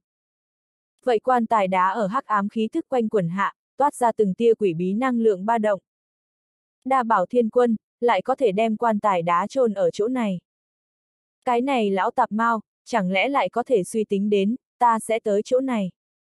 Diệp thần khẽ cắn răng, cảm nhận được quan tài đá không ngừng tản ra không rõ hơi thở, cũng là cảnh giác vạn phần, lui về phía sau mấy bước, trong lòng đối vậy đa bảo thiên quân, cũng là bộc phát kiêng kỵ. ầm, um, bỗng nhiên, quan tài đá nắp nổ tung, kinh khủng hắc ám khí tức, từ bên trong bạo dũng ra, một cái máu rầm rề bàn tay, khoác lên quan tài bên bờ. Ngay sau đó, một đạo hắc ám kinh khủng bóng người, từ quan tài đá bên trong bò ra ngoài, như vậy địa ngục ác ma, hạ xuống đến thế giới hiện thật. Đó là một cái mang mặt nạ, cả người khác vẽ con rối phủ văn nam tử, từng luồng quỷ dị hắc khí, từ trên người hắn tràn ngập ra, như xích sắt vậy quanh quẩn chung quanh. Là đa bảo thiên quân luyện chế đặc thù con rối. Thánh quang tiên đế phát ra ngưng trọng thanh âm, lại không có so kiêng kỵ nói. Kỳ quái, đa bảo thiên quân không thể nào coi là đến chúng ta sẽ đi tới nơi này, cái này sau lưng rất có thể khác có kỳ hoặc. Diệp thần nội tâm rét một cái, nói tiền bối, chẳng lẽ là... Thánh quang tiên đế nói, ha ha, xem ra là đạo đức thiên tôn, chẳng muốn để cho chúng ta mang đi thần hy thiên kiếm. Diệp thần cả kinh nói, đạo đức thiên tôn. Thánh quang tiên đế ánh mắt lạnh lùng, nói chân tướng sự tình như thế nào, trước mắt còn khó hơn lấy xác định, mộ chủ đại nhân, cái này con rối vô cùng nguy hiểm, người đi mau. Diệp thần chấn động trong lòng, nếu như đạo đức thiên tôn, thật muốn đối phó hắn mà nói, sự tình kia thì phiền toái. Trước mắt con rối nam tử, hơi thở đặc biệt khủng bố, giống như là bóng tối nắm giữ. Nếu như chính diện đối kháng, tất nhiên khó giải quyết, Diệp Thần còn muốn giúp kỳ tư thanh các nàng, tuyệt đối không thể ở chỗ này lãng phí thời gian. Đi! Diệp Thần quyết định thật nhanh, lập tức xoay người thoát đi, cũng không có bất kỳ ham chiến ý. Ta là, Mộng Thiên Tàm. Đoạt kiếm người, lưu lại đi. Vậy con dối nam tử, sau mặt nạ trong con ngươi, hiện ra hung mang, hắn cũng không phải là hoàn toàn mất đi lý trí, còn có chiến đấu tín niệm. Suy, tên là mộng thiên tàm con rối nam tử, trong tay hắc khí hội tụ, hóa ra một cái đao, thân thể cướp phá hư không, sát đạo lăng nhiên, một đao hướng Diệp Thần sau lưng chém tới. Diệp Thần chỉ cảm thấy tiếng gió sau lưng nhanh cấp, ác liệt dị thường, vội vàng nắm thần hy thiên kiếm, trở tay một kiếm chém ra. Chanh, Đao kiếm giao phong, va chạm kịch liệt, cọ sát ra chói mắt đốm lửa. Diệp thần lui về phía sau hai bước, chỉ cảm thấy gan bàn tay từng cơn tê dại. Cái này mộng thiên tàm, lực lượng cực kỳ cường hãn, lấy diệp thần thời khắc này thực lực, phổ thông thủ đoạn, lại cũng là khó mà đối kháng. Tử hoàng tiên trận, rơi. Mộng thiên tàm chặn lại diệp thần, dưới chân nổ lên thần hỏa hơi thở, tại chỗ tạo thành một cái trận pháp đặc biệt, đem Diệp Thần thân hình bao phủ vào. Trận pháp này, nhấp nhô tử hoàng thần hỏa trói lọi, còn có truyền thuyết bên trong, tử hoàng thiên sơn hư ảnh, còn có từng luồng quỷ bí hắc ám sương mù quanh quẩn, làm người ta kiềm chế. Diệp thần cũng là cảm thấy to lớn áp lực, hơi thở ngưng động chất. Mộ chủ đại nhân, mượn dùng ta lực lượng đi. Thánh quang tiên đế ánh mắt ngưng luyện, kiên quyết nói. Cái này mộng thiên tàm, nửa người nửa con rối, sau lưng không chỉ có mang theo đa bảo thiên quân ý chí, thậm chí có thể có đạo đức thiên tôn ý chí, muốn chặn đánh Diệp Thần, ngăn cản hắn mang đi thần hy thiên kiếm. Diệp Thần tình cảnh, vô cùng nguy hiểm. Thánh quang tiên đế chuẩn bị lần nữa cho mượn mình lực lượng, giúp Diệp Thần phá cuộc. Không, tiền bối, ta tự mình một người, có thể giải quyết. Diệp Thần ánh mắt cũng là sắc bén, không có sợ hãi chút nào hình dáng. Thánh quang tiên đế lực lượng, Diệp Thần hôm nay đã mượn dùng qua, nếu như lại mượn dùng nói, rất có thể sẽ tổn hại thánh quang tiên đế thần hồn hơi thở.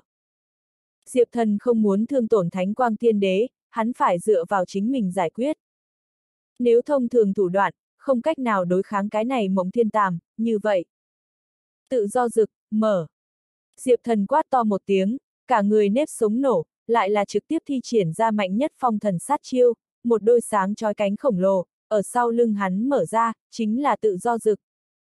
Tự do rực vừa ra, hào hùng gió lốc lớn khí tượng, ở Diệp Thần quanh thân nổ lên, gió bão lăn lăn.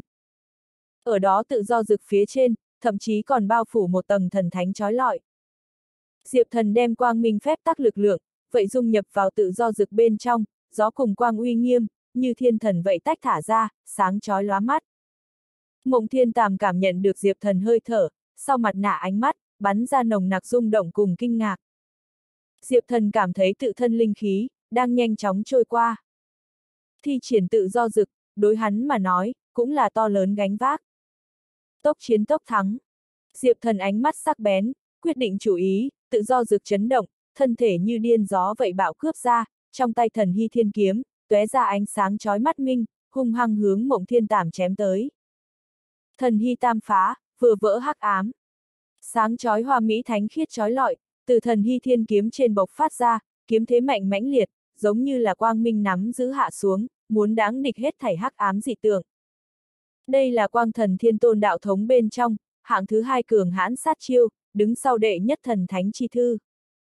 Diệp thần sử dụng thần hy tam phá chiêu thứ nhất, thân kiếm quang minh khí tượng, vĩ đại thần thánh được giống như là một vòng mặt trời, trong hư không truyền ra các loại thần bí cổ xưa ngâm sướng, hình như là truyền thuyết thánh đường các tín đồ, ở tán tụng trước quang minh vĩ đại. Mộng thiên tàm trên mình hắc ám khí tức, cũng là nhanh chóng bị áp chế xuống. Tranh! Diệp thần thần hy thiên kiếm, hung hăng chém ở mộng thiên tàm trên mình, thật giống như chém ở cứng rắn nhất sắt thép chất liệu lần trước vậy, phát ra mát lạnh tiếng vang. Bị diệp thần chém, mộng thiên tàm rên lên một tiếng, liên tiếp lui về phía sau. Diệp thần một kiếm này, cũng không phải là thông thường quang minh kiếm chém, mà là mang theo tự do dực lực lượng, đặc biệt bá đạo. Tà sát thật hồng đạo. Mộng thiên tàm mắt lộ ra hung quang, tuy bị mãnh liệt chém, nhưng cái này cái còn rối thân thể, không hề sẽ cảm thấy đau đớn, hắn lập tức giơ đao giết ngược, phổ biên vô tận tà sát oán khí, ở trên thân đao cổn đáng, như vậy tiêu diệt thiên địa vậy, chém thẳng Diệp thần. Thần hy tam phá, hai phá thương khung. Diệp thần khí thế như nuốt chửng bát hoang, lần nữa vung ra thần hy thiên kiếm, cũng sử xuất thần hy tam phá chiêu thứ hai. Oanh! Cuồng bạo quang minh kiếm khí, hòa lẫn cứu cực gió bão, dường như muốn giết phá thương khung vậy, bộc phát ra vô cùng kinh khủng thanh thế. Phịch! Mộng thiên tàm đao, tại chỗ liền bị Diệp thần đánh bay. Diệp thần vành mắt hết sức nứt ra, khí thế cực kỳ hung hãn, nhưng lúc này, hắn vậy cảm thấy gân cốt truyền tới từng cơn đau đớn. Thi triển tự do dực, thậm chí thả ra cực hãn nhất quang minh lực lượng, gió cùng quang bùng nổ, lợi hại là lợi hại, nhưng cũng cho Diệp thần thân thể, mang đến to lớn gánh vác. Thần hy tam phá, ba phá hư không. Nhưng mà, Diệp thần không có chút nào lùi bước, chiến ý ác liệt sôi trào, lại chém ra một kiếm, thi triển ra thần hy tam phá mạnh nhất sát chiêu, giống như là phá giết hư không một vậy. Thần thánh quang minh kiếm khí, hòa lẫn tự do dực phi vũ, như dễ như bỡn vậy, tại chỗ liền đem mộng thiên Tảm con rối thân thể, oanh được nổ tung. Người sau bi ngâm một tiếng, hoàn toàn vẫn diệt. Diệp thần sửng sốt một tí, lại không nghĩ rằng mình lực lượng, lại có thể nổ đến tình cảnh này. Hắn lấy là cùng mộng thiên tàm tới giữa, sẽ có một chàng gian khổ ác đấu, nào nghĩ tới nhanh như vậy liền giải quyết chiến đấu. Gió cùng quang cứu cực bùng nổ, uy năng kinh khủng, hoàn toàn vượt qua Diệp Thần dự liệu. Thánh quang tiên đế thấy một màn này, cũng là rung động không dứt. Mộ chủ đại nhân, ngươi lực lượng, đơn giản là khủng bố à. Hôm nay ngươi, chỉ là bách gia cảnh mà thôi, chờ ngươi phi thăng suốt ngày quân, chẳng phải là muốn vô địch thiên hạ. Thánh quang tiên đế trong ánh mắt, tràn đầy sùng bái khen ngợi thần sắc. Ho! Diệp thần nhưng là một hồi ho khan, chỉ cảm thấy cả người kinh mạch quặn đau, sau lưng tự do rực bóng sáng, cũng là tan dã tản mát.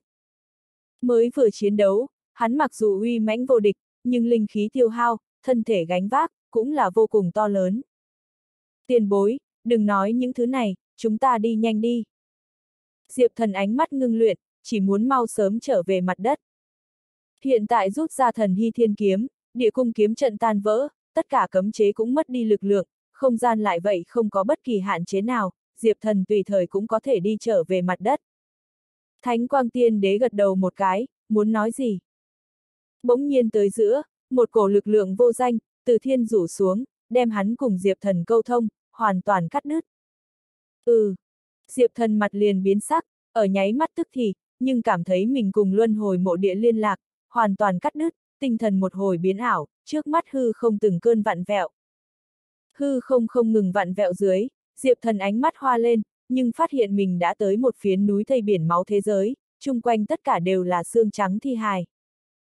Một cái ông già, chắp hai tay sau lưng, cô độc đứng ở núi thây bên trên, ánh mắt mang theo thê lương, thương hại, không biết làm sao vân.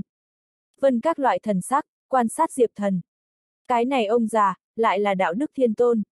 Diệp thần thấy đạo đức thiên tôn bóng người, nhất thời vô cùng kinh ngạc.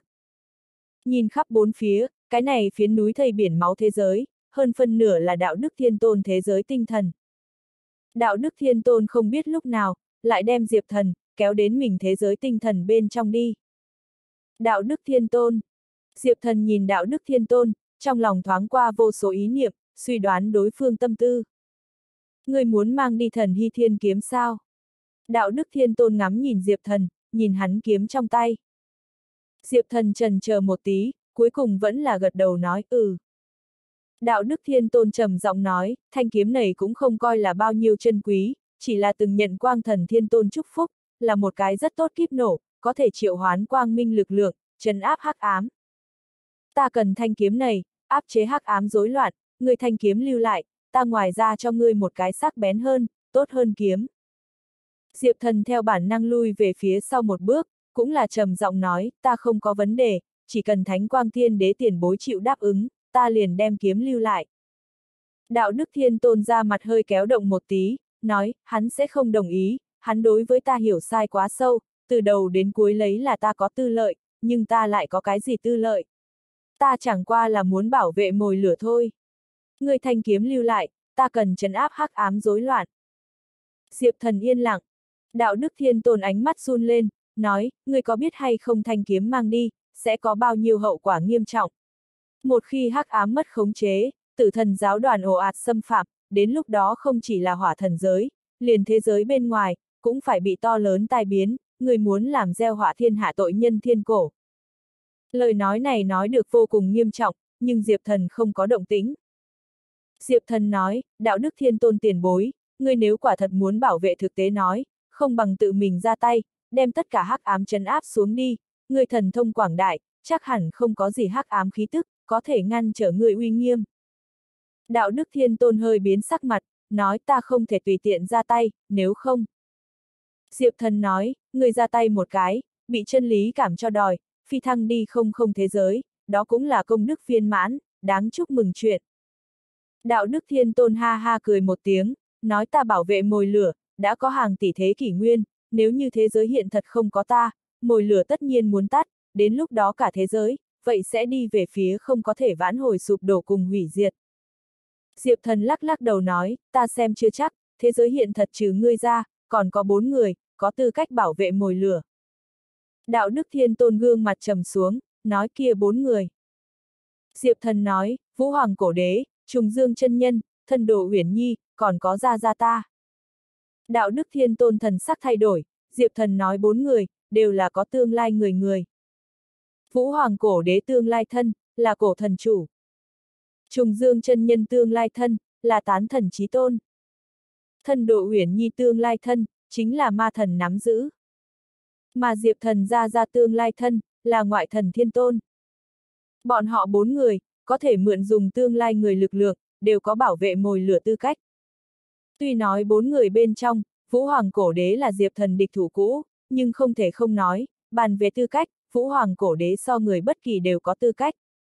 Đạo đức thiên tôn bảo vệ mồi lửa quá lâu, hắn ý chí có ăn mòn mồi lửa nguy hiểm, hắn nhất định phải phi thăng rời đi, mới sẽ không phá hoại mồi lửa. Diệp thần cảm giác được thiên cơ thay đổi, tương lai hết thảy phúc họa biến hóa, đều là mơ hồ hiểu ra tại tim.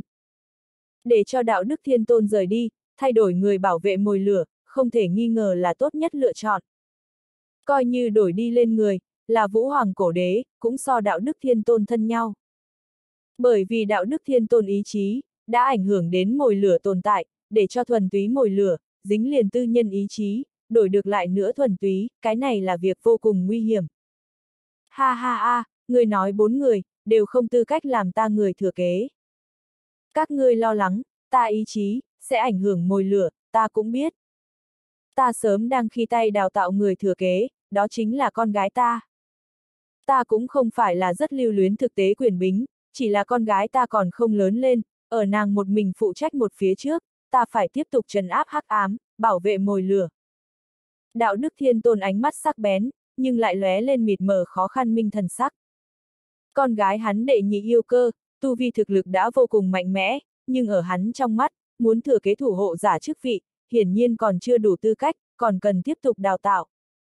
Ở đệ nhị yêu cơ còn không dậy nổi trước, trấn áp hắc ám, bảo vệ mồi lửa trách nhiệm nặng nề, tự nhiên cũng là rơi vào hắn trên đầu vai. Thanh kiếm này, là trấn áp hắc ám nổi loạn trọng yếu vật, người không thể mang đi, phải lưu lại. Đạo đức thiên tôn ánh mắt lửa đốt lửa đốt, nhìn chằm chằm Diệp thần kiếm trong tay, lạnh lùng nói. Diệp thần nghe xong đạo đức thiên tôn một phen, nội tâm có chút hỗn loạn. Hắn không biết thánh quang tiên đế và đạo đức thiên tôn, ai đúng ai sai. Hai người này nói, có riêng đạo lý. Suy nghĩ cân nhắc một phen sau đó, Diệp thần nhưng là lắc đầu một cái, nội tâm kiên quyết định. Hắn tin tưởng mình lựa chọn. Xin lỗi, đạo đức thiên tôn tiền bối, thanh kiếm này, ta phải mang đi. Diệp thần giọng kiên quyết nói, hắn đã thấy rõ đến tương lai phúc họa biến hóa, mang đi thần hy thiên kiếm, là ổn thỏa nhất lựa chọn. Coi như gây thành hắc ám rối loạn, cũng tốt hơn để cho đạo đức thiên tôn, tiếp tục độc tài đi xuống. Hai hại so sánh lấy hắn nhẹ, Diệp thần tin tưởng mình quyết định. Đạo đức thiên tôn chấn động, nói, người có biết hay không hậu quả. Một khi hắc ám khí thức mất đi áp chế, đến lúc đó, tử thần giáo đoàn bên kia, không chỉ là hoàng hôn cự nhân hạ xuống, thậm chí rất có thể, thứ nhất tiệc hộ pháp cường giả, trong truyền thuyết ma nữ, vậy sẽ hạ xuống. Tử thần giáo đoàn 12 tiệc hộ pháp, xếp hạng thứ nhất tiệc, biệt hiệu tên là ma nữ, là cường đại nhất tồn tại, so với hoàng hôn cự nhân, mạnh hơn được hơn. Diệp thần tính táo nói, đạo đức thiên tôn tiền bối, nếu như ngươi thật muốn bảo vệ thực tế, cái gì đó hoàng hôn cự nhân, cái gì ma nữ, ngươi trực tiếp ra tay trấn áp chính là, chỉ cần ngươi chịu ra tay, cũng sẽ không có cái gì hắc ám rối loạn. Đạo đức thiên tôn gặp Diệp thần từ đầu đến cuối không chịu nghe hắn mà nói, chỉ cảm thấy bất chấp lý lẽ, khi nhét ngực ức, thua thiệt được hắn hàm dưỡng rộng rãi, ngược lại cũng không tới phát tác, thở dài một tiếng, nói. Thôi, giữa người và người vui buồn không hề tương thông, xem ra chúng ta không có bàn lại khả năng. Ta cảnh cáo ngươi một câu, ngươi nếu quả thật muốn mang đi thần hy thiên kiếm, vậy thì chú ý ma nữ đuổi giết, một khi ma nữ hạ xuống, nàng cái đầu tiên muốn giết, chính là ngươi, coi như ngươi là võ tổ truyền nhân, nàng vậy sẽ không bỏ qua. Bởi vì thanh kiếm này, đã từng bị ta rèn luyện qua, bên trong dính liền vô số tử thần tín đổ máu tươi, như ma nữ hạ xuống, nàng tuyệt đối sẽ hướng ngươi báo thù. Vậy ma nữ thực lực, kinh thiên vĩ địa, so hoàng hôn cự nhân còn cường hãn hơn gấp vạn lần, đừng nói ở thế giới hiện thật, coi như là ở không không lúc nào không, cũng là trí cường tồn tại, nàng nếu là hạ xuống, người hẳn phải chết không thể nghi ngờ. Diệp thần sửng sốt một chút, nói, ma nữ giết ta, quan võ tổ chuyện gì? Đạo Đức Thiên Tôn trầm giọng nói, bởi vì cái đó ma nữ, đã từng là võ tổ hồng nhan chi kỷ, tẩy nhan tiên tông khai sơn tổ sư, cổ thánh hiền, ở rơi vào hắc ám trước, nàng tên là tẩy nhan tiên tử. Diệp thần ánh mắt có rúc lại, cơ hồ không dám tin tưởng mình lỗ tai, nói tẩy nhan tiên tử. Tử thần giáo đoàn xếp hạng thứ nhất ma nữ, lại là tẩy nhan tiên tử. Tẩy nhan tiên tông truyền thuyết, Diệp thần cũng đã nghe nói qua. Tẩy nhan tiên tử khai sáng tẩy nhan tiên tông, chính là một đời tổ sư, cổ thánh hiền, và võ tổ, hồng quân lão tổ, kiêm gia tiên tử các người, là cùng người cùng một thời đại vật. Ở thời đại kia, võ tổ tiến vào không không lúc nào không, nhưng tẩy nhan tiên tử, lấy là võ tổ bỏ mình, bi thương dưới, lại là chết theo mà chết. Nàng sau khi chết, đạo thống một mực niêm phong, cho đến cái thời đại này, mới bất ngờ bị người thừa kế. Thừa kế tẩy nhan tiên tử đạo chính thống người, chính là vạn khư thần điện Hồng Xuân Thu. Hồng Xuân Thu là vạn khư cao tầng, 10 đại thiên quân lão tổ một trong, nhưng hắn dã tâm cực lớn, cũng không muốn một mực nhượng bộ vũ hoàng cổ đế, âm thầm khác có mưu đồ. Trước mắt, Hồng Xuân Thu chính là tẩy nhan tiên tông tông chủ, chỉ bất quá người ngoài không biết hắn thân phận thôi. Hồng Xuân Thu vẫn là nội gián, là tử thần giáo đoàn dẫn đường. Hắn thống lĩnh tẩy nhan tiên tông, khai sơn tổ sư là tẩy nhan tiên tử. Mà tẩy nhan tiên tử, hôm nay là tử thần giáo đoàn thủ tịch hộ pháp, biệt hiệu ma nữ. Điều này cái đầu mối liên hệ tới, Diệp thần không khỏi được ra đầu tê dại, nội tâm bộ dạng sợ hãi. Đạo Đức Thiên Tôn nói, đúng vậy, ma nữ chính là tẩy nhan tiên tử, tẩy nhan tiên tử chính là ma nữ. Hồng Xuân thu thành nội gián, cũng là ma nữ an bài. Năm đó tẩy nhan tiên tử chết theo, nàng trinh mãnh liệt cảm động chân lý, được triệu hoán đi không không lúc nào không, đáng tiếc nàng từ đầu đến cuối không có được võ tổ quan tâm, bởi vì yêu sinh hận, cuối cùng rơi vào hắc ám, hóa thân ma nữ. Ngươi là võ tổ truyền nhân, tầng này thân phận, có thể còn sẽ đưa tới ma nữ quá mức cửu hận. Diệp thần nói, lúc đầu ngươi đã sớm biết nội gián là ai. Đạo Đức Thiên Tôn thở dài nói, ta biết, cái gì cũng biết, chỉ là ở trước mặt người ngoài, vì che đậy chân lý cùng thiên cơ, ta phải giả bộ hồ đồ. Diệp thần hỏi, như thế còn sống, không mệt mỏi sao? Đạo Đức Thiên Tôn yên lặng, không lời chống đỡ. Đang trầm mặc sau một lúc lâu, Đạo Đức Thiên Tôn hơi có chút ảm đạm, ý hưng lan san nói, người đi thôi, chú ý ma nữ giết ngươi, người dẫu sao là con gái ta trung tình người, ta cũng không muốn ngươi chết. Ma nữ thực lực cường đại, muốn hạ xuống thực tế, phỏng đoán không quá có thể, nhưng thủ hạ nàng diêm ma chết giới người, tuyệt sẽ không bỏ qua ngươi. Diệp thần nói, diêm ma chết giới. Đạo Đức Thiên Tôn nói, ừ, ma nữ thành tựu thủ tịch hộ pháp, nàng có mình lãnh địa. Nàng lãnh địa, chính là kêu diêm ma chết giới, nàng là thần vũ trụ. Diêm ma chết giới người, chỉ hướng nàng thành tâm ra sức, không hướng tử thần giáo đoàn thành tâm ra sức. Một khi hắc ám rối loạn bùng nổ, diêm ma chết giới nhất định sẽ để mắt tới ngươi, ngươi muốn chạy thoát, tuyệt không khả năng, hiện tại ngươi như chịu buông xuống thần hy thiên kiếm, ta còn có thể bảo ngươi một đường sinh cơ. Nói xong lời cuối cùng, đạo đức thiên tôn lại khuyên Diệp thần, buông xuống thần hy thiên kiếm. Diệp thần không nói gì, chỉ là lắc đầu một cái, cũng không có thay đổi chủ ý ý tưởng. Đạo đức thiên tôn một tiếng thở dài, nói thôi, lời nên nói đã nói, không còn gì để nói, ta cũng không nói nhảm nữa. Lần này Thái Thượng Công Đức Chiến, người luân hồi trận doanh, nhất định có chết, người muốn sống tiếp, không mạnh hơn đầu, nếu không không cần ma nữ ra tay, người ngày hôm nay thì có rơi xuống có thể. Tiếng nói rơi xuống, chung quanh núi thây biển máu thế giới, không ngừng vặn vẹo biến ảo. Diệp thần chỉ cảm thấy không gian khí lưu xoay tròn, chỉ chốc lát sau, hắn liền thoát khỏi đạo đức thiên tôn thế giới tinh thần, lần nữa trở về thực tế, cũng đã rời đi địa cung, trở lại mặt đất. Trên mặt đất, màn đêm bao phủ, hắc ám như cũ nồng nặc. Kỳ Tư Thanh, Hạ Nhược Tuyết, Ngụy Dính, Phạm Tinh Nghiên các người, còn có luân hồi trận doanh tất cả đệ tử, đang cùng quy trần kiếm môn trận doanh, Vũ Hoàng ngạo tuyết vạn khư trận doanh, bùng nổ kịch liệt chiến đấu. Các loại võ đạo thần thông ánh sáng, pháp bảo binh khí ánh sáng, dung chuyển thương khung, lại là xé nát không gian. Trung quanh xuất hiện từng cái vết nứt không gian, những thứ này vết nứt không gian một đầu khác, chính là thần bí kia khu thứ năm, hư vô khu. Chiến đấu bên trong, không ngừng có người bị đánh nhập hư vô khu, phát ra kêu thảm thiết, trực tiếp rơi vào hắc ám thâm uyên bên trong, hoàn toàn vẫn diệt. Diệp thần đảo mắt nhìn chiến trường, liền thấy hắn luân hồi trận doanh bên này, rõ ràng bất lợi. Chỉ gặp luân hồi trận doanh hạch tâm, chính là kỳ tư thanh. Kỳ tư thanh cháy hỏa thần máu, cấu trúc ra một cái khoáng đạt chu tước thế giới, vô số lửa cháy mạnh bốc hơi lên, ngọn lửa gầm thét, chu tước múa lên, còn có từng cái vận mệnh sông dài, đang không ngừng chảy xiết trước.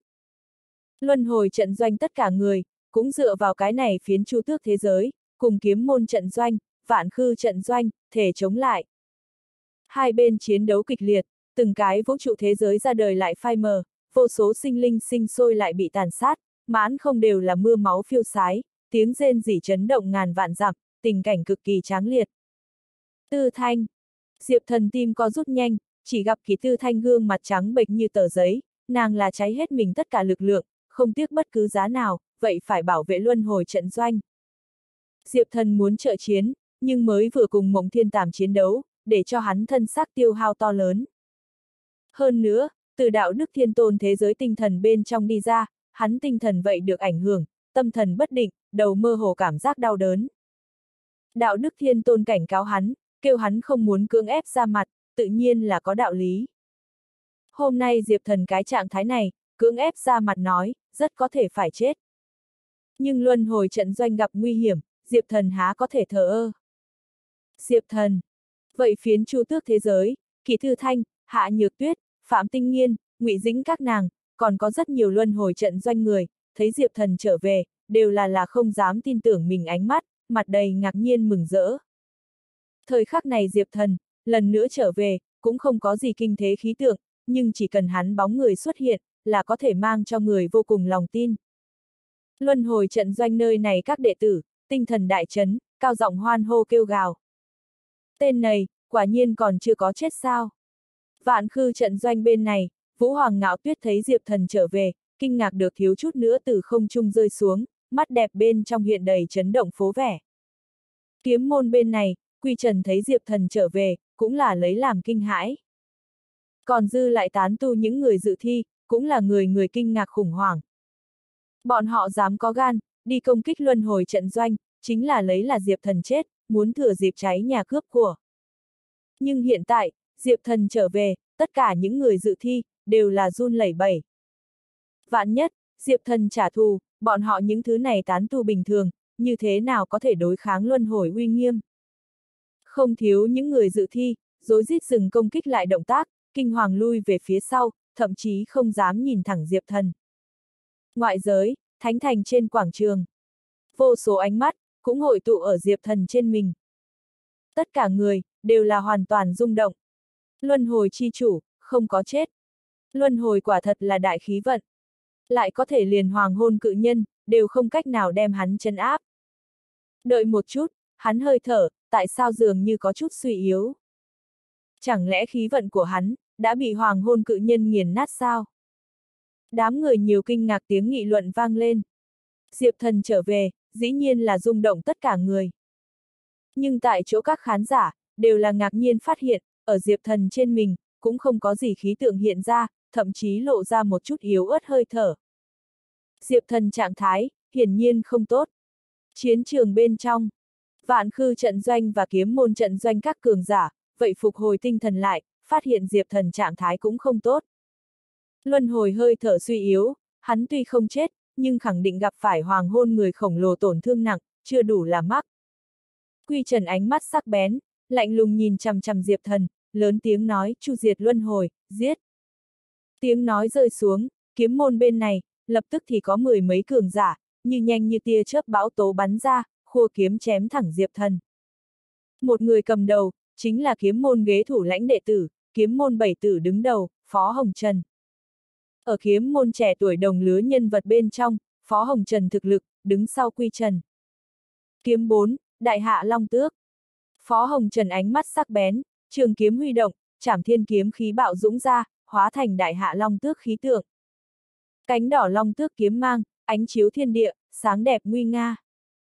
Diệp thần thấy Phó Hồng Trần kiếm mang giết tới, nhưng là sắc mặt trầm xuống. Lấy hắn trạng thái bây giờ, sợ rằng phải không tiếc giá phải trả, cháy luân hồi huyết mạch, mới có phản kích cơ hội. Mộ chủ đại nhân, mượn dùng ta lực lượng đi. Thánh quang tiên đế thấy Diệp thần nguy hiểm, quát to một tiếng, toàn cho dù là không cùng Diệp thần đáp lại, trực tiếp đem linh khí của mình năng lượng, toàn bộ dẫn nước đến Diệp thần trong cơ thể. Tiền bối. Diệp thần cảm nhận được trong cơ thể bạo dũng lực lượng, đầu tiên là sửng sốt một chút, sau đó thật sâu cảm kích. Hít sâu một hơi, Diệp thần tinh thần chấn định lại, ánh mắt đổi được ác liệt sắc bén, nhìn Phó Hồng Trần chém chết mà đến một kiếm, hắn lại cũng không có cảm thấy bất kỳ uy hiếp. Bởi vì, thời khắc này hắn, đã lấy được thánh quang tiên đế trợ lực, hơi thở nổ, thật là vô địch. Bằng ngươi cũng xứng dùng trảm thiên cửu kiếm. Diệp thần giọng lạnh lùng, bàn tay bỗng nhiên bung ra kim trương thần mang, bắt lại Phó Hồng Trần chém tới kiếm. Phó Hồng Trần thân kiếm, bị Diệp thần bắt, ngay tức thì nhúc nhích không được, sau đó rắc rắc sát vang dội, một đoạn tiết đoạn bể. Vậy đầy trời nóng rực long tước kiếm mang khí tượng, cũng là ngay tức thì tán loạn. Cái gì? Phó Hồng Trần trợn mắt hốc mồm, hoảng sợ nhìn Diệp Thần. Bởi vì hắn cảm thấy, thời khắc này Diệp Thần, linh khí ở ngay tức thì tăng vọt, đạt tới một cái kinh khủng bước, làm người ta nghẹt thở. Chết đi! Diệp Thần vành mắt hết sức nứt ra, vứt bỏ Phó Hồng Trần kiếm gãy, bắt hắn chừng hai cánh tay, đột nhiên dùng sức kéo một cái. Suy rồi! Hào hùng lực lượng bùng nổ. Diệp Thần cầm Phó Hồng Trần xé thành hai nửa. Máu tươi, nội tạng, còn có rất nhiều màu sắc rực rỡ đồ, bắn rơi đầy đất. Diệp thần gương mặt, bị bắn lên một ngụm máu tươi, cả người dữ tợn như dã thú. Trung quanh tất cả người, thấy Diệp thần như vậy dữ tợn hình dáng, đều là sợ ngây người, run lẩy bẩy. Diệp thần ánh mắt, vậy như dã thú tàn bạo, đảo mắt nhìn toàn trường, gần từng chữ một, dám khi dễ ta luân hồi trận doanh người, các ngươi ngày hôm nay đều phải chết. Tiếng nói rơi xuống, một tiếng nổ, Diệp thần cả người linh khí nổ, thần thánh chói lọi, sáng chói thần hy, như cổ thần thẩm phán vậy, ngay tức thì tràn ngập toàn trường. Trong hư không, vang lên từng trận vĩ đại ngâm sướng, đó là đối quang minh ngâm sướng, từng cái từng cái thuần trắng tiên linh bay múa, chiếu sáng nửa đêm, đặc biệt nguy nga. Thời khắc này Diệp Thần, hoàn toàn thu được thánh quang tiên đế lực lượng gia trì, quang minh quy luật bùng nổ, giống như là quang thần thiên tôn hóa thân. Bá bá bá. Ở Diệp Thần quanh người, từng cái thần quang minh liên, phù văn lóng lánh, thần hy nổ, tóe ra ngập trời sức mạnh to lớn. Xích thần huy động, như thiên thần quất mạnh, đi theo phó hồng trần sông lên mười mấy kiếm môn cường giả, phát ra kêu thảm thiết, tại chỗ đã bị đánh thành thịt nát. Phía sau tất cả những người dự thi, đều là kinh hoàng run rẩy run, rối rít lui về phía sau. Quy Trần cũng là ánh mắt co rút nhanh, ngưng trọng tới cực điểm. Hắn còn lấy là Diệp Thần hơi thở suy yếu, có thể nhân cơ hội khi dễ, nào nghĩ tới vào giờ khắc này, Diệp Thần bộc phát ra như vậy to lớn lực lượng, đơn giản là vô địch. Luân hồi trận doanh bên này, Kỷ Tư Thanh, Hạ Nhược Tuyết, Ngụy Dính, Phạm Tinh Nghiên các người, đều là si ngốc nhìn Diệp Thần, hoàn toàn chìm đắm. Các nàng thu hồi linh khí, lui về phía sau, không có lại chiến đấu ý. Bởi vì các nàng tin tưởng, dựa vào Diệp Thần một người, cũng đủ để chấn áp toàn trường. Ở bên ngoài trên quảng trường các khán giả, cũng là hoàn toàn rung động. Càng rung động, còn ở phía sau. Tự do rực, mở. Chỉ nghe Diệp Thần quát to một tiếng, giữa trời đất gió lốc lớn nổi lên, tiếng gió gầm thét. Hắn sau lưng, triển khai một đôi vĩ đại thần thánh, sáng chói chói mắt cánh. Đó chính là tự do rực. Diệp Thần phe phẩy tự do rực, bay đến bầu trời. Hô! Hô, hô, tự do rực mỗi một lần vỗ, cũng mang theo vô tận gió lốc lớn, cuộn sạch hết thảy, cho người vô hạn chèn ép. Ở tự do rực phía trên, vô số cổ xưa phù lục lóe lên, phía trên còn tràn ngập thần thánh trói lọi.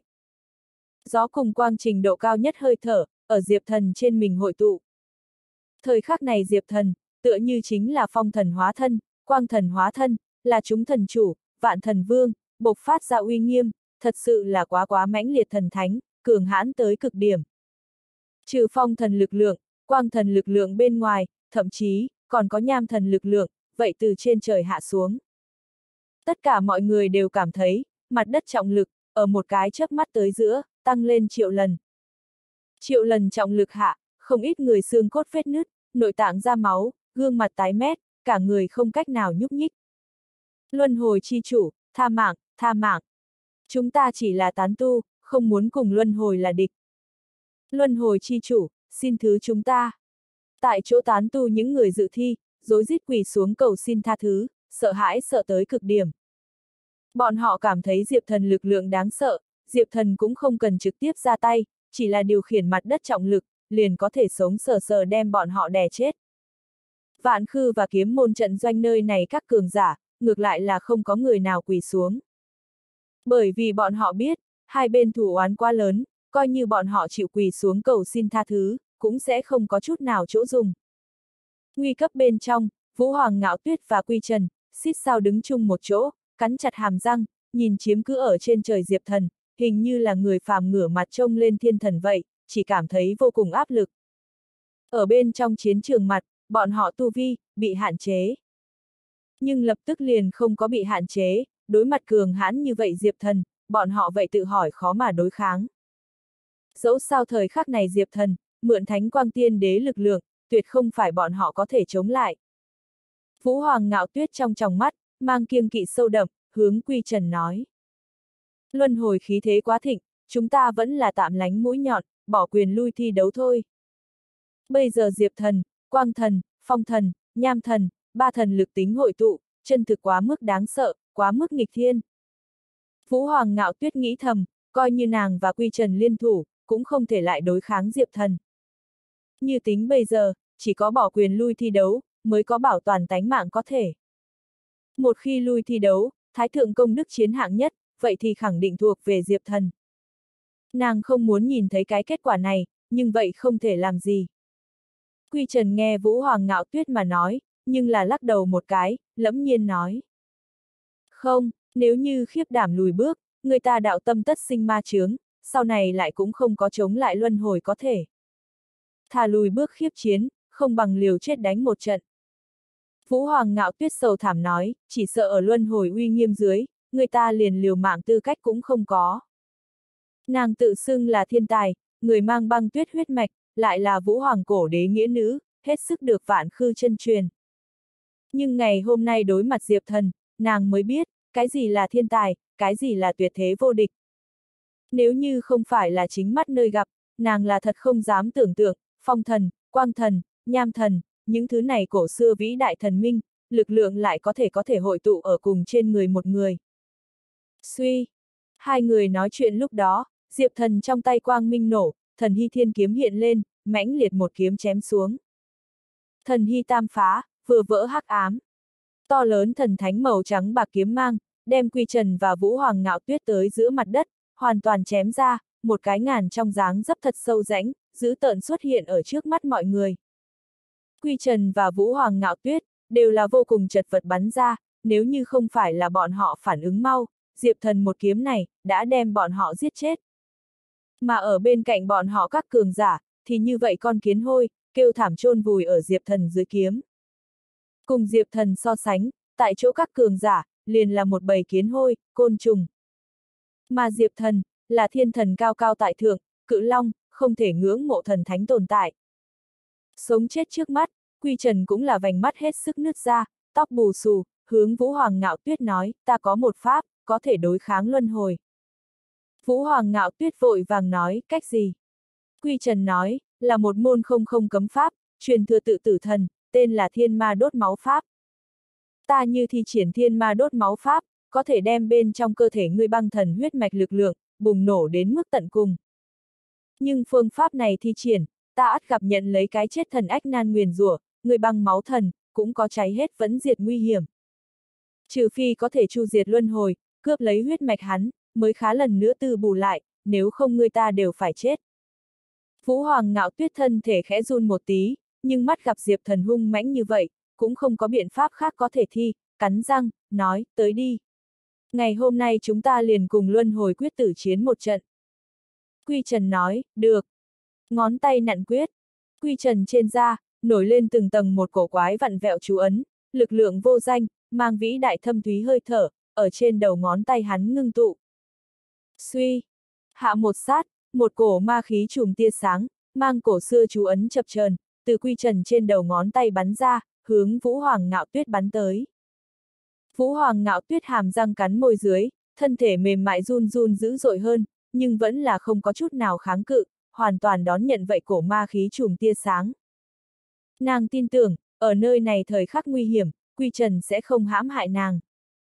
Muốn đối kháng Diệp Thần, chỉ có hai người liên thủ. Oanh! Theo ma khí trùm tia sáng vào cơ thể, Vũ Hoàng ngạo tuyết cảm thấy mình trong cơ thể, vậy một giọt băng máu thần, bị hoàn toàn kích thích đứng lên.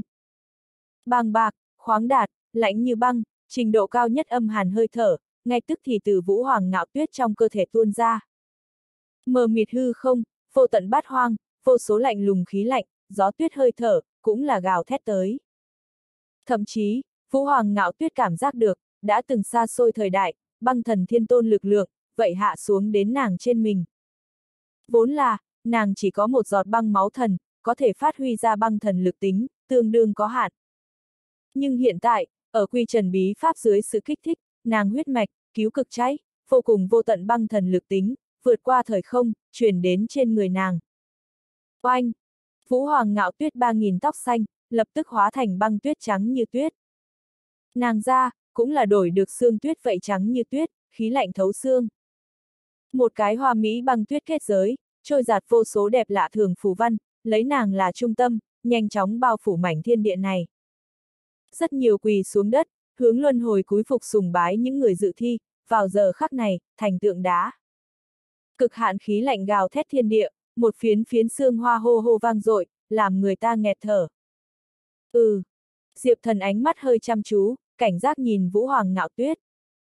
Hắn cảm đến thời khắc này Vũ Hoàng ngạo tuyết, khí thế lập tức tăng vọt 10 lần vượt quá, hoàn toàn không thể so với hắn kém. Đây chính là băng thần thiên tôn trình độ cao nhất lực lượng sao.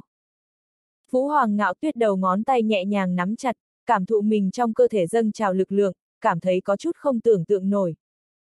Hiện tại nàng lực lượng cường hãn, liền nàng đều cảm thấy khiếp sợ. Mặc dù cổ lực lượng này sau lưng, là lấy huyết mạch trình độ cao nhất cháy làm giá, nhưng có thể có đáng sợ như vậy lực lượng, cho dù chết, cũng không uổng cuộc đời này.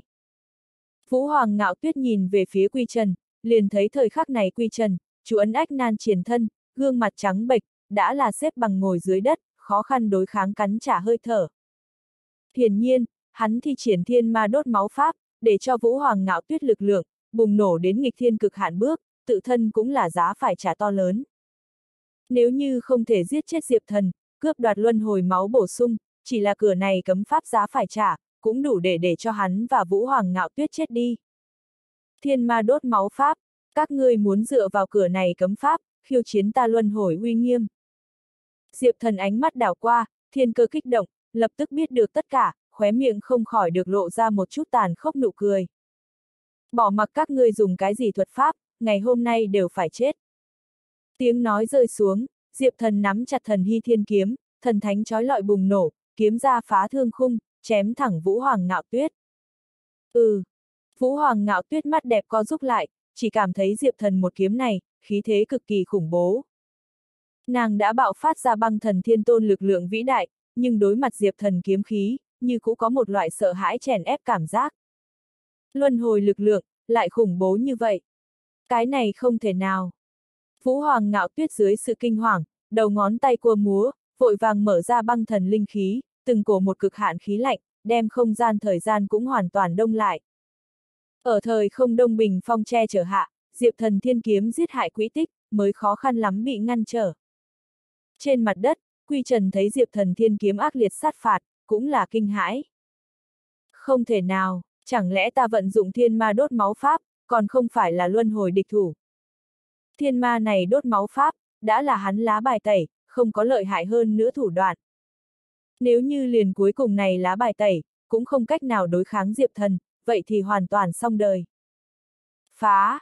Diệp Thần ánh mắt sắc bén, phong thần, quang thần, nham thần lực lượng, hội tụ một thể, một kiếm phá mở đông thời không, mũi kiếm đâm về phía Vũ Hoàng ngạo tuyết tim.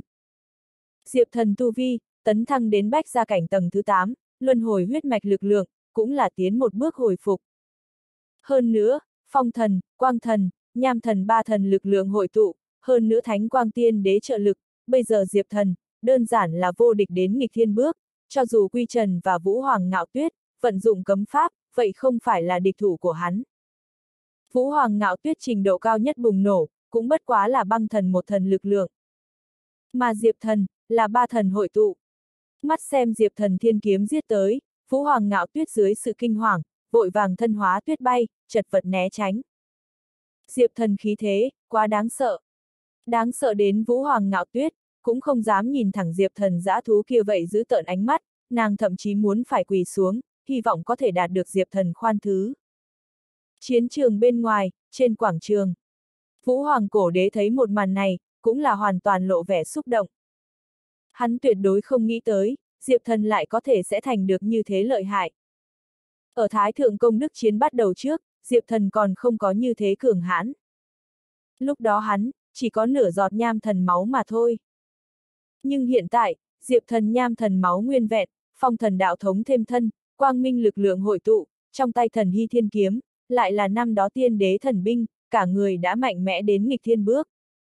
Trẻ tuổi đồng lứa bên trong, cho dù mạnh như Quy Trần và Vũ Hoàng Ngạo Tuyết, cũng hoàn toàn không thể cùng Diệp Thần chống lại. Ngạo Tuyết, không cần phải sợ. Mượn dùng thiên hoàng cổ trung lực lượng đi. Người còn có giết ngược cơ hội. Nguy cấp bên trong, Vũ Hoàng cổ đế truyền ra ý chí, truyền âm đến Vũ Hoàng Ngạo Tuyết trong lỗ tai. Thiên hoàng cổ trung, là tam hoàng chí bảo một trong, vạn khư thần điện chấn phái thần khí, lực lượng đặc biệt đáng sợ. Toàn bộ vạn khư thần điện, chỉ có vũ hoàng cổ đế, có thể mượn dùng tương lai người lực lượng, khó khăn lắm thúc giục thôi. Vũ hoàng ngạo tuyết có băng máu thần, giờ phút này trình độ cao nhất bùng nổ, cũng có thúc giục thiên hoàng cổ trung lực lượng cơ hội. Nhưng làm như vậy, nàng nhất định phải chịu đựng to lớn áp lực, ở sau khi chiến đấu kết thúc, bỏ mình vẫn diệt. Chỉ là hiện tại, Vũ Hoàng cổ đế cũng không đoái hoài được nhiều như vậy. Dù sao, Vũ Hoàng ngạo tuyết huyết mạch trình độ cao nhất cháy, cũng phải cần chết. Ngược lại không như mượn dùng thiên hoàng cổ trung lực lượng, cuối cùng liều chết đánh một trận, vạn nhất có thể giết ngược Diệp Thần, đạt được luân hồi máu tư bổ, vậy hết thảy vấn đề, đều có thể giải quyết dễ dàng. Chiến trường bên trong, Vũ Hoàng ngạo tuyết nghe được Vũ Hoàng cổ đế truyền âm, đầu tiên là sửng sốt một tí, sau đó thân thể mềm mại chính là kịch liệt run rẩy run đứng lên. Nham thương, phá giết. Thời khắc này Diệp Thần, nhưng là không có chút nào nương tay, thấy Vũ Hoàng ngạo tuyết, tránh ra hắn một kiếm, hắn ngay lập tức hội tụ trong thiên địa nham thổ khí tức, hóa thành một cán phong cách cổ xưa nham thương, phía trên nhấp nhiều kim trương phủ văn, một súng hướng Vũ Hoàng ngạo tuyết bắn tới. Cái này một súng hung mãnh bá đạo, đủ để đem thiên địa tinh không xuyên qua, vạn vật không thể đỡ. Vũ Hoàng ngạo tuyết thật sâu chấn động chỉ, trong sâu thẳm, nàng nghe được một hồi tiếng chuông, một hồi cổ xưa tiếng chuông. Ở rất xa Vũ Hoàng thiên giới, chấn thủ ở vạn khư sơn môn thiên hoàng cổ trung, vào giờ khắc này, cùng nàng đồng tình. Thiên hoàng cổ trung, đáp lại ta đi. Sống chết trước mắt, Vũ Hoàng ngạo tuyết ánh mắt sắc bén, thân thể mềm mại lại vậy không một chút run rẩy. Nàng giang hai cánh tay, ngâm sướng ra cổ xưa thần chú, cả người linh khí nổ, vận chuyển ra các loại vạn khư đạo pháp. Đang, Diệp thần bá đạo nham thương, đi về trước phá giết, nhưng cũng không có thể đánh chết Vũ Hoàng ngạo tuyết. Bởi vì ở giây phút sau cùng, một tòa cổ xưa đại trung, từ trên trời hạ xuống, rơi vào Vũ Hoàng ngạo tuyết trước người. Diệp thần nham thương, nổ bắn ra ở thân chuông trên, phát ra một hồi lảnh lót vô cùng, rung động chư thiên tiếng vang. Phốc xích, phốc xích, phốc xích. Luân hồi trận doanh bên này, rất nhiều cường giả hộc máu. Hạ Nhược Tuyết, Phạm Tinh Nghiên, Ngụy Dĩnh ba phụ nữ, cũng là được to lớn đánh vào, gương mặt trắng bệch. Vốn là yếu ớt kỳ tư thanh, lại là thiếu chút nữa bị tiếng chuông chấn động ngất đi. Nhìn lại vạn khư trận doanh bên này, tất cả cường giả, nghe được vậy tiếng chuông sau đó, tựa như đạt được vĩ đại nhất chúc phù hộ vậy, người người tinh thần phấn chấn, người bị thương thương thế hết bệnh, sắp chết người lần nữa hồi phục. Thiên hoàng cổ trung. Diệp thần nhìn Vũ Hoàng ngạo tuyết trước người cổ trung, hoàn toàn khiếp sợ, lui về phía sau ba bước. Tòa kia cổ trung, chính là trong truyền thuyết không vô thần khí, tam hoàng chí bảo đứng đầu, thiên hoàng cổ trung. Thiên hoàng cổ trung, thần tính vĩ đại, bộc phát ra tiếng chuông, có thể tàn phá địch nhân tim phổi, nhưng lại có thể che chở mấy phe trận doanh tín đồ, đặc biệt thần kỳ. Đang, đang, đang, không người gõ. Nhưng thiên hoàng cổ trung, nhưng hàng loạt, truyền ra cổ xưa du dương chuông vang. Ở nơi này cổ chuông vang dưới sự sung kích, luân hồi trận doanh mọi người, người người thống khổ không chịu nổi. Vạn khư trận doanh người, chính là phấn chấn dị thường, kêu gào hoan hô. Người lại có thể có thể triệu hoán thiên hoàng cổ trung hạ xuống. Diệp thần gắt gao nhìn chằm chằm vũ hoàng ngạo tuyết, tuyệt đối không nghĩ tới ở thời khắc tối hậu, nàng lại có thể triệu hoán ra thiên hoàng cổ trung. Đây chính là bên trong thế giới hiện thật mặt, tồn tại, vĩ đại nhất, cường hãn nhất không vô thần khí, là tam hoàng trí bảo đứng đầu. Luân hồi chi chủ, ngày hôm nay người phải chết, không phải ta, mà là ngươi. Ngươi máu tươi, sẽ bị ta gây thành rượu ngon. Ta vạn khư tất cả tổn thất, đều đưa dùng ngươi sinh mạng trả lại. Vũ Hoàng ngạo tuyết mắt đẹp bên trong, tràn đầy sát cơ nồng nặc, hơi thở rét lạnh. Nàng linh khí, cùng thiên hoàng cổ trung câu thông đồng tình. Cả tòa thiên hoàng cổ trung, đều là toát ra chói mắt chói lọi, phía trên lại lưu chuyển tầng tầng băng tuyết phủ văn, đặc biệt nguy nga. Thiên hoàng cổ trung, cho ta trấn áp. Vũ hoàng ngạo tuyết phung tay lên, đem tự thân tất cả linh khí, tất cả hồn lực, tất cả khí huyết năng lượng, toàn bộ hội tụ ở trên trời hoàng cổ trung phía trên. Ung ung, thiên hoàng cổ trung bị thúc giục, như lôi cuốn phong lôi vậy, phát ra kinh thiên khí tượng, quay đầu hướng Diệp Thần trấn áp xuống đi. Diệp Thần nhất thời cảm thấy ngập trời áp lực. Ngày này hoàng cổ trung bên trong, vượt quá hàm chứa Vũ Hoàng ngạo tuyết một người hơi thở, còn có vạn khư thần điện sơn môn uy nghiêm, Vũ Hoàng cổ đế uy nghiêm, thậm chí còn có xa xôi thời không bên trong, cổ thần nhất mạch uy nghiêm, đơn giản là vô địch. Như vậy vô địch thiên hoàng cổ trung, chân áp xuống tới, thế giới hiện thật, không có bất kỳ lực lượng có thể ngăn cản, liền tiên đế cũng không thể ngăn trở. Bởi vì, thiên hoàng cổ trung, là không vô thần khí, lực lượng đã siêu thoát thực tế. Thậm chí, ngày này hoàng cổ trung, vẫn là tam hoàng trí bảo đứng đầu, cường hãn đến không thể tưởng tượng nổi bước. Đừng nói ở thế giới hiện thật, coi như là ở không không lúc nào không, thiên hoàng cổ trung cũng là đứng đầu pháp bảo. Nhân hoàng thánh đao, cho ta ngăn trở. Sống chết trước mắt, diệp thần cuồng nhiệt gầm thét, rút ra bên hông nhân hoàng thánh đao. Sống chết chèn ép dưới, diệp thần đột phá cực hạn, đem hoàn chỉnh thân đao, cũng là hoàn mỹ rút ra. Hoàng kim lóng lánh thân đao, toát ra nhất kim quang sáng chói, thẳng sông lên trời cao, xé rách thương dạ. Ác liệt đến chém chết trần thế đao khí, lăn lăn bùng nổ. Diệp thần nham thần máu cháy, kim trương phù văn bùng nổ, cả cây nhân hoàng thánh đao, cũng là nổi lên một tầng thần thánh kim trương hoàng cực văn lạc, đao khí lần nữa nổ tung. Nhưng dù vậy, diệp thần nhân hoàng thánh đao khí thế, vậy không đè ép được thiên hoàng cổ trung. Thiên hoàng cổ trung, dẫu sao cũng là tam hoàng trí bảo. Nhân hoàng thánh đạo uy thế, đủ để nghiền ép thực tế, nhưng không thể nào nghiền ép thiên hoàng cổ trung. Một đao một chung, khí thế đối lập, địa vị ngang nhau. Diệp thần vung đao cuồng chém, đem tự thân linh khí, điên cuồng bơm vào đến trên thân đao, thể phải đột phá cực hạn, trấn áp thiên hoàng cổ trung. Hừ! Vũ hoàng ngạo tuyết cũng là không cam lòng yếu thế, huyết mạch cháy hết, trắng như tuyết ra, cũng trở nên có chút khô cằn, liều mạng thúc giục thiên hoàng cổ trung lực lượng. Nàng biết, đây là cuộc chiến sinh tử. Nếu như giết không chết Diệp Thần, không có được luân hồi máu tư bổ, ở sau khi chiến đấu kết thúc, chính là nàng ngày rỗ. Vô số ánh mắt, hội tụ ở Diệp Thần và Vũ Hoàng ngạo tuyết trên mình.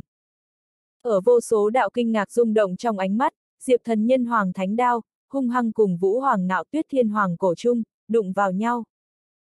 Không có bất kỳ ngôn ngữ, có thể hình dạng cái này một tí va chạm mãnh liệt. Ở va chạm phát sinh ngay tức thì, một tiếng nổ, to lớn nổ, kinh thiên vang lên. Thiên địa băng diệt, thời không bể tan tành, nổ đợt khí, tựa hồ truyền đến vũ trụ biên hoang. Cho dù khoảng cách chiến trường, có xa vạn dặm thánh thành quảng trường, cũng là cảm thấy một cổ mạnh mẽ gió bão, thổi lất phất tới. Màu vàng kim đao mang, cổ xưa chuông vang tiếng, ngất trời nổ. Đao mang chảm phá thời không, vặn vẹo ra vô số kim long phượng hoàng khí tượng, như thần như ngục.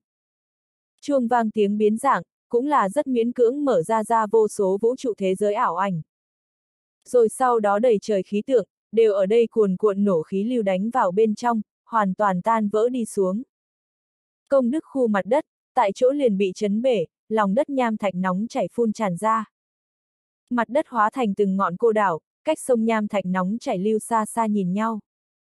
Vô số yêu thú cùng quái vật, rên rỉ run rẩy, quyền giúp ở trong góc mặt. Luân hồi trận doanh người nơi này cửa, cũng là được liền mãnh liệt đánh vào, nhưng cũng không có người chết đi. Bởi vì, Diệp Thần đem chí mạng nhất đánh vào, cũng một mình chịu đựng xuống. Động trời va chạm kết thúc, Diệp Thần vết thương chồng chất, cả người là máu, từ bầu trời đánh mất, cuối cùng rơi xuống ở một cái bên trong vết nứt không gian mặt. Điều này vết nứt không gian một đầu khác, chính là bể tan tành khu thứ 5, hư vô khu. Diệp Thần. Kỷ Tư Thanh kêu to, liền trơ mắt nhìn Diệp Thần, hoàn toàn mất vào tay giặc tiến vào khu thứ 5. Bên kia, Vũ Hoàng ngạo tuyết đầu tóc bạc trắng khô héo, hình như tử thi, linh khí hao hết, từ chân trời đánh mất. Chiến đấu kịch liệt như thế, nàng vậy đã tiêu hao hết tất cả lực lượng, sắp gặp tử vong. Khi thấy Diệp Thần thân thể, rơi xuống đến khu thứ năm, nàng hoàn toàn kinh sợ, thét to. Người đâu, mau cho ta truy đuổi. Nàng biết luân hồi khí vận hừng hực, chỉ cần không phải chết tại chỗ, thì có nghịch chuyển có thể. Bây giờ Diệp Thần, lại đánh mất đi khu thứ năm, đảm nhiệm ai cũng biết, đây là luân hồi khí vận, lại một lần nữa nổ, muốn cứu vãn Diệp Thần. Cái này một tí va chạm, nhưng thật ra là Vũ Hoàng ngạo tuyết thắng. Nhưng nàng biết, không giết chết Diệp Thần, cướp lấy luân hồi máu, thắng bại không có chút ý nghĩa nào. Không có luân hồi máu tư bổ, nàng hao tổn nghiêm trọng như vậy, hẳn phải chết không thể nghi ngờ. Trung quanh vạn khư các cường giả, nghe Vũ Hoàng ngạo tuyết mệnh lệnh, nhưng là chố mắt nhìn nhau, không có người nào dám đuổi theo giết Diệp Thần. Bởi vì, khu thứ năm là hư vô khu. Mảnh khu vực kia, năm đó là tử Hoàng Tiên Cung, và tử thần giáo đoàn, nhất chiến trường kịch liệt. Vậy phiến chiến trường, đã sớm bị đánh được sụp đổ, thiên địa quy luật không tích chữ, quái vật hoành hành, chiến hồn tàn phá. Nếu là đi khu thứ năm, chỉ sợ giữ nhiều lành ít. Mau truy đuổi. Nếu là luân hồi chi chủ còn sống, ta muốn các người cũng trôn theo. Vũ Hoàng ngạo tuyết nghiêm nghị kêu to, đau khổ tột cùng. Nàng biết mình mạng sống hy vọng duy nhất, chính là ngược giết Diệp Thần, cướp lấy luân hồi máu. Diệp Thần nếu là không có chết, chết có thể chính là nàng chung quanh vạn khư các cường giả, run lẩy bẩy, rốt cuộc vậy là không dám chống lại mệnh lệnh. Lập tức, thì có mười mấy vạn khư cường giả, dọc theo vết nứt không gian nhảy xuống, tiến vào khu thứ năm đuổi theo giết Diệp Thần. Quy Trần gặp Diệp Thần đánh mất khu thứ năm sắc mặt cũng là vô cùng nặng nề. Hắn cảm thấy mình sinh mạng, đang đang nhanh chóng chết. Thiên ma đốt máu pháp mang tới cắn trả, đang không ngừng từng bước xâm chiếm hắn sức sống. Hắn cũng cần luân hồi máu tư bổ. Trước hết giết luân hồi trận doanh người. Quy Trần phất tay một cái, mệnh lệnh người thủ hạ nói. Ưm, kiếm môn đám người các cường giả, liền nhắc tới đao kiếm, hướng luân hồi trận doanh đạp đi. Mới vừa chiến đấu, Diệp Thần cùng Vũ Hoàng Ngạo Tuyết, Kinh Thiên va chạm. Luân hồi trận doanh bên này, vậy bị thiên hoàng cổ trung lực lượng to lớn đánh vào, mặc dù không người chết đi, nhưng không ít người đã trải qua tổn thương, mất đi năng lực chiến đấu. Giờ phút này, đối mặt kiếm môn đám người mạnh uy áp, nhưng là khó mà đối kháng. Chúng ta đi, đi khu thứ 5. Phạm Tinh Nhiên bị thương nhẹ nhất nhỏ, mắt đẹp vừa chuyển, quyết định thật nhanh, lập tức dọc theo cách đó không xa vết nứt không gian nhảy vào đi, mạo hiểm tiến vào khu thứ 5. Khu thứ 5 tuy nguy hiểm, nhưng bất kể như thế nào, vẫn tốt hơn ở lại chỗ này, mặc cho người tàn sát. Hạ Nhược Tuyết, Ngụy Dĩnh hai người, nhìn nhau, cũng là không do dự, vội vàng mang người thủ hạ, tiến vào khu thứ năm. Diệp Thần đã đánh rơi đến liền khu thứ năm, cho dù chết, các nàng cũng muốn và Diệp Thần chết cùng một chỗ.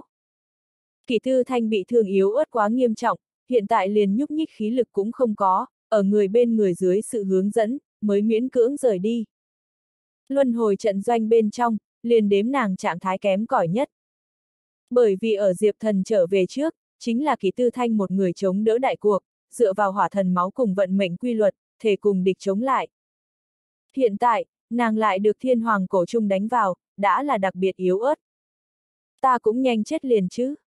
Kỳ tư thanh trong lòng mơ mơ màng màng, dâng lên cái ý niệm này, mí mắt rất là nặng nề, muốn ngủ đi. Tư thanh, không có chuyện gì, chúng ta nhất định có thể tìm được Diệp Thần.